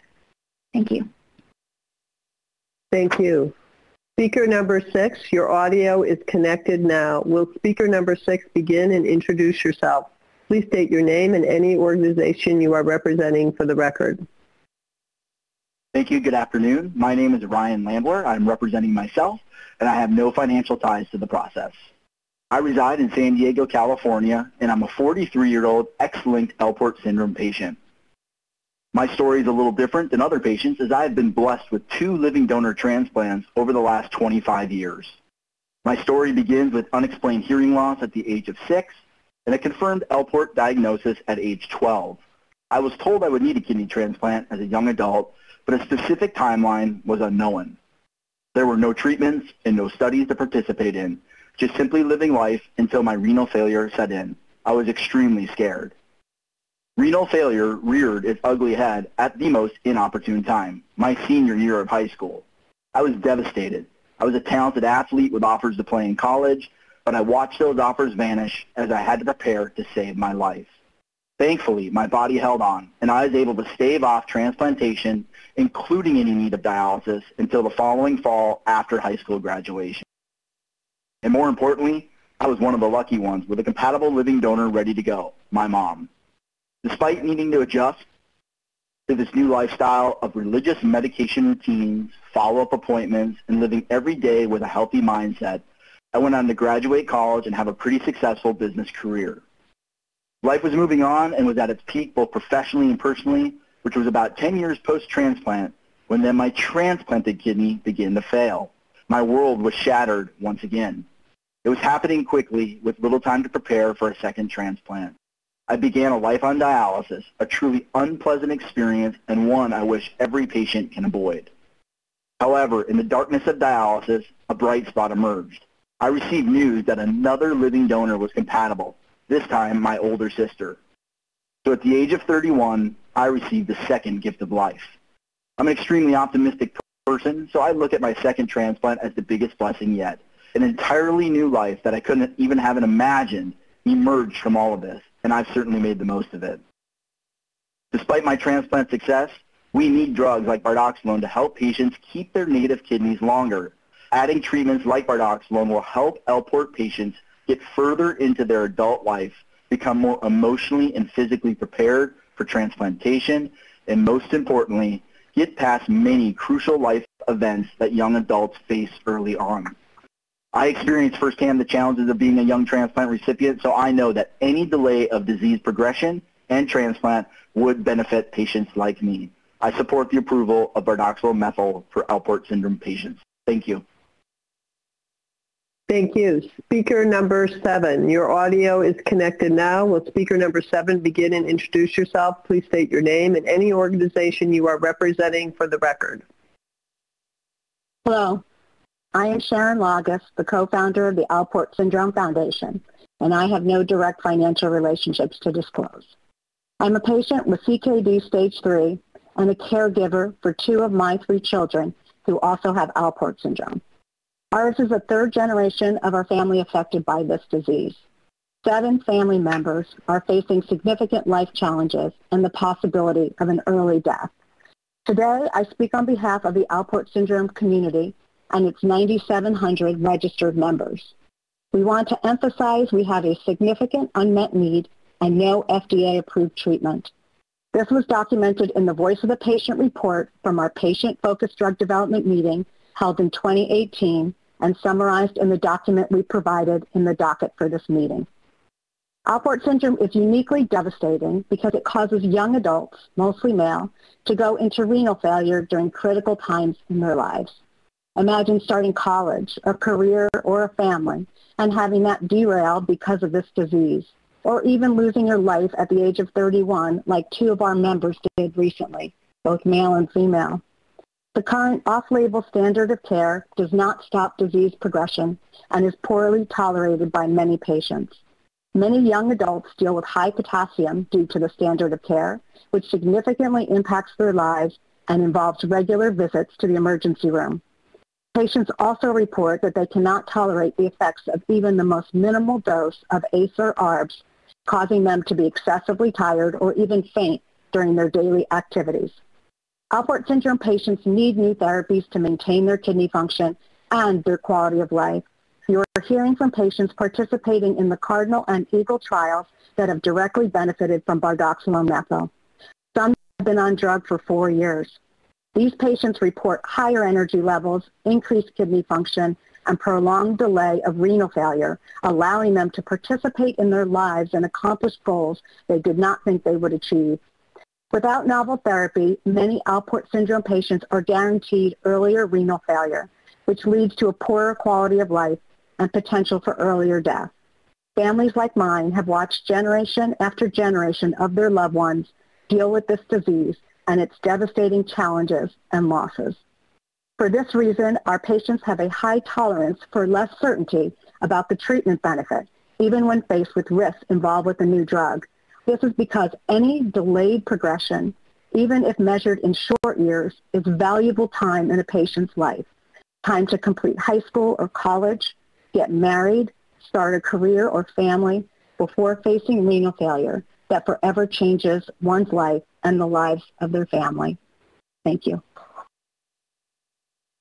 Thank you. Speaker number eight, your audio is connected now. Will speaker number eight begin and introduce yourself? Please state your name and any organization you are representing for the record. Hello, my name is Janine Reed, and I have no financial ties here.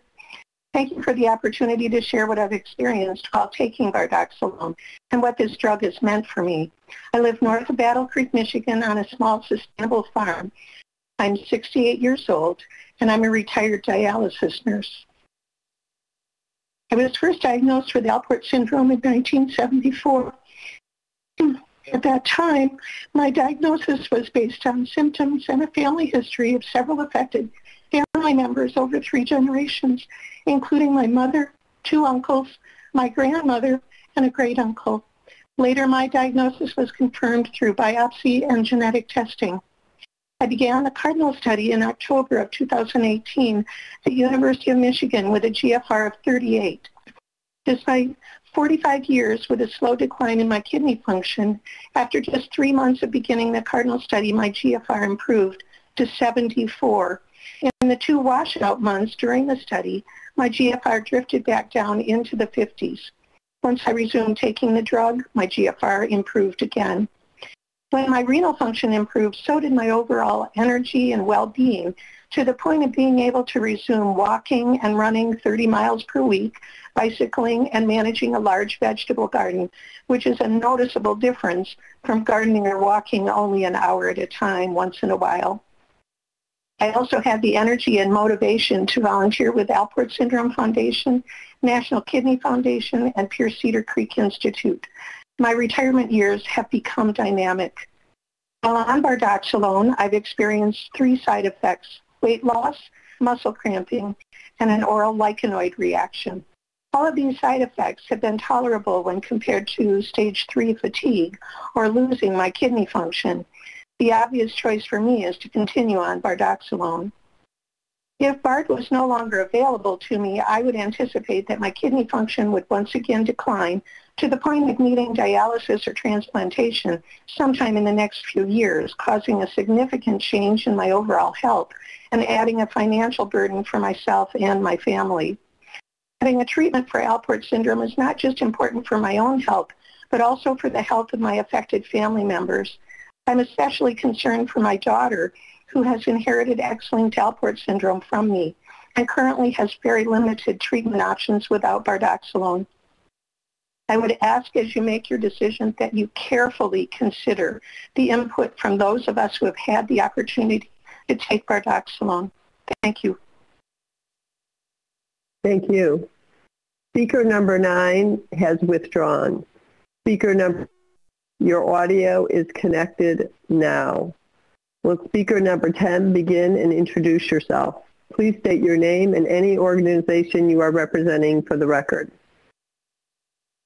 Hello, and thank you for the opportunity to speak today. My name is Madison Martin. I have no financial disclosures to make. I am a 22-year-old Alport patient who lives in Connecticut.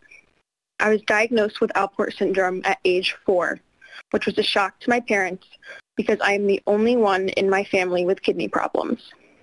Shortly after my diagnosis, I was started on an ACE inhibitor, enalapril, which I took twice a day.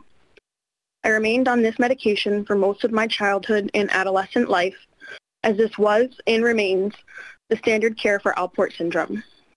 While my kidney function remained stable for most of my childhood, it slowly started to progress in my early adolescent years. As a result, my nephrologist would increase my enalapril, eventually working up to 30 milligrams daily. At 18 years old, while in college, I went into acute renal failure as a result of dehydration and the high dose of enalapril that I was on. My kidney function bounced back after this episode, but was never the same, and my body could no longer tolerate the ACE inhibitor. Over the next two years, my kidney function began its steady decline until 2019 when I underwent an altruistic living donor kidney transplant at the age of 20 years old. I am fortunate that I had the opportunity to receive a donor kidney from my high school attendance secretary. However, because of my young age, it is likely that I will need another kidney transplant in my lifetime. Unfortunately, the Cardinal clinical trial was not available to me when I was younger. By the time I knew about the trial, I was already well on my way to needing a transplant.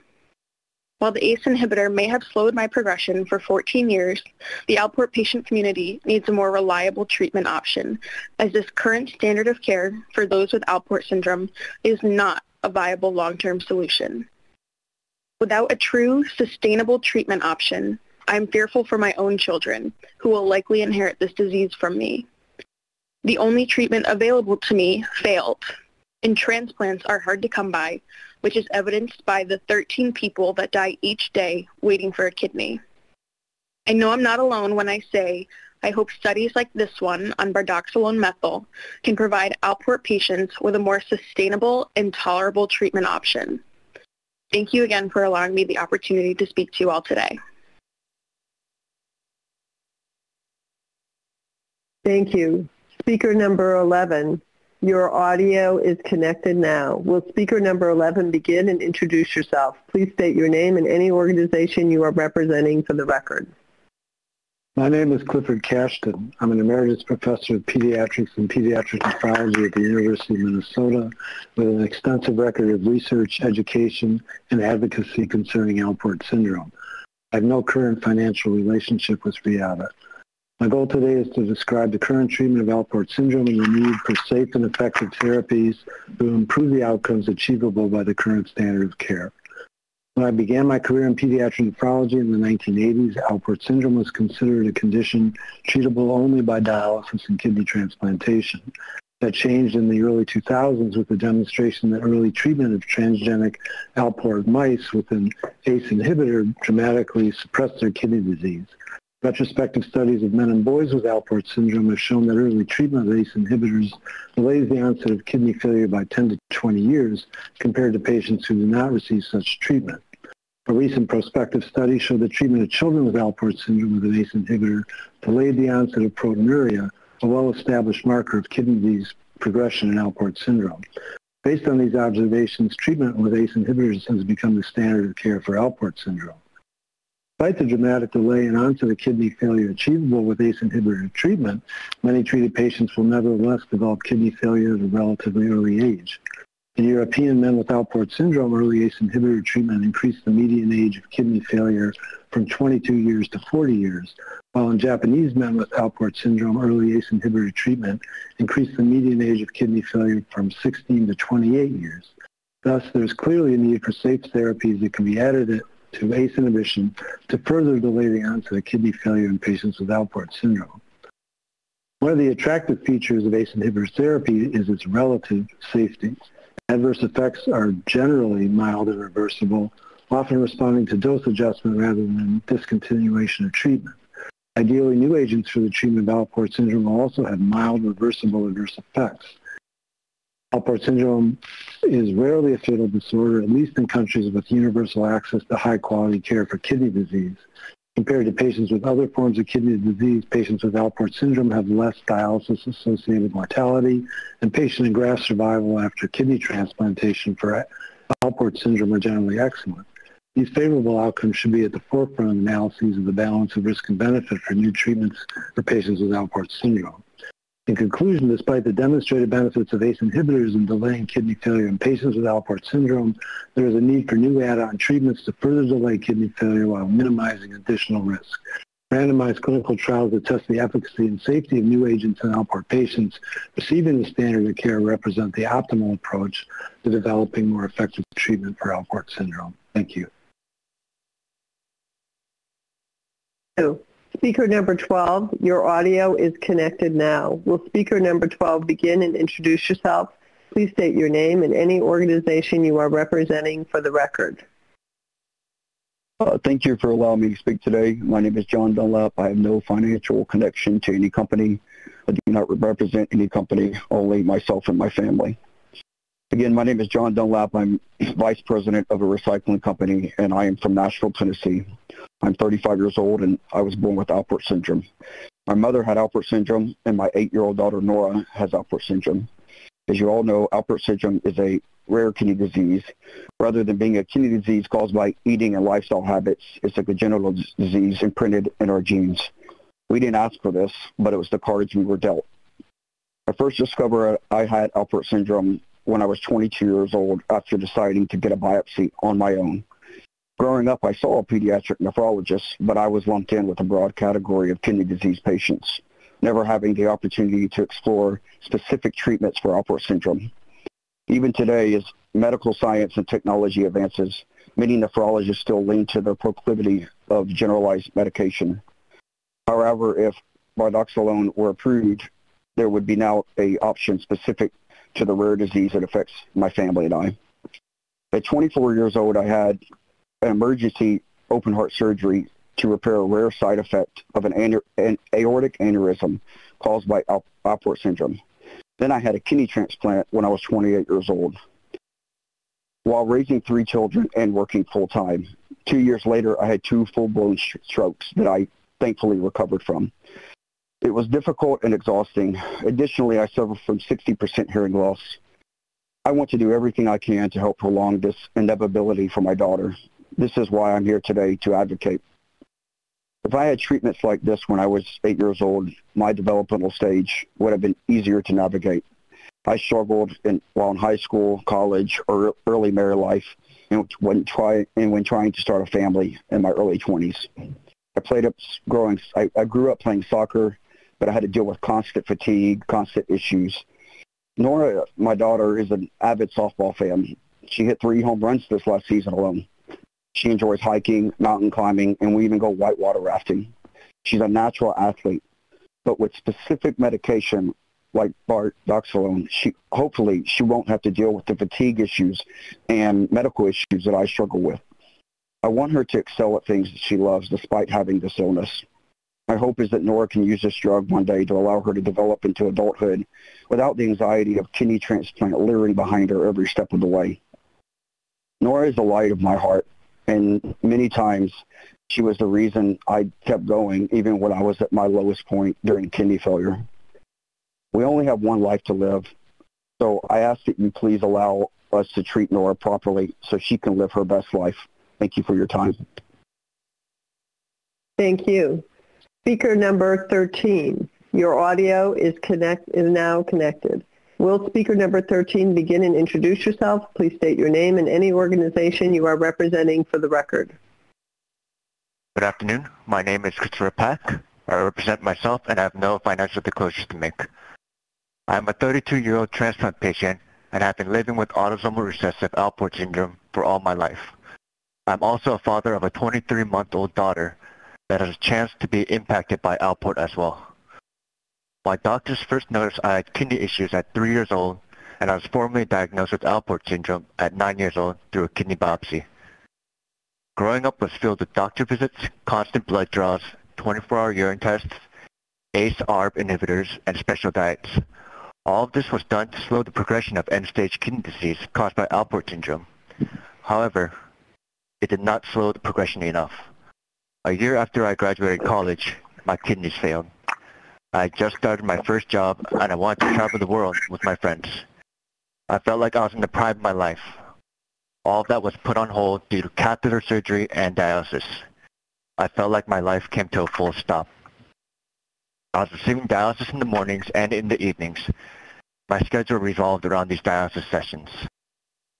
I was on dialysis for four years when I got the life-changing call that I would receive a kidney transplant. However, even this life-changing transplant will not last forever. The average lifespan of a deceased donor transplanted kidney is 10 years. I wish there would have been some way to delay my progression of end-stage kidney disease. Delayed progression means I could have avoided transplant in the first place, or at least have delayed transplant to have the time with the gifted kidneys I currently have later into life. After I got my biopsy, I saw my parents get pulled aside by my nephrologist while I was in the waiting room. Looking back, I know this must have been when they received the news that I had Alport. I can only imagine how devastated they were when they heard the news. At the suggestion of my doctors, my parents and I tried different treatments and diets. If we had an option of an Alport-specific treatment when I was young, I'm sure this would have eased my parents' concerns. Now I am a father, and I am in the shoes of a concerned parent. I would give anything so that my daughter does not have to go through what I went through. However, in my lifetime, there are now companies working on Alport syndrome treatments. It might be too late for me, but treatments like bardoxolone and other drugs can give Alport patients a chance to avoid dialysis and transplant altogether. Even delay of dialysis and transplant would give patients, even my daughter, better quality and longer life. Each and every day matters. Thank you. Thank you. Speaker number 14, your audio is connected now. Will speaker number 14 begin and introduce yourself? Please state your name and any organization you are representing for the record. Good afternoon. I'm Stuart Sprague, a nephrologist at North Shore University Health System and professor of medicine at the University of Chicago. I am a investigator in the uh, Cardinal and other Reata studies. I have no other disclosures to make. I would like to make two main points this afternoon. First, Alport syndrome is a rare genetic disease caused by a defect in type 4 collagen production as a result of mutations in the COL4A, 3, 4, and 5 genes. With advances in testing, we are identifying more patients who have the same genetic defect, such as individuals with thin basement membrane disease and who may be carriers of Alport or have progressive kidney disease without the other manifestations of Alports or being diagnosed as Alports. Indeed, the recent bardoxolone studies have helped us understand that there may be a larger population at risk than those who have classically been diagnosed with Alports. Thus, an effective therapy can slow the progression of disease and could have a considerably larger clinical impact than we thought even a few years ago. Second, having been an investigator in the Cardinal study, I want to share my firsthand observations of the patient experience. In general, patients felt well and essentially had no complaints during both the blinded study and then the open label extension. Side effects, if they occurred, were mild and no one dropped out from my site. In fact, I had patients who were so committed to a treatment for Alports that even though they were going to college hundreds of miles away or even overseas and not knowing whether they were on a placebo or the study drug, arranged their schedules in order to see me and not miss any of their study visits. Additionally, it was clear that there was a decrease in proteinuria in many subjects who also noted feeling better. Even the few subjects who had mild increases in their liver enzymes were not bothered by it and felt very relieved when it corrected and they were able to tolerate a lower dose without problems. Thus, from my perspective, this drug was extremely well tolerated with minimal to no side effects and had a positive impact both in decreasing patients' proteinuria and slowing progression of disease. Nearly all the subjects I enrolled wanted to know when bardoxolone will be available. In addition, many of them have relatives with Alports and they're hoping that they too may have access to the compound. Finally, during the open label extension study, all the subjects have been very grateful to be part of this study and none have experienced any side effects that concerned either myself or the subjects. With the overall safety data and the effectiveness of bardoxolone in slowing progressive kidney disease in patients with Alports, I very much hope it gets approved. Thank you very much for your attention and allowing me to speak this afternoon. Thank you. Speaker number 15, your audio is connected now. Will speaker number 15 begin and introduce yourself? Please state your name and any organization you are representing for the record. Uh, good afternoon. I'm Kerry Willis, a Chief Scientific Officer at the National Kidney Foundation. I have no financial relationship with the applicant. On behalf of the Foundation, I want to first thank all of the patients and family members who have participated in our efforts to understand the risks and benefits of potential new therapies from the patient perspective and to help sponsors and regulatory agencies make clinical trials more patient-centered. In 2018, we had the privilege of collaborating with the Alport Syndrome Foundation on a patient-focused drug development meeting, which included 140 Alport syndrome patients and caregivers and nine representatives of FDA. In live testimony and answers to polling questions posed during the meeting, we learned, and you've heard today, that the most impactful symptoms of Alport syndrome on daily life are anxiety and depression, fatigue, and hearing loss, and that a major source of anxiety for patients is fear of disease progression and the eventual need for dialysis or a kidney transplant. When we asked about potential new treatments, 78% of patients said they would consider taking a drug that would slow progression of their disease, even if its side effect profile was worse than their current treatment and 74% said that slowing progression was the most important benefit of a new drug, even if it had no effect on hearing loss. The lasting impressions I took away from the meeting were of urgency and hope. People with Alport syndrome face rapidly progressive decline in kidney function and with it a high risk of cardiovascular events and end-stage kidney disease. It was clear patients want access to a therapy that increases their chances of avoiding these outcomes. Many meeting attendees were participating in clinical trials of potential new therapies and expressed concern mixed with optimism that a specific treatment for Alport would be approved soon.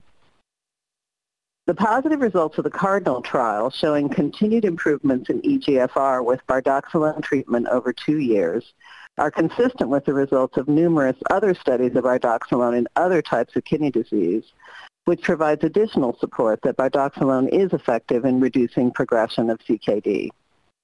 We recognize that not all safety concerns can be addressed in a relatively small two-year trial. Safety data will need to be monitored if approval is granted, and patients will need to be informed of potential risks of long-term use. However, we would ask that the committee bear in mind that given the chance, most Alport syndrome patients will want to try bardoxolone as soon as they can. Thank you for your attention. Thank you. Speaker number 16, your audio is connected now. Will speaker number 16 begin and introduce yourself? Please state your name and any organization you are representing for the record. Thank you for allowing me to speak today. My name is Jim Simon. I represent myself. As an adult nephrologist at Cleveland Clinic, I have been caring for patients with Alport syndrome for over 10 years and have participated in multiple Alport syndrome trials, including the Cardinal and Eagles trials and was involved early on as a paid subject matter expert during the design phase of the Cardinal trial. I also served as a paid consultant for Regulus Therapeutics for the design of the Athena trial in preparation for studying Antimir 21, a drug now studied by Sanofi Genzyme. First, as you've heard, I cannot stress how important it is to the Alport community that treatment trials are being conducted on their disease. For too long, their disease was misunderstood, misdiagnosed, or outright dismissed. While RAS inhibition has been shown to slow progression of kidney failure, the potential to have a drug approved specifically for use in Alport syndrome is monumental to say the least. Second, and slightly contradictory, I will admit that I've been a vocal critic of Reata in my discussions with them from the very early stages of the design of this of the Cardinal trial for multiple reasons, some of which I will explain below. But I participated in the Cardinal trial because it was important to my patients. Two of bardoxolone's effects on the kidneys, the rise in GFR shortly after starting it and the rise in proteinuria, raised concerns amongst the nephrology community even as patients got excited to see their GFRs rise. Unfortunately, debates about whether these were beneficial or detrimental effects demonstrated how little is known about the true effects of hyperfiltration and proteinuria. BARDA start to increase filtration surface area, suggesting that intracapillary shear stress would not increase. But little is known about any stress on the slit diaphragm this increased flow might create which is thought to be the true deleterious effect of hyperfiltration. Likewise, the increase in proteinuria is proposed to be due to downregulation of meg megalin activity, leading to reduced proximal tubular stress at the expense of increased proteinuria. This will be very difficult for clinicians to wrap their brains around without definitive proof that it's not detrimental to the kidneys. Additionally, it takes up to 12 weeks to reach the peak G increase in GFR after starting the medication, Yet the company was not required in Cardinal to check GFRs 12 weeks after stopping the medicine to assess its lasting effects. And just as importantly, surprisingly to me, studies on Alport mouse models were not required before this drug was approved for study in humans. Fortunately, the evidence Reata has presented from its clinical trials suggested that many of these concerns were not borne out. GFR slopes continue to separate over time, suggesting against a purely hemodynamic effect.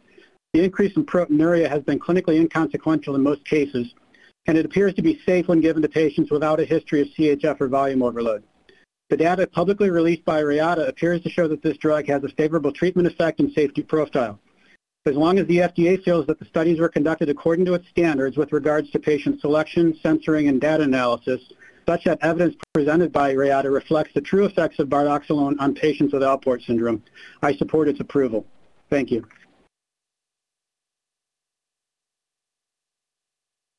Thank you. Speaker number 17, your audio is connected now. Will speaker number 17 begin and introduce yourself? Please state your name and any organization you are representing for the record. Hi, my name is December West. I am representing no organization and I have no financial relationship with any organization. My name is my daughter's name is Leilani. When she was three years old, she started to show signs that something was wrong with her kidneys. I noticed she had blood in her urine, and it wouldn't be until five years and three diagnoses later, when she was eight, that we found out that she was diagnosed with Alport syndrome, which affects her vision, hearing, and kidneys. And as of right, um, and we were told by her physician at some point she would need a kidney transplant because of her type of Alport syndrome. She would probably need it sooner than later in life. Leilani is now 10, and just last week we were told that her creatinine is rising, and that may be because of the ACE inhibitor she is on. Now they want to do monthly lab work to see if they want to change her medication and being able to have another option and possible treatment for her diagnosis will be an answer to our prayers. So approving bardoxolone could possibly help delay our daughter from needing dialysis or kidney transplant and having some sense of normal life. Leilani loves to dance, do track and field, and last. Leilani competed in the 2019 Junior Olympics where she placed sixth in the nation for shot put. She also competed in javelin. It was an exciting and emotional moment because of her accomplishment, but I could not fully enjoy it because in the back of my mind, I wondered if she would be able to do that again. She also this year got accepted into a performing arts middle school for dance. She um, has aspirations of one day attending Juilliard School of Performing Arts in New York and competing in the Olympics. As a parent, my job is to help support and to help her achieve her goals. This is why I am here now fighting for the approval of bardoxolone because if she does not get a treatment for her condition, she may not be able to achieve her goals in competing of competing in the Olympics and attending Juilliard. Just the other day, I saw where a teacher donated her kidney to a young man in the sixth grade with Alport syndrome. Leilani is in the fifth grade. This young man talked about having to do dialysis three times a week for three to four hours. In in in in his experience, experience, um, experience or having a kidney transplant all I could think about was Leilani. She would miss school, she would miss dance, she would not be able to practice for track. And this um, this is why is it important for you to prove bardoxolone so that my daughter won't possibly have the same experience as that young man. Thank you for your time. Thank you. Speaker number 18. Your audio is connected now. Will speaker number 18 begin and introduce yourself? Please state your name and any organization you are representing for the record. Good afternoon. I'm Dr. Pablo Pergola, an adult nephrologist, and I represent myself. I was an investigator in the Cardinal study, and I'm a consultant to the sponsor, but have no financial gain by the outcome of this meeting. Thank you for the opportunity to speak today.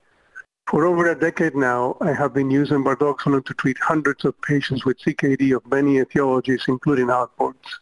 And in many cases, I have followed them for several years. I want to share this practical hands-on experience with you as it does not come across in the data you have available. Bardoxolone is well tolerated for short and long-term use, and as just uh, witnessed by uh, the patients I spoke today generally, and importantly, patients report feeling very well while on it, and treatment discontinuations are rare. The current protocols that include progressive dose uptitration allow reaching the optimal dose while minimizing the chances of potential side effects and monitoring the extrarenal targets effects uh, that are unique to this drug. Cramps, for example, subside over time while on the drug, occasionally require dose de-escalation and rarely result in drug discontinuation. Transaminase elevations follow a very predictable pattern.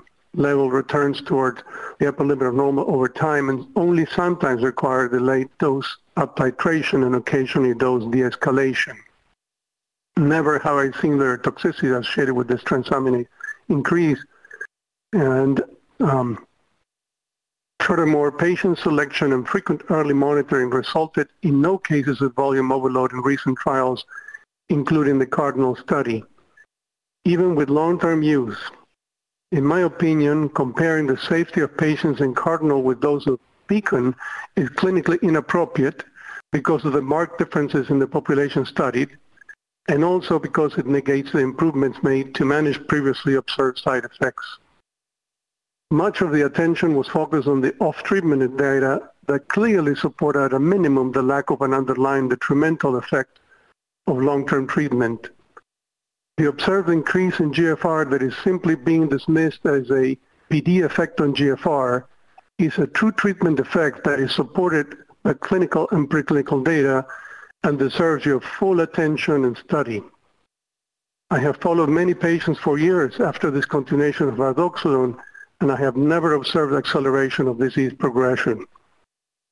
It is true that clinicians will need to learn how to monitor patients on bardoxolone, in particular during the dose titration period.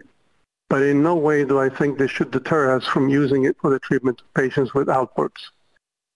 It is my opinion that if you find the efficacy and safety data available acceptable and recommend approval of bardoxolone, used by trained clinicians will Thank result you. in successful implementation of this treatment in clinical thank practice. You. Thank you. Your three minutes is up. Um, thank you. Speaker number 19, your audio is connected now. Will speaker number 19 begin and introduce yourself? Please state your name and any organization you are representing for the record. Thank you for the opportunity to speak today on behalf of the National Center for Health Research. I am Dr. Meg Seymour, a senior fellow at the center. We analyze scientific data to provide objective health information to patients, health professionals, and policymakers. We do not accept funding from drug or medical device companies, so I have no conflicts of interest. We agree with the FDA scientists that although the sponsor met pre-specified primary and secondary endpoints, the submitted data do not demonstrate that bardoxolone is effective at slowing the loss of kidney function and reducing the risk of progression to kidney failure. And those are the outcomes that matter most to patients.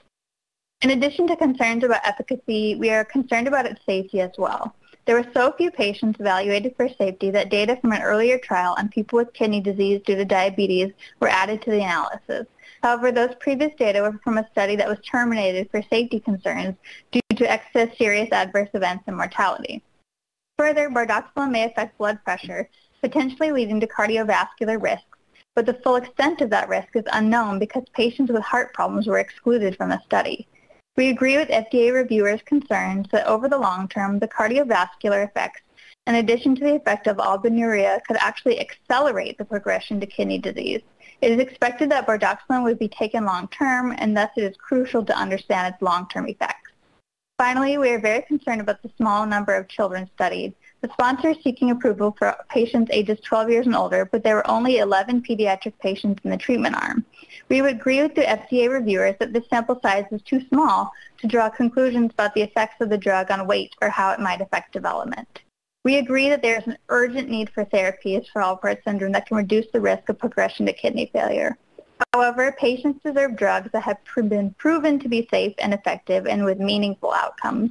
We urge you to consider the balance of potential benefits and risks for long-term use of the drug during your discussion and vote today. Thank you.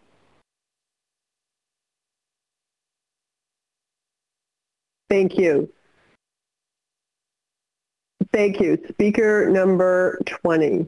Your audio is connected now. Will speaker number 20 begin and introduce yourself? Please state your name and any organization you are representing for the record. Um, good afternoon. My name is Linda Kland, and I'm representing myself and have no financial ties. I reside in McCall, Idaho, and recently participated in a 17-week study relating to the efficacy of bardoxolone methyl in the treatment of kidney failure for those at risk of rapid progression. Leading the Merlin study was Arnold Silva, MD, PhD.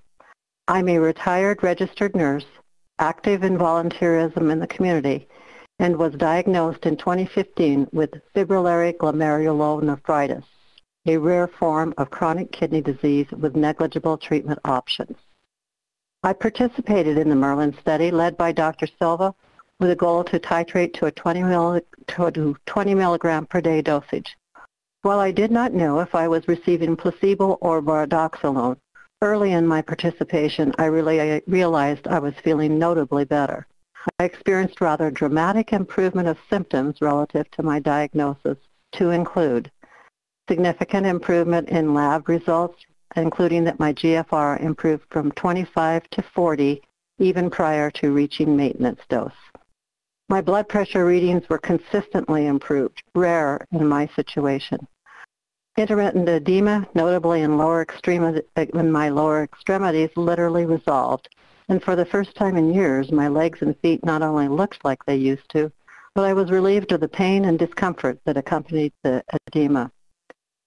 Shortly after reaching the planned 20 milligram daily dose, I experienced some identified potential side effects, moderate in nature.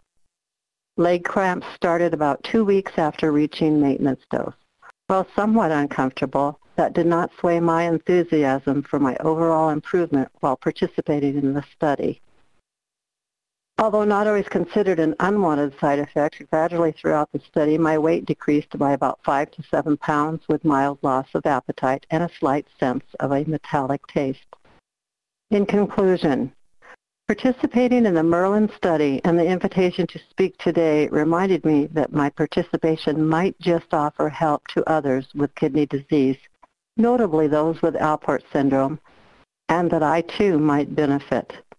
When asked following the study by my attending nephrologist, Dr. Amanda Hall, if I would consider taking bardoxolone if offered, my answer was an emphatic yes. Thank you very much for the opportunity to testify today. Thank you. Speaker number 21, your audio is connected now. Will speaker number 21 begin and introduce yourself? Please state your name and any organization you are representing for the record. Good afternoon. I am Dr. Arnold Silva, a nephrologist and director of clinical research at Boise Kidney and Hypertension Institute in Boise, Idaho, in conjunction with Frenova Renal Research. I have served as an investigator on three clinical studies evaluating the safety and efficacy of bardoxolone methyl in patients with Alport syndrome.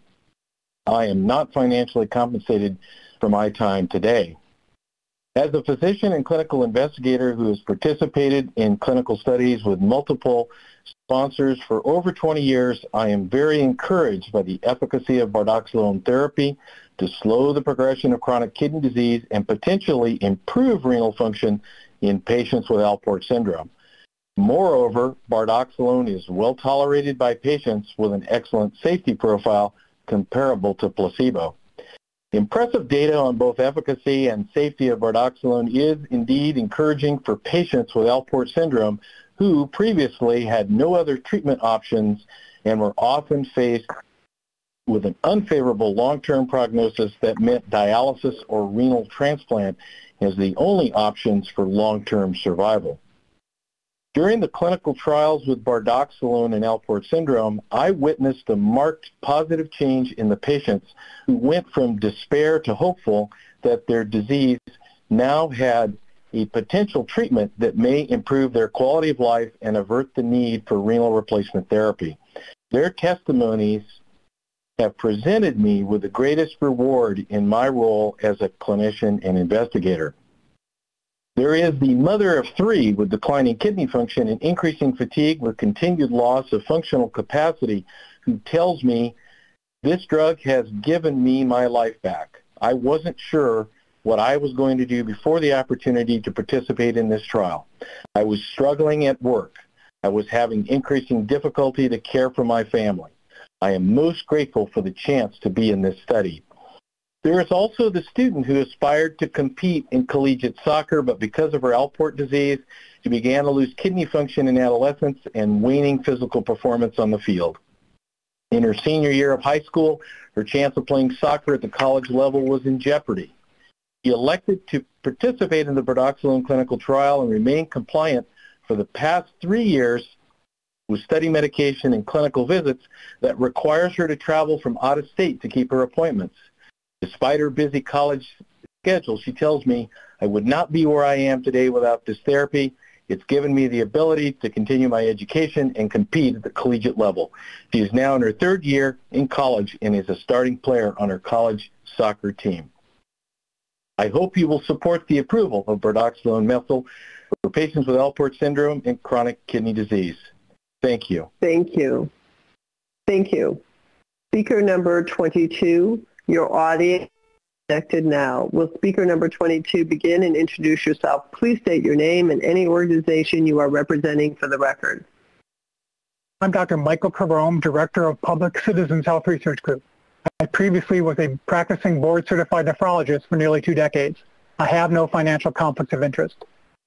Public Citizen strongly opposes approval of bardoxolone because the drug has well-established risks of serious harms, but the Cardinal Phase 3 trial failed to provide substantial evidence that the drug slows the progression of chronic kidney disease in Alport syndrome patients. As a result, a favorable benefit-risk profile has not been established for bardoxolone. Importantly, bardoxolone causes a myriad of diverse biological effects in multiple organs, the mechanisms and implications of which are not well understood in many cases. Combined safety data from the Cardinal Phase 3 trial in AS subjects and the Beacon trial in subjects with type 2 diabetes and CKD revealed that bardoxolone was associated with a higher incidence of the following adverse effects, among others. Heart failure, increased blood pressure, increased proteinuria, weight loss, decreased appetite, dysgeusia, nausea and vomiting, anemia, hypomagnesemia, and muscle spasms. Increases in blood pressure and proteinuria are factors that likely augment the risk of adverse cardiovascular and renal outcomes.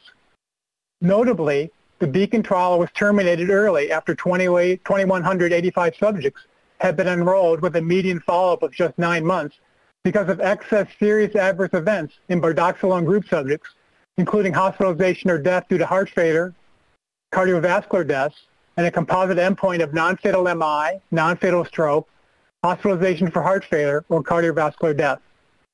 The Cardinal Phase 3 trial, which enrolled only 157 subjects, was too small to detect any differences in important cardiovascular outcomes. Given bardoxolone's troubling safety profile, approval of the drug would only be justifiable if there was robust evidence that the drug provides substantial clinical benefit. However, as FDA reviewers explained in detail, the Cardinal Phase 3 trial data failed to demonstrate that bardoxolone is effective in slowing the loss of kidney function in patients with AS and reducing the risk of progression to kidney failure. In particular, the statistically significant effects seen with bardoxolone on the primary and key secondary endpoints likely were largely due to reversible pharmacodynamic treatment effects of bardoxolone. FDA reviewers convincingly argue that the duration of the actual washout periods in the Cardinal Phase 3 trial was insufficient to resolve the reversible PD effects of bardoxolone. In closing, given the available scientific data that shows a lack of substantial evidence of effectiveness and clear risks of serious harm, Public Citizen urges your committee to vote no on question four and to recommend that FDA not approve bardoxolone. Thank you. Thank you. Speaker number 23, your audio is connected now. Will speaker number 23 begin and introduce yourself? Please state your name and any organization you are representing for the record. Good afternoon. Uh, my name is Anthony Albert. I'm from Hutchinson, Kansas we have had our travel expenses paid for as it is a four-hour drive for us. Um, I'm here to represent my son, Carson Albert. My wife and I have four boys, all of them afflicted with Alport syndrome. Our three oldest children have had transplants now, and our oldest is on the transplant list. Um, unfortunately, the Cardinal drug was not available to them at this time, so I'm going to talk today about my son, Carson. Carson just turned 17 and is a happy high school junior because of bardoxolone, his life is on a much different trajectory than his brother's. Carson has a normal life compared to our son Brendan, who was on hematogenous dialysis for two years awaiting a transplant. Brendan was a top baseball player in his class as he entered high school with a 4.0. He had goals of playing in college and going away, but the summer before his freshman year, he was put on peritoneal dialysis and became so fatigued he didn't want to do anything but sleep. His grades dropped from a 4.0 to a 2.6, even though he tried as hard as he could. It was difficult for my wife and I to see him struggle like that. The lab draws, the lab appointments, he, even after transplant for nine months, it was nine months before he felt normal. He lost three years of his life. I can say this with the utmost conviction. Bardoxolone has given Carson his life. And the only downside is some minor muscle cramps every once in a while that can be mitigated with hydration. It has been so minor he has never complained about them. He only admits to them on, on appointments when they ask if he has felt any. He'll say, yes, I've had one here or there. Bardoxolone has given Carson the ability to get a 4.2 grade point average. He'll graduate next semester a full early, a full semester early with 18 college credits. He plays varsity tennis. He's the manager of the student snack shop. He was able to hold down a part-time job this summer. It has given so much hope for the future. So amazing to see the excitement in his eyes when he talks about going to college and the excitement when the mailman brings letters from different colleges asking him to come visit. It has truly been a miracle drug. I want to tell you that Carson and I, our Carson and our family have only had positive experiences with this drug. I know you've seen a lot of numbers and a lot of graphs, but please don't discount the human aspect. There are tens of thousands of Carsons out there that just want a chance to be normal. Excuse me, they just want a chance for a miracle. Please help them. I also want to say thank you to Dr. Warady, Reata, Cardinal, and the staff at Children's Mercy for allowing Carson to be a part of this amazing project. Thank you very much. Thank you. Speaker number 24, your audio is connected now. Will speaker number 24 begin and introduce yourself? Please state your name and any organization presenting for the record. Yes, hello. My, my name is Clint Kingsbury. Uh, I represent myself and I am not financially compensated in any way for my testimony. Um, I was diagnosed with Alport syndrome in the early 2017.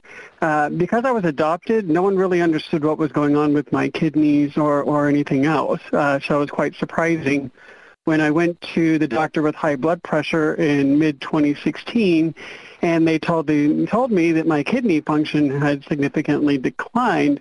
Um, this was uh, quite problematic because I had just started a master's program and just felt very overwhelming. So once I had gotten the diagnosis, I, I did like anyone would and jumped on the internet to start trying to figure out what's going on with me and what does this mean. I found a Facebook a support group for Alport syndrome, and uh, I saw that it mentioned the Cardinal study there. Um, it turns out the Cardinal study was uh, in my own home city, at least one of the uh, locations was, and so I, I joined uh, in San Antonio, Texas. And so I have been on the Cardinal study and the open label since uh, May of 2017. I currently still take bardoxolone at this time. Um, when I started, my GFR was in the mid-30s. Um, my creatinine was uh, around 2.1 or so. And um, as of today, uh, my GFR still is in the mid-30s. Uh, my creatinine has creeped up to about a 2.6, 2.7 now. Um, essentially, during this entire time, my kidney function has remained steady and uh, consistent while on the drug, though it did briefly uh, peak into the low 40s um, when I initially started the drug. Um, overall, it's been an incredible uh, boon for me and my family. Um, it's allowed me to do many of the things I didn't think I'd be able to accomplish after I initially got my diagnosis. Um, the initial prognosis said that I would probably need dialysis or possibly transplant within four or five years. Today, I am able to speak before you without that concern thanks to bardoxolone. Um, sure, there have been some side effects. I, have had cramps occasionally. Uh, it did um, help. I, I lost appetite and I lost a little bit of weight uh, about five pounds over the last four years, so nothing significant. But it's allowed me to do so many things, like complete my master's degree. I started a PhD. I'm actually an elected official in my city, and um, I even changed my career because I didn't have to worry about the fact that my kidneys were shutting down. I can say that my life has changed for the better while being a part of this drug study, and I fear that should the drug not be approved, my kidney function would begin to deteriorate, bringing back all the fears and apprehension that comes with CKD.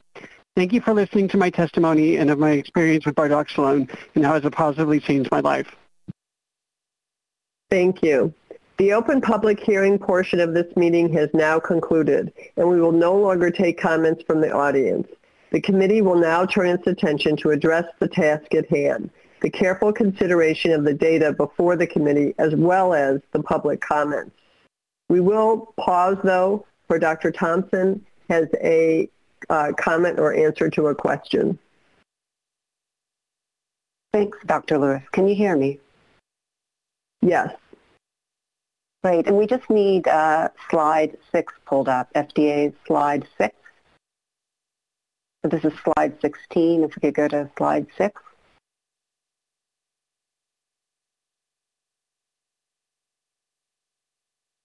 Perfect. Thank you. I just want to thank um, the speakers during the open public hearing and in particular the speakers, uh, the patients um, and, and, their families for sharing what are very personal and important stories. Um, I'd asked uh, Dr. Lewis to uh, allow me to, to um, provide a comment uh, before uh, the, the committee moves to discussion uh, because I wanted to clarify and provide uh, further context around some of the questions that came up um, around um, slope analyses, which as you heard FDA didn't do, as well as sort of analyses trying to understand um, the benefit. Uh, as I think we heard from our speakers, some of this was just may have just appeared like a lot of analyses and um, may not really, can be hard sometimes to follow the story.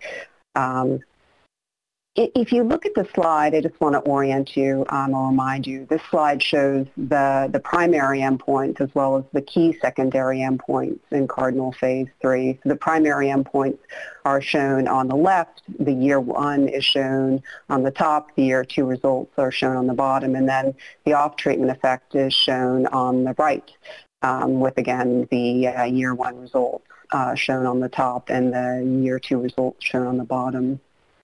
As I said in my opening comments, and I think as you're probably all well aware uh, right now, um, the outcome that we want to prevent is progression to kidney failure. Um, but the reality is it's just not really feasible to do that in a feasible clinical trial uh, in many of our chronic kidney diseases. And so as you've heard today, we often rely on um, changes in, in EGFR as a surrogate endpoint. I want to point out, though, that a trial provides a snapshot, provides a snapshot into what's happening to renal function over some window. But then to really uh, understand the clinical significance in terms of its impact on progression to kidney failure, we have to make a number of assumptions. One assumption we make is the treatment effect that we're seeing in the trial continues to accrue over time. And how we typically address that issue is via the slope-based analyses, right? We see that one curve is showing that patients are maybe declining at 4 mils per minute per year, and the other rate of decline is 8, right? So in other words, a drug has cut the rate of decline in half. So that's one thing we look at to figure out whether the treatment effect is going to accrue over time. The other thing we do when we make these extrapolations is we also make the assumption that the treatment effect uh, continues to accrue across the various stages of disease. Again, a trial is a, is a snapshot into what's happening to a population. It's a tool. And so how do we satisfy these assumptions about uh, the benefit accruing over time or, or, or the benefit accruing across the various stages of disease?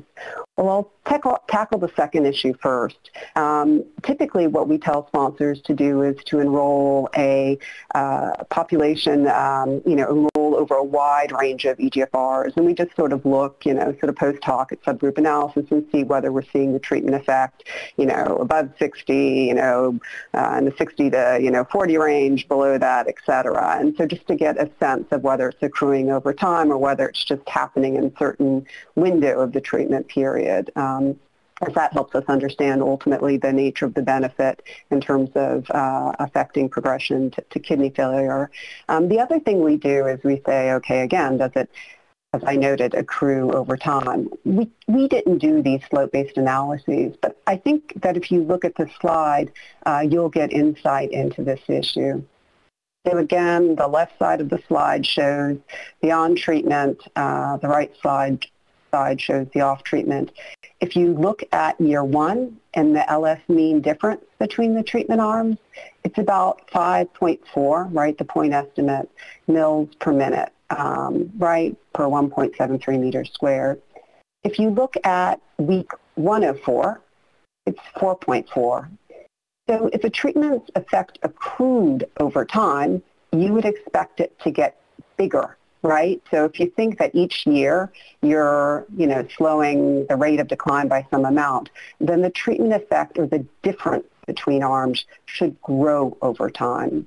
So while it's true that we didn't do slope-based analyses because we had concerns from a statistical perspective uh, about the validity of them, we do think that there are other data that essentially address this issue. I appreciate your giving me this opportunity to clarify.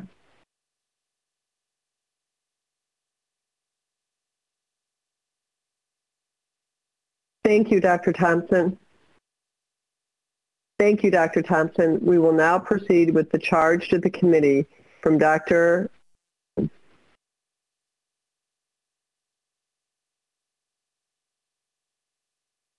Dr. Thompson. Sure. And I just want to say that I very much appreciate uh, the opportunity that you just gave me to provide those additional uh, clarifying comments uh, and want to yield my time to the committee to allow for uh, a sufficient uh, discussion of, of the issues. Thank you, Dr. Thompson. The committee will now turn its attention to address the task at hand, the careful consideration of the data um, before the committee as well as the public we will now proceed with the questions to the committee and panel discussions. Uh, remind public observers that while this meeting is open for public observation, public attendees may not participate except at the specific request of the panel. After I read each question, we will pause for any questions or comments concerning its wording. Then we will open the question to discussion. I will read the first question discuss whether Cardinal Phase 3 was adequately designed to assess for an effect on the progression of chronic kidney disease in patients with Alport syndrome. Are there any questions about the wording of the question? I don't see any hands up. Um, if there are no questions or comments concerning the wording of the question, we will now open the question to discussion.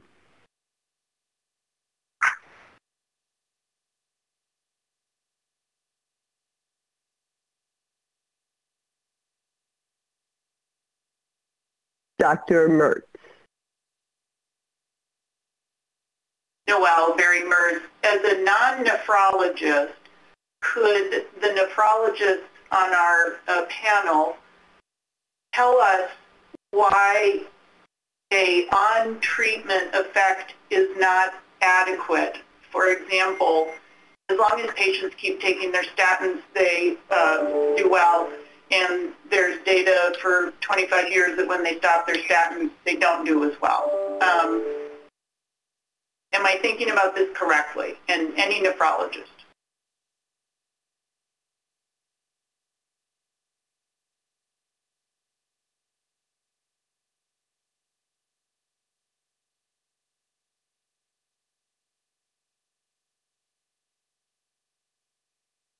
What are the nephrologists want to answer that question? Dr. Lewis, you can take it. This is Dr. Palevsky. I'm happy to uh, jump in. Unlike, so the analogy that you were drawing was to statin therapy, where altering the cholesterol levels is having an effect on long-term cardiovascular risk, progression of atherosclerosis. In this case, the outcome that's being looked at, which is the glomerular filtration rate, um, is the actual outcome of the disease process. Patients don't die from the elevated cholesterol itself patients with kidney failure suffer renal death when their GFR progresses to a point that it no longer is able to sustain healthy life. Um, if there is an artifactual change, um, uh, hemodynamically mediated, um, uh, change or because of a change in uh, how the uh, um, marker that's being used, creatinine, for calculating um, EGFR is being affected, it is not changing the natural history of the disease. So the perfect example is the effect of SGLT2 inhibitors or RAS blockers, which will decrease EGFR, but alter the long-term slope so that the rate of progression of disease over time is slower and the point at which end-stage kidney disease occurs is delayed. So the question is not whether the creatinine is lower and the EGFR higher, but whether that is going to change when the patient is going to reach end-stage kidney disease and require dialysis or transplantation for um, uh, uh, ongoing life support. Um, and if you're just changing the apparent GFR, um, that's not necessarily going to correlate with um, uh, changing the outcome of disease. Excellent and very helpful, Dr. Lewis. Can I ask one additional question? Yes. Which is a better predictor of that um, large outcome, renal failure, uh, the urinary microalbuminuria or a um, creatinine clearance or a cystatin? Um, I'll, I'll take a stab at that one. Um, at least in diabetes, albuminuria is a more potent predictor of what's going to happen to creatinine than creatinine itself. Um, so I hope that answers your question. It does. Thank you. Um, Dr. Mole, it, it, I don't know. Um, I believe your question is next. Hey, Julia. Thank, thank you. Yep, David Mole, Turner Mike uh, question like Dr. Uh, Noel Bairey Merz is just trying to get some bearing here. So the question's about adequacy of trial design. Um, I think that's, and so I'd, I'd, turn it back to the nephrologist and, and, you know, we're talking about an estimated GFR, not a GFR, and then I just heard the term apparent GFR, and so you'll have to tell me how confident you are in, in estimating GFR and if they use different formulas, if they used a core lab to measure creatinine, with the, such a small cohort why they didn't use cis, uh, cystatin C. And so that's the first thing is how confident are we in the design based upon the actual measurement at hand. And then the second one I'd like your input on is the effect of, say, protein intake. You know, we've heard about one patient say they had loss of appetite. We saw some growth curves that look like the kids dropped off a little bit, and I just wonder if any of this has to do with you know, loss of appetite, protein intake, and shifting in uh, lean muscle mass. And so, so those are my two questions, and it's more to get your uh, sense as nephrologist, your level of confidence or concerns. Um, so let me try to take a stab at that. Then I, I asked one of the other nephrologists to comment too.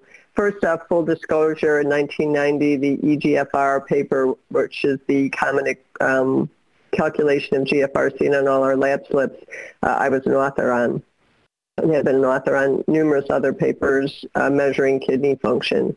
Um, it is a, a, doable kidney function, um, and I think that it is currently, it does in most cases correlate with the clinical renal function. So even though the iothalamate GFR or inulin or, or cystatin C um, may differ by a few mils per minute, um, and in terms of its accuracy, particularly at high GFRs, I think if you use a that, that is a cross-sectional difference.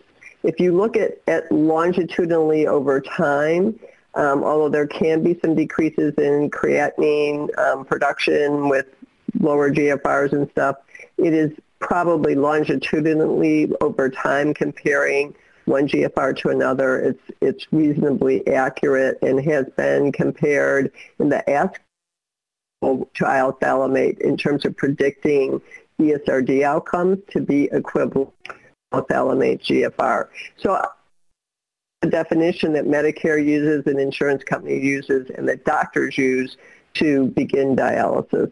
So I, I think that it's a fair measurement. I think the question at hand is, is this increase, uh, glomerular hyperfiltration or this increase in GFR, is it a good or bad thing long term for the kidneys that are exposed to it? And I think that comes um, maybe more into our second question, and I'm glad to comment on it more there. Um, I will say that serum creatinine, to my understanding, was only measured once at the end, at the off treatment thing. And typically for a trial, I think um, I would recommend, since there's a lot of variability in the actual measurement of creatinine, that um, more than one use at least two, sometimes three, um, and then doing uh, geometric mean uh, would have been a better design element. Um, the protein intake uh, issue, um, protein intake in the MDRD study was not shown to uh, benefit, to decrease protein intake was not shown to benefit um, the decline in GFR. Um, and I don't know that we, we have any data on protein intake from this trial. And we do know that they lost weight, but I don't know if it was related to protein. Um, I hope that answers your questions and maybe someone else can take a stab at that too. Can I jump in, Julie? This is Paul Palevsky. Sure. So I, I agree with the majority of the uh, uh, uh, explanation comments that, that you provided, and certainly um, over a two-year period, the change in EGFR since um, uh, sex isn't changing. I presume this was using the older uh, um, CKD-EPI equation that included race. Race is not changing.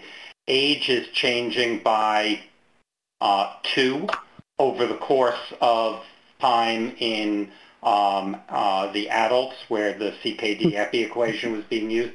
So any change in EGFR is actually um, merely reflecting the change in serum creatinine um, over uh, time.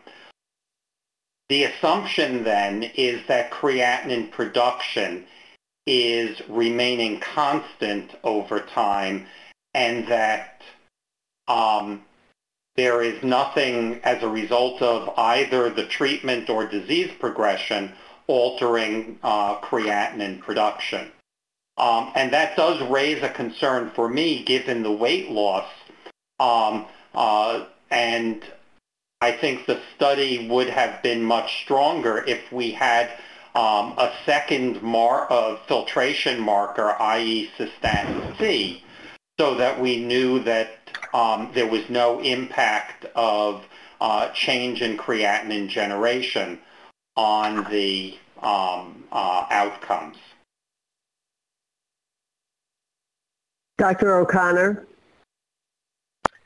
Yeah, Dr. O'Connor, uh, just regarding the design, I'm curious why um, uh, more advanced kidney disease uh, patients weren't included in this uh, population um, so we could get a better idea of what's happening when you uh, your GFR is um, in the CKD4 range.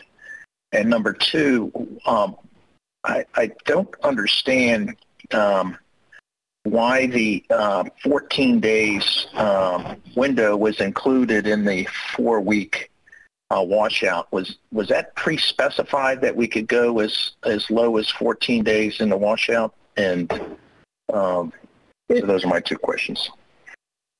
So uh, the 14 days was the window. Um, so it was pre-specified, I guess, as a window. Um, and your first question again was, would you remind me? More Dr. severe O'Connor? kidney disease. Whether Oh, yeah, so the more severe kidney disease. So I think there's a couple comments about that, um, a- and I can't, I can't, um, I can only speculate. I can tell you comments. If you include people with lower GFRs, um, you have less time to impact on the progression of their disease. That could be argued. Um, one, but also remember that acute effects are attenuated at lower GFRs um, so that the benefit, if you will, um, on the absolute GFR would be greater in people with higher GFRs. And I think I asked a question of the sponsor and they can. Um, so I, I, I think that um, the other factor is that although this was a population of 40-year-olds mean age and the Beacon study was 68, as you know, um, CKD is a powerful um, risk, uh, risk factor for uh, HFpEF. And of course, many of our patients, as they progress towards uh, lower GFRs and ESRD, they have more HFrEF. So that you, uh, I guess, would uh, have less ability to see an impact on a more high-risk population without, with, by excluding people with lower GFRs. And then again, I'll open it to the other nephrologists for comment.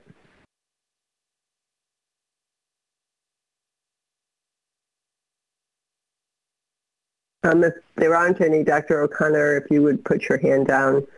Um, Dr. Paul Vesky, Dr. Palevsky, you have a question, and thanks for your help with the answers. Yes. So, um, my hand down. In terms of not so much a, a, a question, but rather, you know, the concerns that I have with the um, design, given the acute uh, effects that the um, drug has on uh, GFR, I was surprised that the primary outcome was the on-treatment change rather than what would be the more clinically meaningful um, outcome of the uh, off-treatment uh, residual uh, improvement in kidney function um, and designing it with uh, sufficient attention so that we wouldn't have to be arguing as to whether uh, at the end of the washout period there had been um, adequate uh, washout of the pharmacodynamic effect. Um, so I have some concerns about uh, those aspects um, of the design, uh, and in particular the fact that uh, um, it was only a four-week washout period with um, maximum uh, bar was was appeared to be 12 weeks.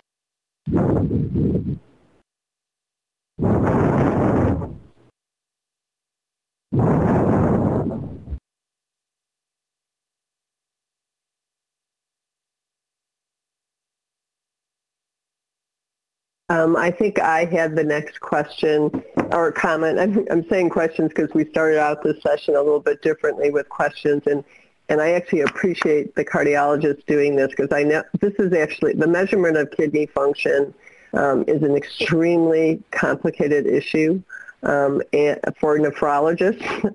Um, and even for nephrologists who work in this area. So I really appreciate and um, your questions. But my comment is very similar to Dr. Palevsky's, which is um, the uh, there were only 157 patients in this trial. Um, adding an extra visit or two at which all you would have to draw is a serum creatinine to better elucidate um, whether there was any benefit on true saving GFR or, or slowing the decline compared to placebo versus just a residual acute effect, which if anything might consider might be considered negative. In fact, would be considered negative. I think um, it's hard to understand why. Why not? It wasn't thousands of patients getting an extra visit. It wasn't a hard extra visit or two, um, and it was a simple blood test. So that concerns me um, in the design of the trial. Another concern I have is excluding people with an increased BNP. Um, I think that that is a, a hard thing to um, translate into use by a clinician. Does that mean we monitor BNPs throughout the trial? As you know, BNP um, is affected by decreasing GFR in terms of part of it being excreted by the kidney.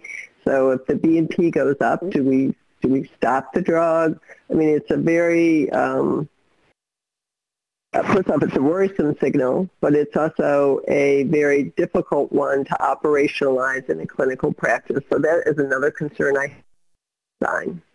Um, after me is Dr.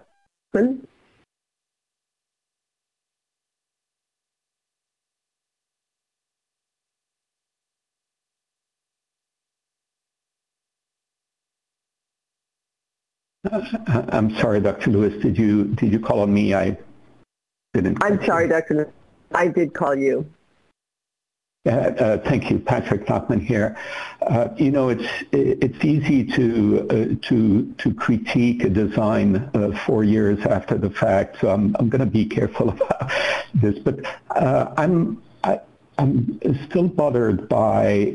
Um, the whether there could have been stratification or at least analysis really truly based on on on genetics and uh, so we know that that males with X-linked uh, or, or patients with uh, who are homozygous for autosomal recessive have a significantly uh, worse outlook and, and potential outcome. But I still haven't seen data to support this.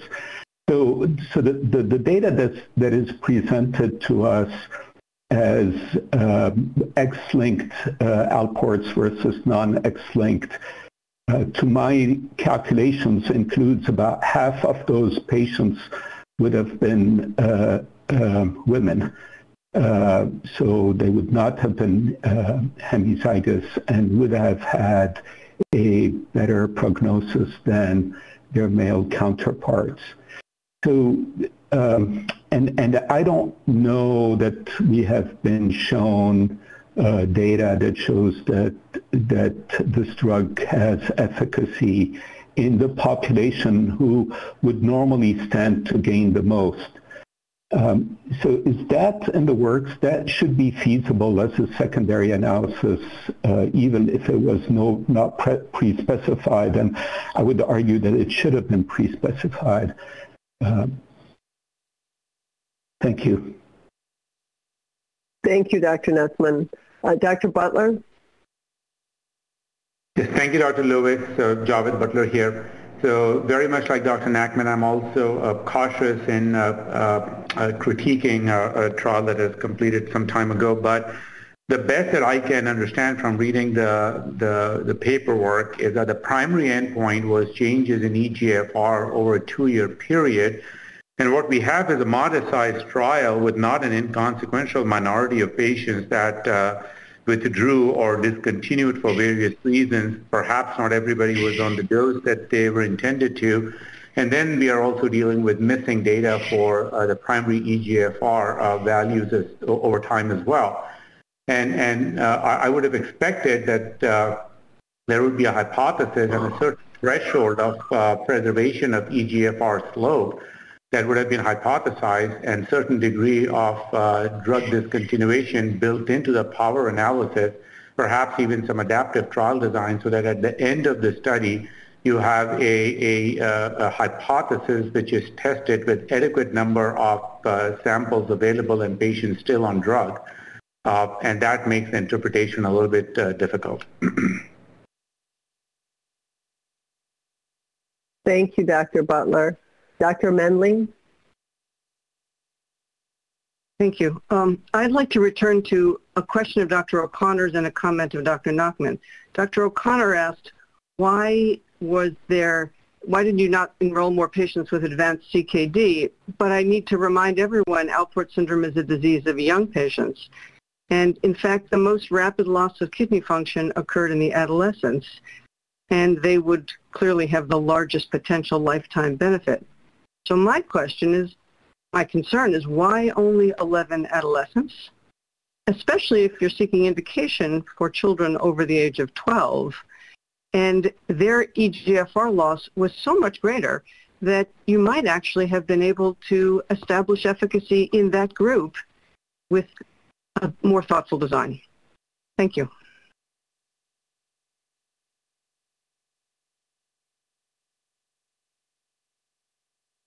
If you'll all please remember to put your um, hands down once your question is answered. And Dr. And was it Dr. Mendley? Yeah, I have. Dr. Mendley, was it?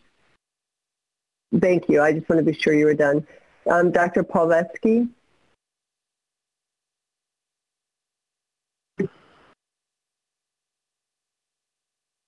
Dr. Palevsky, do you have another question or another comment? And Okay. Um, I believe all hands are down. I will give a moment. I, um, Dr. Gorman, as our other uh, on the committee, do you want to make a comment about the design or? No, I, I raised my hand a few times and uh, someone else answered, asked the same question. But um, I, I agree. Um, I mean, they have a great network from the Alport Foundation and, and different centers, but, you know, as Dr. Mendley said, maybe um, it wasn't representative of the patients that might get the most benefit, quality of life out of there. Um, so, and progression of kidney disease with an imperfect estimate. So the estimating equations, especially with just creatinine, um, are imperfect, especially at higher um, uh, GFR levels. So um, I know it was done a while ago, and, and many careers have been made on evaluating more and more complex estimating equations, but at the end of the day, they represent estimating equations. So um, I, I, think it was designed as best they could. There are some tweaks they could have done and, and longer, and um, I think it's also unfortunate uh, that the pharmacodynamic effect of raising GFR, whether that's hyperfiltration or not, um, you know, complicates it uh, even more. Over. Thank you very much. Dr. Cook, um, as our statistician, do you have any comments about the design? Well, my probably my, well, this is Thomas Cook. Uh, my biggest comment is probably what you had said earlier, that they only measured the EGFR once off treatment.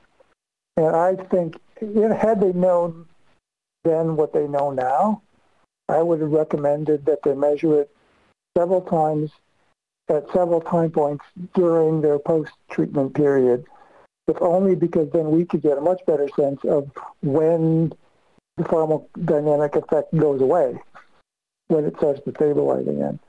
Uh, because given what we've seen and from the FDA, it's not clear to me that they ever actually reached that point. And I think that's a pretty crucial uh, analysis that we would need to see to really definitively nail this thing down. Yeah, um, I certainly agree with. Uh, uh, yeah, I think we're we're in agreement on. There was any question about how long it would take the acute effect, 12 weeks to get up there to come back down. It's an easy thing to do. Um, if there are no more, oops, one more hand, Dr. Pilder. I was just going to point out that even if they didn't do that at the at the one year time point, it would have been relatively easy at the um, uh, end of uh, uh, treatment um, after week um, 100 um, to have gone out rather than just to week 104, but to go out to week 112 um, with additional creatinines to demonstrate um, that there was a persistent uh, improvement in kidney function. And I think that we would be far more convinced um, if that were the case. Exactly, and thank you. Um, okay, I'm going to um, I'm going to summarize what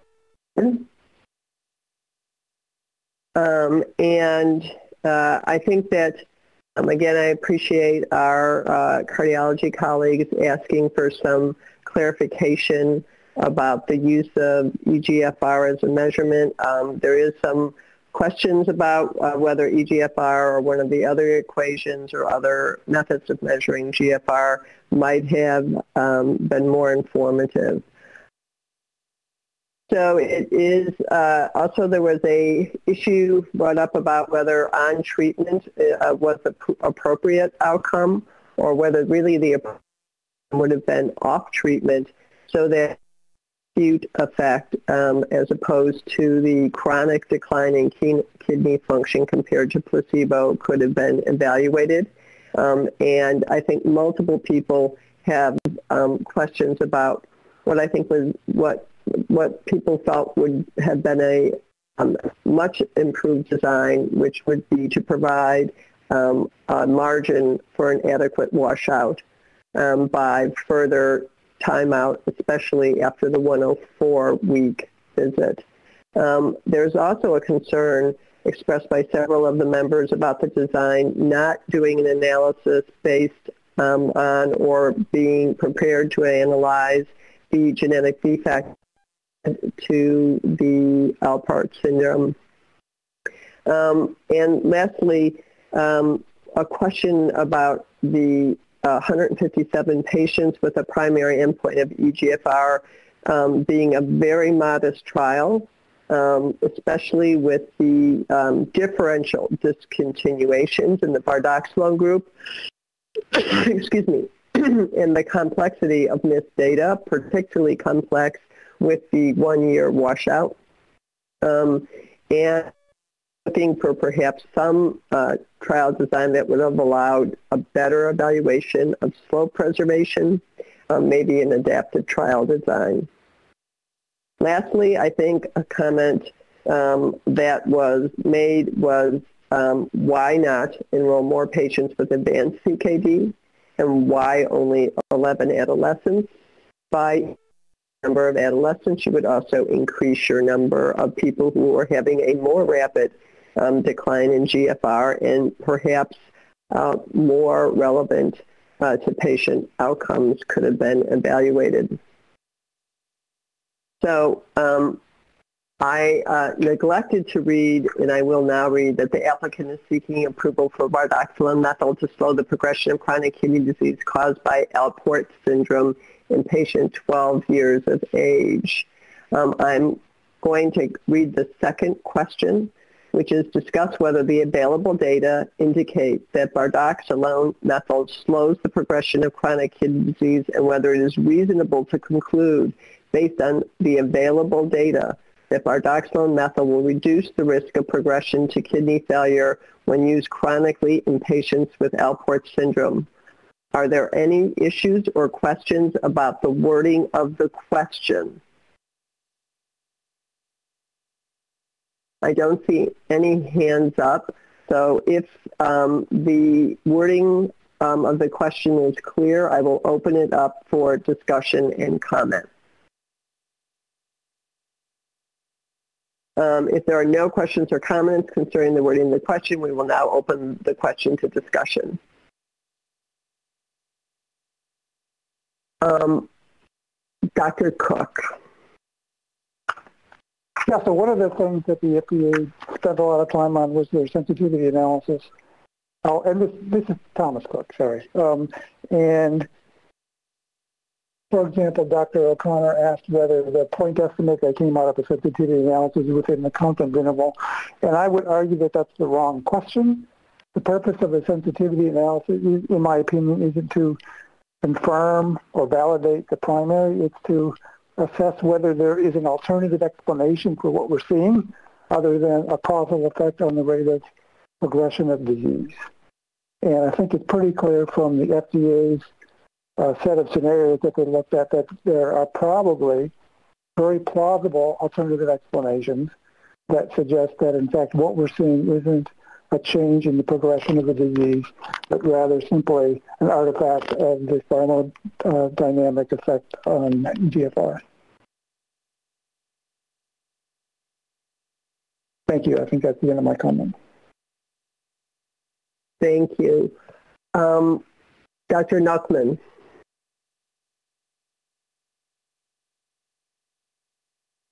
Yes, thank you, Patrick Nachman. Uh, my, my comments about this question too is that we're, uh, we're lumping Alport syndrome, uh, which has a huge spectrum of, of severity and, uh, and, and rapidity of loss of kidney function as if it were one disease and one patient population.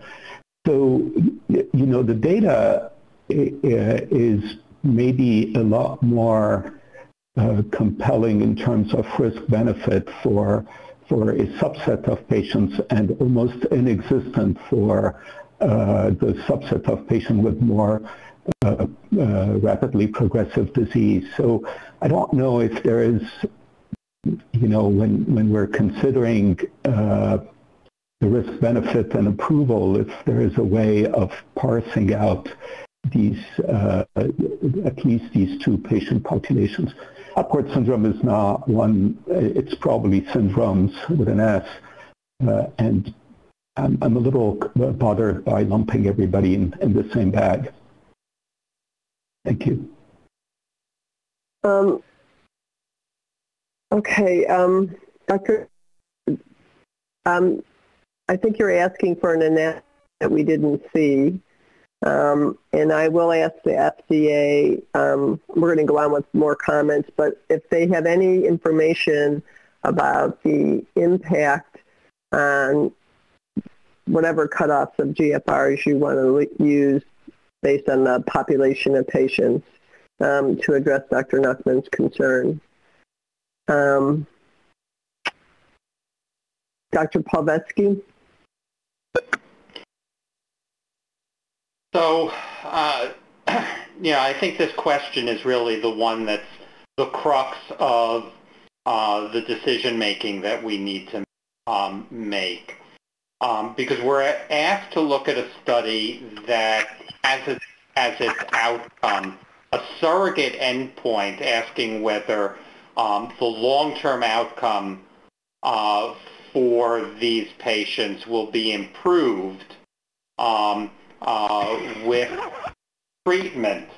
Um, and I, when I read through the materials that were provided um, uh, before this meeting, I was struck by exactly the point that uh, uh, Dr. Thompson made about the fact that the um, difference between the treatment and control arms, rather than widening with time, um, seem to be narrowing between year one and year two, whether you look at the outcomes on uh, treatment um, or at the end of the, the four year, four week uh, withdrawal from treatment, um, which has me very concerned that we're not actually seeing um, a true beneficial effect. And uh, much as I uh, desperately want to see a drug that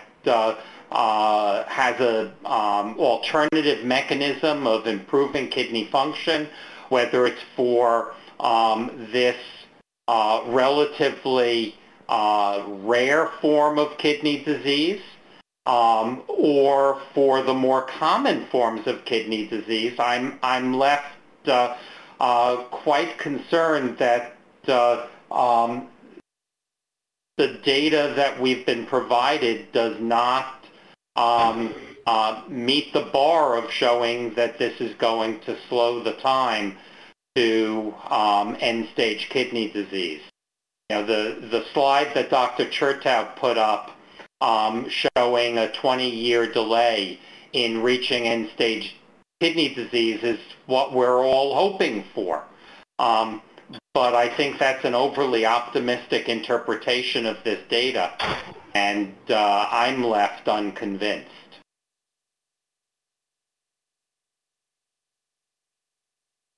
I, I believe I have the next hand up. Um, I think I do. Um, so I think question two does come quality of the data that we have um, to, to, in the world, you know, that to us. Um, and I think, as I um, indicated earlier, um, it concerns me that we have an unpre- unprecedented increase in glomerular filtration rate as an acute effect, which um, whether you call it glomerular hyperfiltration, increased GFR, uh, the explanation for that, um, I believe, in their own paper, in their own preclinical research of then 2013, with an increase in filtration, no change plasma flow, is most likely an increase in intraglomerular pressure, which, as far as we know as nephrologists, is a negative thing. The other explanation that they give without doing any micropuncture studies, which could have been done to address this so we wouldn't be struggling with this question by, by reading these papers, is unprecedented, as they said themselves, um, which is their, their hypothesis is that there is evidence for glomerular surface area um, increase, which I recognize that they, in the mesangial cell um, was visualized, I guess. Um, we don't have animal model of Alports, and again, it troubles me deeply that in the Beacon study, uh, where the drug was uh, stopped for safety reasons, no benefit on ESRD. Granted, uh, they only had seven months, and the study was stopped earlier, but there were 96 events. Um, so, and that we're also being asked to believe that increased albuminuria, which is a risk factor cardiovascular as well as progression of renal disease um, in this situation is not a negative thing. On top of all of those kind of, you know, background data, um, we're given some information um, from the actual trial itself. Um, again, their repeated use of the NKF FDA EMA data, I think, is um, somewhat flawed. Um, first off, I would completely ignore the exploratory analysis of the greater than 30% decline of GFR. Um, that analysis would require thousands of patients over many years to be valid because of the acute effect. Um, the devil is really in the details of that report. The 0.75 mil per minute change over um, two years being a benefit would only be true if it was consistent over a very long period of time which I don't think we have confidence in. Um, the greater loss of GFR in, in the first year compared to placebo, even though I think the slopes are adequately powered, is troubling. Um, you know, you could make an argument if this is just a pharmacodynamic um, acute effect, give it to them right before they hit ESRD as a one-time thing and avoid the toxicity and, you know, you get just a little boost um, maybe that would happen. I doubt it's a possibility. So um, I have trouble feeling strongly that this um, data, the totality of data before us, um, actually supports uh, the claim. Um, let me see if there are any other hands. Oh, Dr. Mendley. Thank you. This is Susan Mendley. Um, the question about the available data, I'd also like to point to the quality of the data. Um, I find the concerns about the adequacy of the washout phase at 28 days truly compelling considering the gene expression augmentation that's postulated.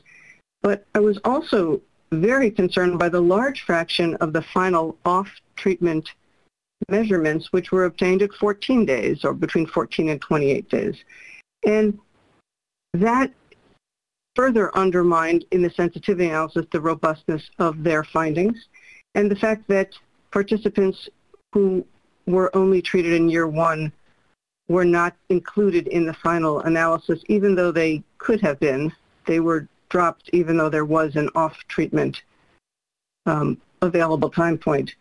So those things um, draw me back to the available data, and I'm concerned whether the data are the available data is really the data we should be relying on. Thank you. That's all. Um, and uh, I've been asked, yeah, I read your message. Um, I've been asked, the FDA might have missed my question. Um, one of our panel had a question that um, regards to the fact that the patients with Alports are not all one patient population and that there may be a risk benefit that is different for a subset of patients like those with more rapid disease, those with, I guess, lower GFRs. And I wondered if the FDA had done any analysis of the benefit of treatment compared to placebo in people with more costs or lower GFRs.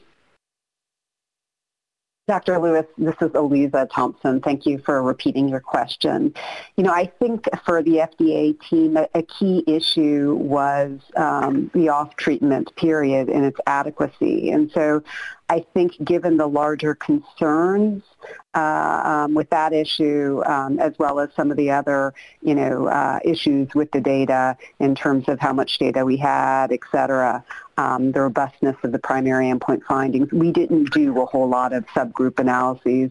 Also just want to highlight that this was already a very small population to begin with, understandably so, because uh, this is a rare disease. But, but it is a good question. Thank you, Dr. Thompson. Um, I forgot to put my hand down. Um, Dr. Cook, do you have a, another comment? Well, actually, I have a question maybe for the nephrologist. Uh, during the open public session, there were lots of, oh, this is, say my name, this is Thomas Cook. During the open public session, there were a lot of uh, patients who said they took this drug and then they felt a lot better. Their function was better. Uh, is that explainable by this change in GFR, or is there some other uh, mechanism by which this drug might actually make them feel better? Thank you. Uh, Dr. Gorman? Yeah, uh, I would. Um, I had a question about that too. That's a good point. I, I was struck by that as well.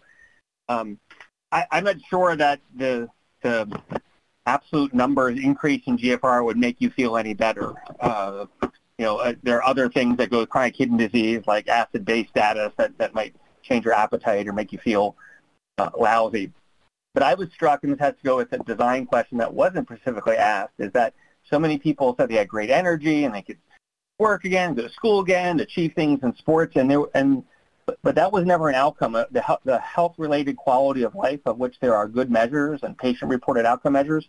Um, again, this study was done a while ago before they became um, maybe more popular or more likely to be included in studies. But um, I was struck with the disparity that really there was no data on that, and that um, most of the the patient and family member testimonials talked about that. So I don't think the data that shows, I, I can't I, I don't think as a pediatric nephrologist that the, the minute changes in GFR um, uh, would, would correspond to, to that. And, and certainly there was no comparison between placebo and, um, and uh, controls. We didn't hear from a lot of the placebo folks. So I, I would discount that, and I wish that if there is ever a study again on this um, or other things, that patient-reported outcome measures and quality of life are included. Over.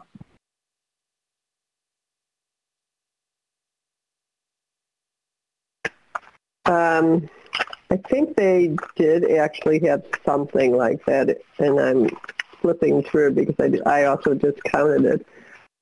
But I think they did measure some kind of quality thing. Um, uh, Dr. O'Connor. I was just going to, uh, Chris O'Connor, I think EGA but I did find their uh, their delta between drug and placebo to be modest, and and uh, uh, the testimonies that were heard.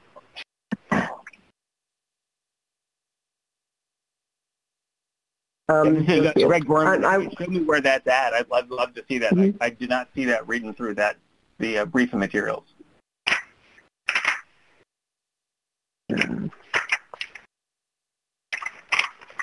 Um, I don't know if we want to take the time to find it because I think, oh, it's a patient global, page 70, patient global impression of change. And patient, glo- uh, a PGIC. Um, so they, they did do something and the p-value, the difference between the groups was 0.039. May, I don't know anything about the validity validity of that um, that, of that thing. And I'm sorry, I didn't hear who spoke. I apologize. May I contribute to that conversation you're having right now? I think it's worth pointing out who's that ask, who's who's asking? This is, who's, this is this is Susan Mendley. I'm sorry, who's asking? Oh, is sure, Susan Susan. I'm sorry. Yeah, sorry, I didn't know who was um, saying that. Sorry. I think we must recognize that this study was not blinded. Once patients saw their GFR improve, they were heartened. They saw great benefit to that. I don't think we should overlook that experience. Patients, all of the patients who, who called, who spoke to us, told us how much of a benefit they perceived from the increase in their EGFR, which came about because they are knowledgeable about and are very attuned to their laboratory findings. So I, I think we should interpret our, their, their experience in that light. Thank you. Great point. Great point. Thank, thank you, Dr. Mendley. Um, Mr. Conway. Mr. Conway, if you'll unmute. Got it. Thank you very much, Doctor. No, I just wanted to take a second to uh, reinforce the point that uh, Dr. Mendley just made, which is um, not to be discounted. That patient insight data is highly valuable. You have an organization, two national organizations, that took the time in 2018 to gather those insights. Um, I know this does not pivot on that, but I don't think we should devalue it whatsoever. I do think that in terms of much of the data that's been presented, it's lacking for some of the points that Dr. Palevsky has made quite clearly and also Dr. Mendley.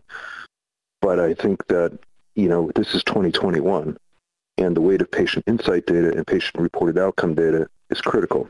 And I hope that every um, applicant who's listening to this conversation today understands that and understands that the design of trials and the data produced um, is not just important for the application, but it's important in terms of practical incomes, i- i- practical um, applications and, and insights for people who are struggling to get an additional month, a year, or two years, or three years of functionality, especially at a younger age. Thanks. Thank you. Dr. Gorman, is your hand up because you have another comment? No, my fault. I'll, I'll lower it. No problem.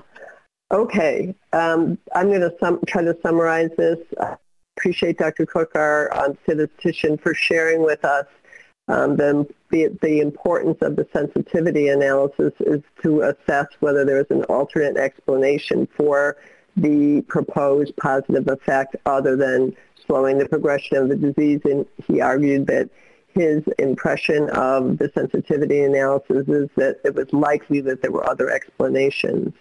Um, uh, I think we um, again heard that um, that there may have been uh, that that it may have been valuable to look at the patients.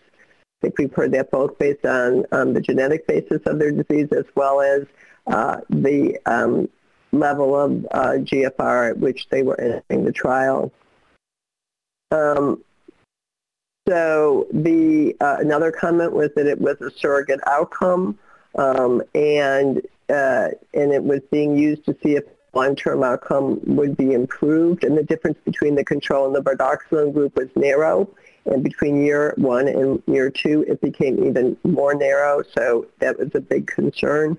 And I think on top of that, another one of the comments was that the missing data um, the data that was collected earlier, the not including uh, patients in this very small study who were only receiving drug in year one, uh, in the year two analysis, bringing into some question uh, the strength of the results. Um, uh, I'm just making sure I didn't miss anything. And then I think the last um, comment to summarize was um, very respectful of all our outside speakers and also very empathetic, um, very empathetic, I must say, of myself personally, um, to their stories. Uh, that knowing uh, that your GFR is higher um, is likely going to impact your feeling of well-being. Um, that in future studies, uh, very um, sophisticated ways of measuring uh, patients uh, feeling better would be recommended. And uh, I think it was also mentioned on more than one occasion that the small difference in GFR that are being seen would be unlikely to uh, have a very strong clinical benefit at that moment. Um, and so with that, I am going to go on to discussion question number three. First, read the question. Uh, discuss bardoxolone methyl methyl's safety profile. Do bardoxolone and methyl's effects on albuminuria and blood pressure raise concerns about its long-term efficacy and safety in patients with Alport syndrome? What are the implications of bardoxolone and methyl's effect on body weight for pediatric patients? Does anyone have any issues or questions about the wording of the question? I don't see any hands raised, so I um, if there are no questions or comments concerning the wording of the question, we will now open the question to discussion.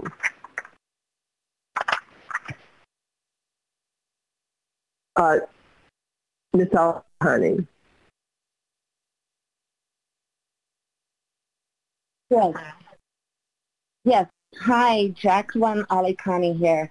Um, I myself am a rare disease patient, and um, there are a lot of disparities in rare disease research. It's, it's complex, it's difficult to fund, and uh, so I really applaud the sponsor for taking on Alport. And I'm very sympathetic to the patients and the family members and caregivers dealing with uh, this rare disease. And I, I, I really think we need newer and better models for doing rare disease research and we we haven't made inroads into that area like I, I think we need to.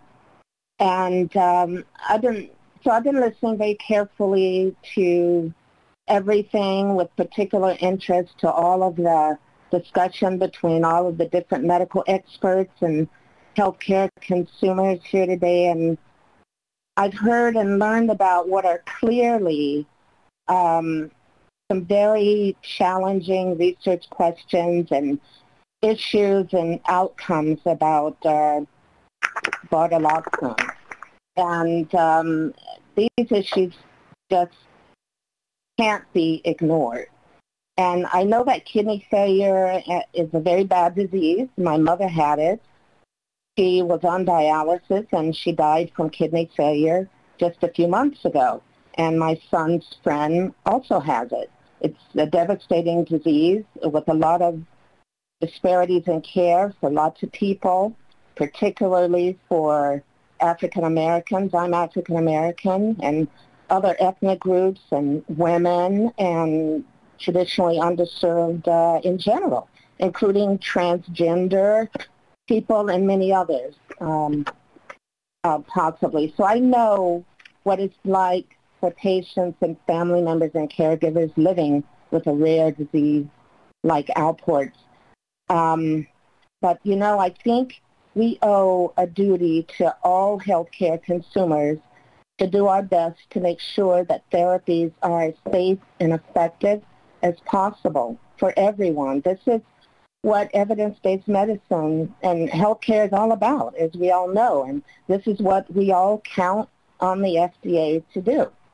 And um, really, I was very hopeful today about the potential for uh, bardoxolone to help healthcare consumers dealing with kidney disease and Alports. But after hearing from all the medical experts here today and reviewing the clinical trials outcomes myself, I'm just very discouraged by the Bartoloxone clinical trial outcomes. It's apparent that there's a lot of serious discrepancies with the research data. There's missing data, excluded data, negative side effects, adverse event issues like heart failure, high blood pressure, long-term kidney function problems, and, and other negative outcomes that we've all discussed here today. And um, this, these issues were discussed throughout the process, the research process with the FDA. And I just wish that the sponsor had more diligently worked with the FDA to meet the safety and efficacy requirements that meet the evidence-based standards for healthcare. We have to do this. Uh, as bad as we want to help patients who are having disparities in care and quality of life uh, issues living with um, bad diseases and rare diseases, we, we still have to meet evidence-based standards put in place to protect all healthcare consumers. And so, you know, I wish I could, you know, have a more positive uh, things to say about Bartoloxone, but I don't. Um, but so I'm very disappointed about it. Thank, thank you. Thank you very, thank you very much. Dr. Merz?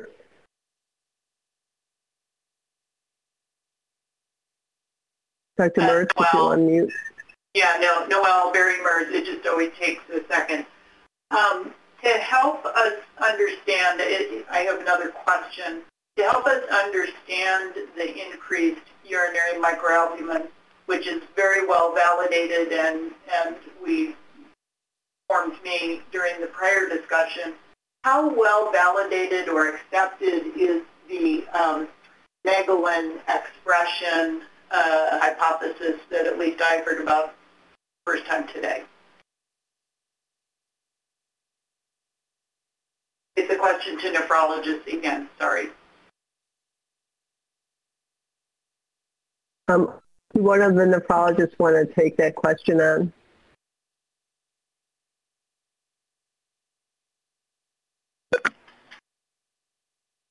Paul Palevsky, I mean, I can jump in. I'm not sure that we really have a Megalin hypothesis. The, the company has um, uh, indicated that the drug interferes with um, Megalin uh, expression, which is, you know, we are constantly having protein crossing the glomerular basement membrane, even albumin, um, and it is reabsorbed in the proximal tubule.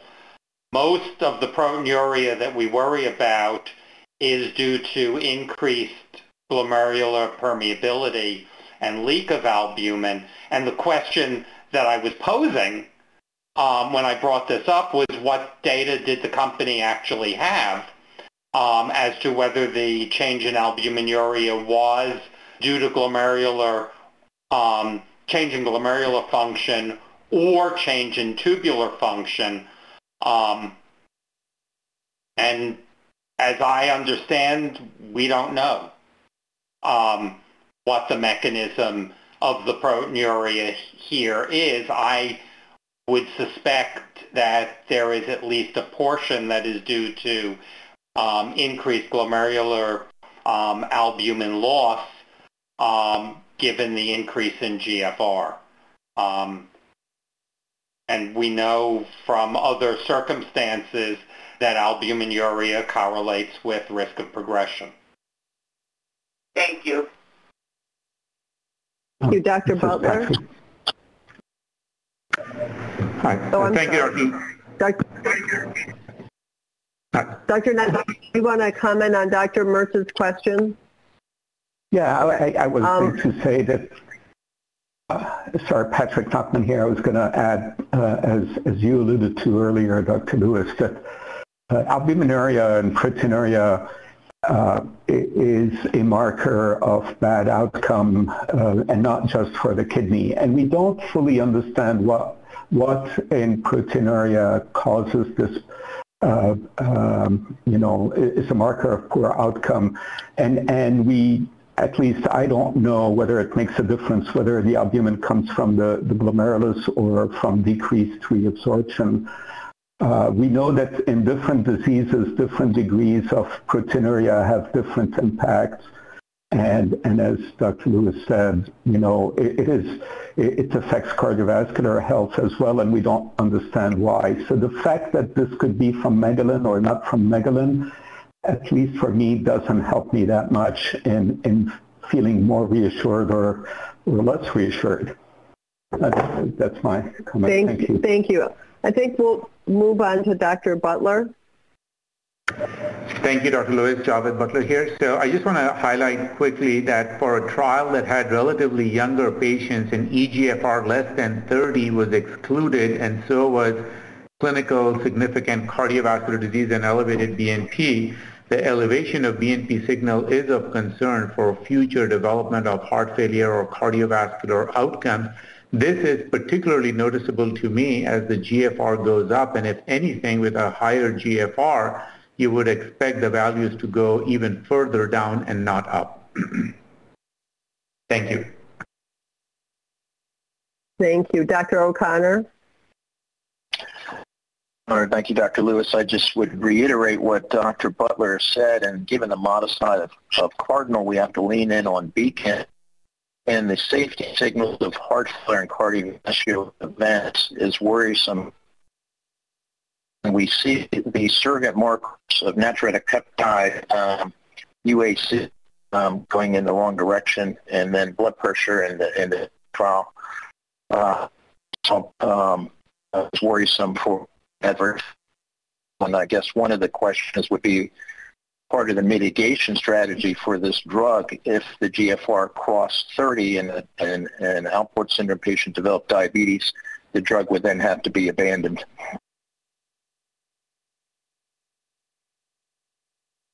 Mm-hmm. Um, Dr. Mendley? Thank you. This is Susan Mendley. Um, you know I'm going to talk to you about question 3B, which is the implication. So if you're if you're still discussing 3A, I'm happy to wait my turn. No, no, go right ahead. okay. So I think that what you're seeing is the um, suggestion of a safety signal in the adolescent patients with the flattening of age expected um, weight gain and the potential that this will over time affect statural growth and the idea that you would begin this at the age of 12 would really move through the ages of maximum um, final growth and development. So I would think that um, children would need to be uh, treated within the context of a clinical trial in order to get complete longitudinal data collection. I don't think based on this it would be sufficient to say their pediatric nephrologist will pay attention to it. I'm sure they will, but I don't think we'll learn enough from that. Thank you. Thank you, Dr. Uh, Mr. Conway. Thanks, Doctor. Um, I just want to give my comments real quickly to reinforce what Dr. Mendley just said and also what Dr. O'Connor has raised. And that is, uh, as somebody who's managed kidney disease since I was 15, uh, looking at this information and understanding the interactions with other organs, uh, I would absolutely be concerned about it uh, as a patient consumer and as a parent. Um, and uh, it gives me serious pause. Thank you. Thank you very much. Um, Dr. Palevsky.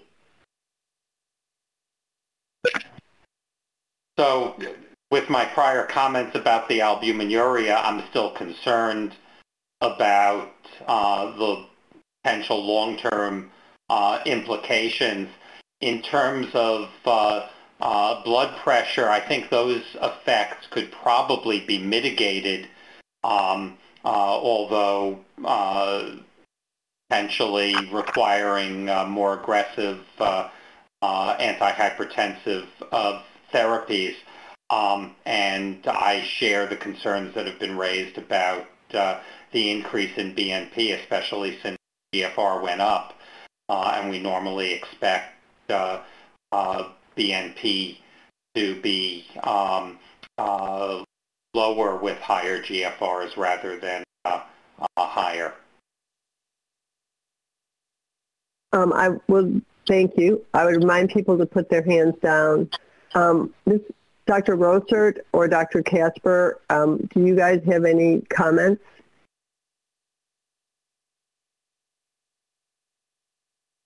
Thank, thank you, Dr. Lewis. This is Dr. Rosert. Uh, as industry representative, I, I don't really have a comment except to remind the committee, and it was mentioned before, that there is no such thing as a perfect study, and we always need to be careful when looking at the design of a study in retrospect. Otherwise, I don't have any comment. Thank you for asking. Thank you. Dr. Kasper?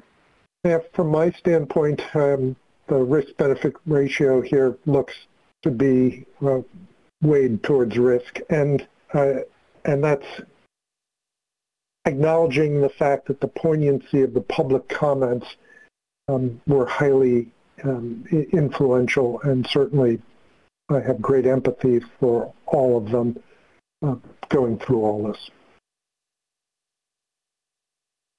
Thank you very much. I don't see any hands up, so I'm going to go ahead and summarize. Um, we uh, began and ended on, on the same note, which is that the committee um, uh, is very to uh, rare disease research being important um, and empathetic to um, all of the patients who took the time and effort to speak to us today. Um, however, our charge is to make sure that we provide them with a drug that is effective and is safe. Um, I think the committee on this last question um, had uh, questions about safety.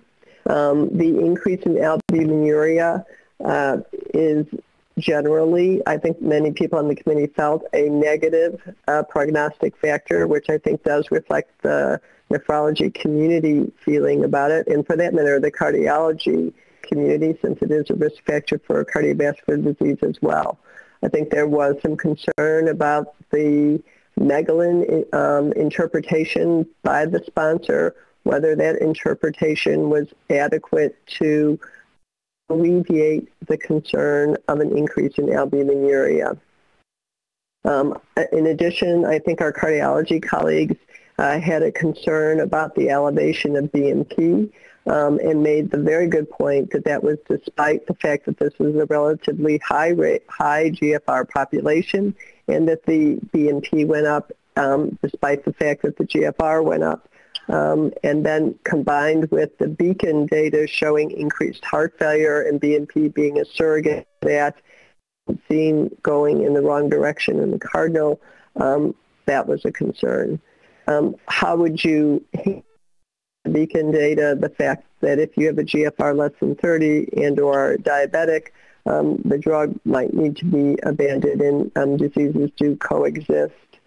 Um, the uh, adolescent uh, concern uh, for flattening of the growth curve um, was expressed um, and that uh, children would have to be studied again to assuage that concern um, for uh, in terms of its impact on growth. Um, at least one person felt that the blood pressure effects uh, seen in Beacon and potential, potentially present, although not actually statistically significant, I guess, um, in Cardinal could be mitigated, but the albuminuria um, effects could not be. And um, I appreciate um, myself often thinking of how to design trials um, there is no perfect study. Um, I, I, agree completely. Um, and uh, it's always easy to look back at studies critically. However, um, I think the majority of the committee felt that this study did have places where the design could have better um, informed us and also not suggested harm instead of good. Um, uh, I think we will now next question, which is a voting question. Uh, Dr. Moon Hee Choi will provide the instructions for the voting now.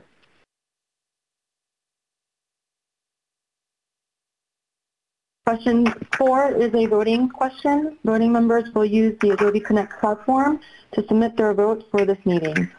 After the chairperson has read the voting question into the record and all questions and discussion regarding the wording of the vote question are complete, the chairperson will announce the voting will begin. If you are a voting member, you will be moved to a breakout room. A new display will appear where you can submit your vote. There will be no discussion in the breakout room. You should select the radio button, which is the circular, round circular button in the window that corresponds to your vote. Yes, no, or abstain. You should not leave the no vote choice selected. Please note that you do not need to submit or send your vote. Again, you need only to select the radio button that corresponds to your vote. You will have the opportunity to change your vote until the vote is announced as closed. Once all voting members have selected their vote, I will announce that the vote is closed. Next, the vote results will, uh, will be displayed on the screen. I will read the vote results from the screen into the record. Thereafter, the chairperson will go down the roster and each voting member will state their name and their vote into their record. You can also state the reason why you voted as you did if you want to. However, you should also address any subparts of the voting question, if any. Are there any questions about the voting process before we begin?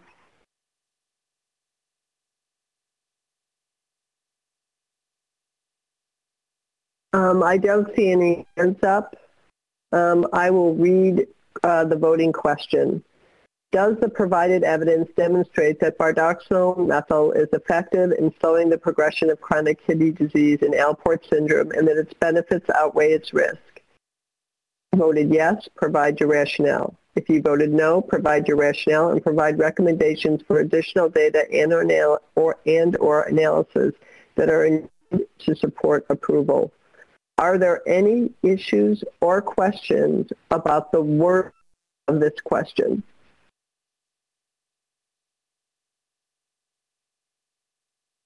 I don't see any hands up. If there are no questions or comments concerning the wording of the question, we will now begin the voting on question four.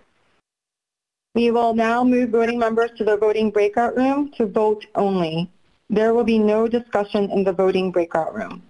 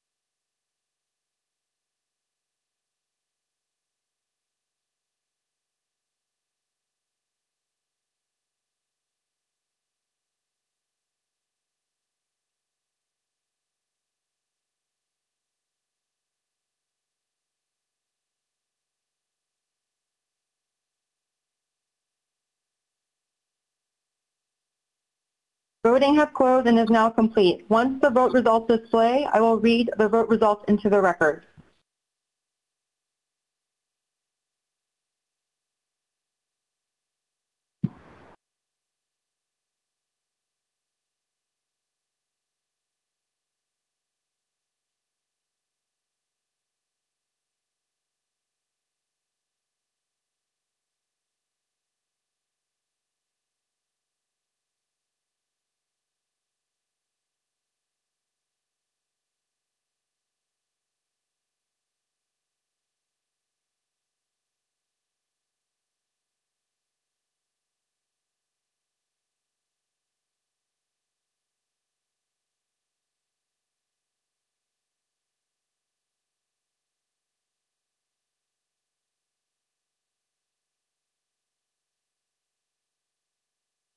The vote results are displayed. I will read the vote totals into the record. The chairperson will go down the list and each voting member will state their name and their vote into the record. You can also state the reason why you voted as you did if you want to. However, you should also address any subparts of the voting question, if any. For the record, we have zero yes, 13 no, and zero abstentions.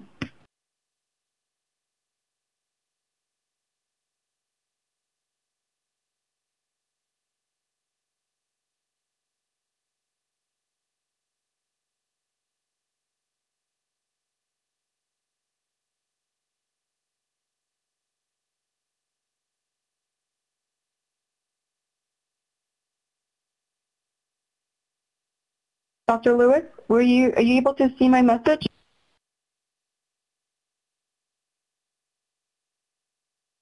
All right, yeah, I think you muted, I think you muted me and I didn't realize it. Um, thank you. We will now go down the list and have everyone who voted state their name and vote into the record. You may also provide justification of your vote if you wish to. We'll start with Dr. Palevsky. Paul Palevsky, I did no. Um, I think that uh, we've already covered the the reasons. Um, uh, I would want to see um, at least one other marker of kidney function um, uh, besides creatinine to know whether the changes in uh, EGFR were due to the effects on generation. Um, uh, given the associated weight loss that was seen. Um, and uh, we need to have data with a larger uh, time off of treatment to be able to um, see the sustained effect of the medication um, after the uh, uh, acute pharmacodynamic effect has worn off.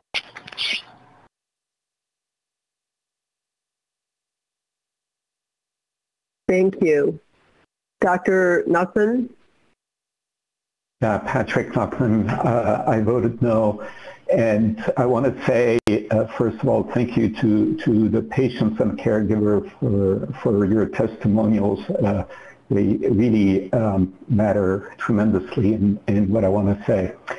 Um, in addition to, to the comments of Dr. Palevsky, uh, I worry about the generalizability of, of the data presented, especially for patients who, uh, who uh, genetically are at greater risk of, of progression.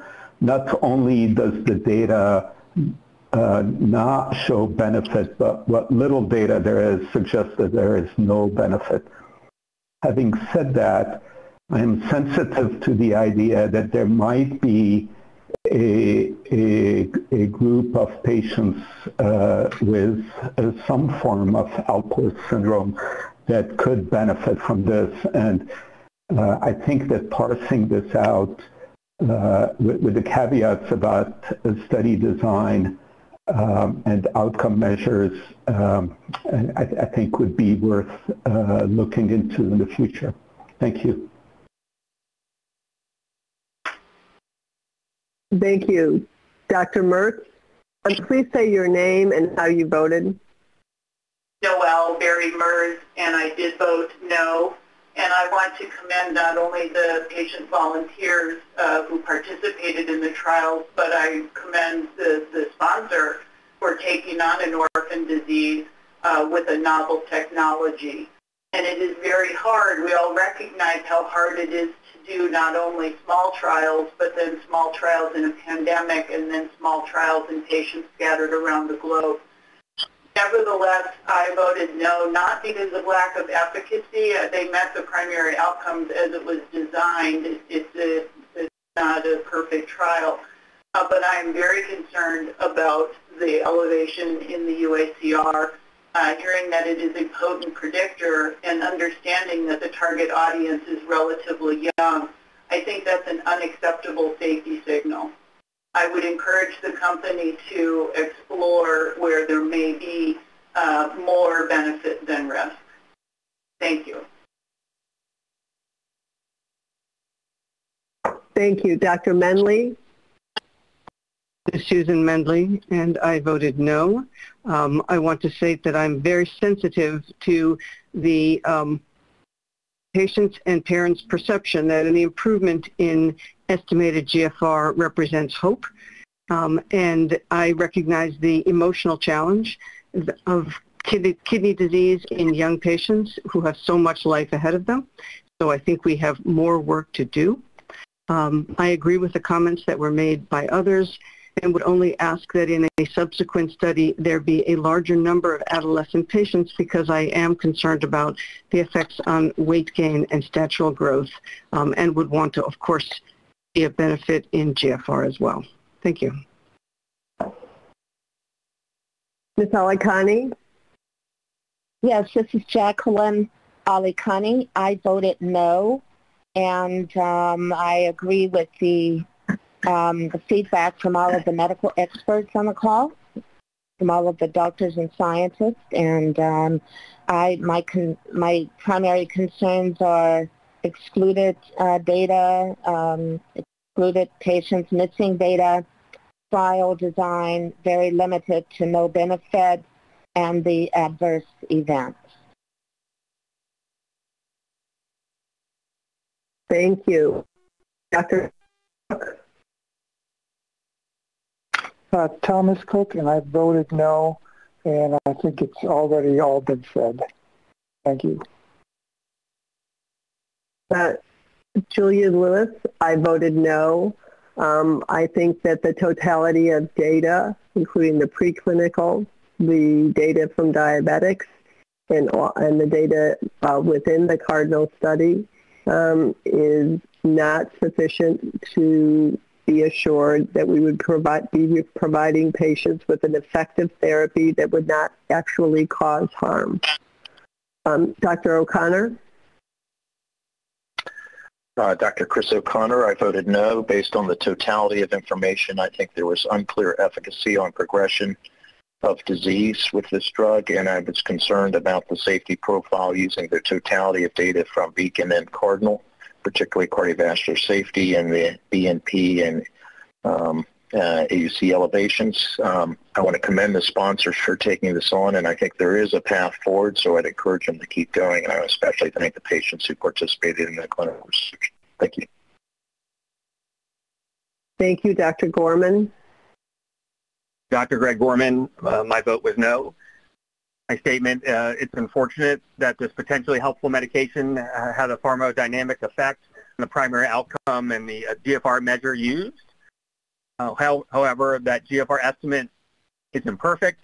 The length of the washout period was of uncertain sufficiency. And despite heroic statistical methods to discern the true effect on GFR from among the noise of that pharmacodynamic effect and measurement error, um, I wasn't convinced that bardoxolone methyl slowed progression of, of chronic kidney disease. Um, I might have given it the benefit of the doubt, uh, given the orphan drug status and the lack of any Alport-specific uh, therapies. Uh, as, uh, as poignantly detailed by, um, by our public commenters.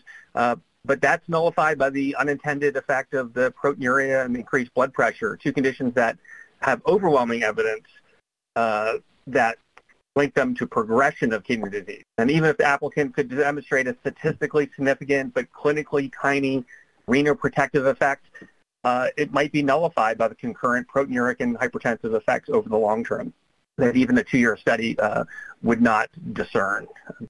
I agree that the weight loss in a few adolescents is a signal that would argue against approval in the adolescent range that the applicant specifies, and future studies uh, require more numbers of young and adolescent patients. And future studies should also capture uh, quality of life and patient-reported outcome measures uh, better. That's my statement. Thank you, Dr. Gorman. Dr. Butler? Uh, this is Javed Butler, and I voted no for the reasons that have already been discussed. I would like to thank both the patients that participated in the trial and the sponsors for taking this uh, uh, trial on. Uh, a very important question. There are signals that are really encouraging, but the net is not currently explainable in terms of the risk. However, if you look at the epidemiology of the disease, an incredibly distinct minority in single digits participated in this trial. and with no other options, I truly hope that the sponsors plan to do a second trial. And if you get the same signal, especially enriching adolescent patients and those with a lower GFR, uh, then the risk-benefit may tilt in an opposite direction if we have all of these issues related to the benefit being uh, questioned if they are answered both mechanistically and with better data collection. Thank you. Thank you. David? Yeah, uh, thanks, Dr. Lewis. Um, I voted, uh, uh, David Moliterno, I voted no, and I, I really appreciate the, the, the excellent comments from many of, well, from all of you. I think you did a great job. I too, you know, felt this was an emotionally charged meeting, and I, I like Dr. Gorman wanted to give them a pass, but just just couldn't uh, with the totality of uh, information, the number of missing patients, and the some of the negative uh, signals that bothered me that we might be trading trading uh, one benefit for two uh, two problems, and so I, I, I, do applaud the the patients and the sponsor, and, and I hope that there is a pathway forward in the future for these patients. Thank you, Dr. Kasper. Ed Kasper, I voted no. I um, think that the FDA's charge is to um, choose for us safe and efficacious drugs, and it's not clear to me that that this drug falls into uh, either of those categories. However, I recognize the large amount of work that has been done, um, the patient volunteers, the public who made comments tonight, um, the sponsor for taking on an orphan drug, um, and this is a desperate disease and it just points to how much more needs to be done going forward. Thank you.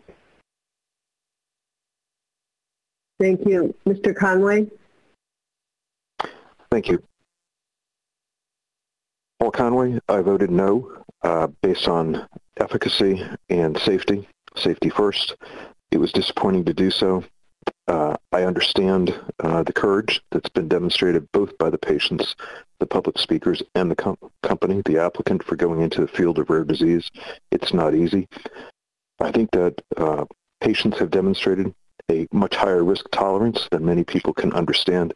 But what comes with risk tolerance and our leaning forward as a patient community is the need for data to make good decisions on. And I was not convinced based on that. And to the patients in particular, I would say, um, I know what it's like to see a parent look at a diagnosis. And uh, I've been there, and it's tough. But I hope that the patients and the uh, applicant keep going because I think there is some optimism here and a path forward. Thank you. Thank you. Um, so I think that I will now try to summarize it. I, I think the overwhelming thing to say in the summary is that um, all, all of us on this committee are um, emotionally empathetic um, to the tragedy of this disease as a rare disease, particularly since it attacks our young people with so much life in front of them. And it's not, it's not because of anything they've done. It's a genetic disease. Um, we commend the volunteers. Um, without them, we would never advance medicine. Um, we commend the sponsor who took on a rare disease, a very challenging um, study to do or design given um, the uh, rarity of the disease and, and also some of the characteristics of the drug that made the study hard to design. Um, we, I think many of the speakers who voted no, of the um, panelists who voted no, um, are hoping that the sponsor will not give up hope, but will focus perhaps on a younger population with a more rapid decline in GFR where maybe other kinds of uh, more convincing outcomes could be um, uh, utilized. Overall, the um, questionable efficacy um, was troubling um, due to things like excluded data, um, I mean, differential discontinuation, um, the question of whether there was a long enough off-drug period to actually demonstrate a benefit of the drug. Um, and uh, and also that that that might have been outweighed if there weren't also troubling safety signals um, with increased albuminuria, uh, so increased blood pressure, and the potential for um, increased cardiovascular events with the BNP signal, which um, translated into events in the Beacon trial. Um, it's uh, unfortunate that the drug, which has a lot of theoretical benefits for sure, this hemodynamic effect that makes it more difficult um, to study and uh, demonstrate. Um, I'll stop there. Um, and before we adjourn, are there any last comments from the FDA? Hi, this is uh, Thompson. I just want to um, express our, you know, extreme gratitude um, to the AC members for um, helping us uh, with this very challenging uh, issue. I also want to thank uh, the sponsor uh, uh, for um, their work, important work in this area. And, and first and, and, and foremost, I want to thank uh, the, the, the, patients um, for coming forward to speak and for um, working with us in the past and hopefully working with us in, in the future to, to find a path forward for safe and effective treatments for this truly horrible disease.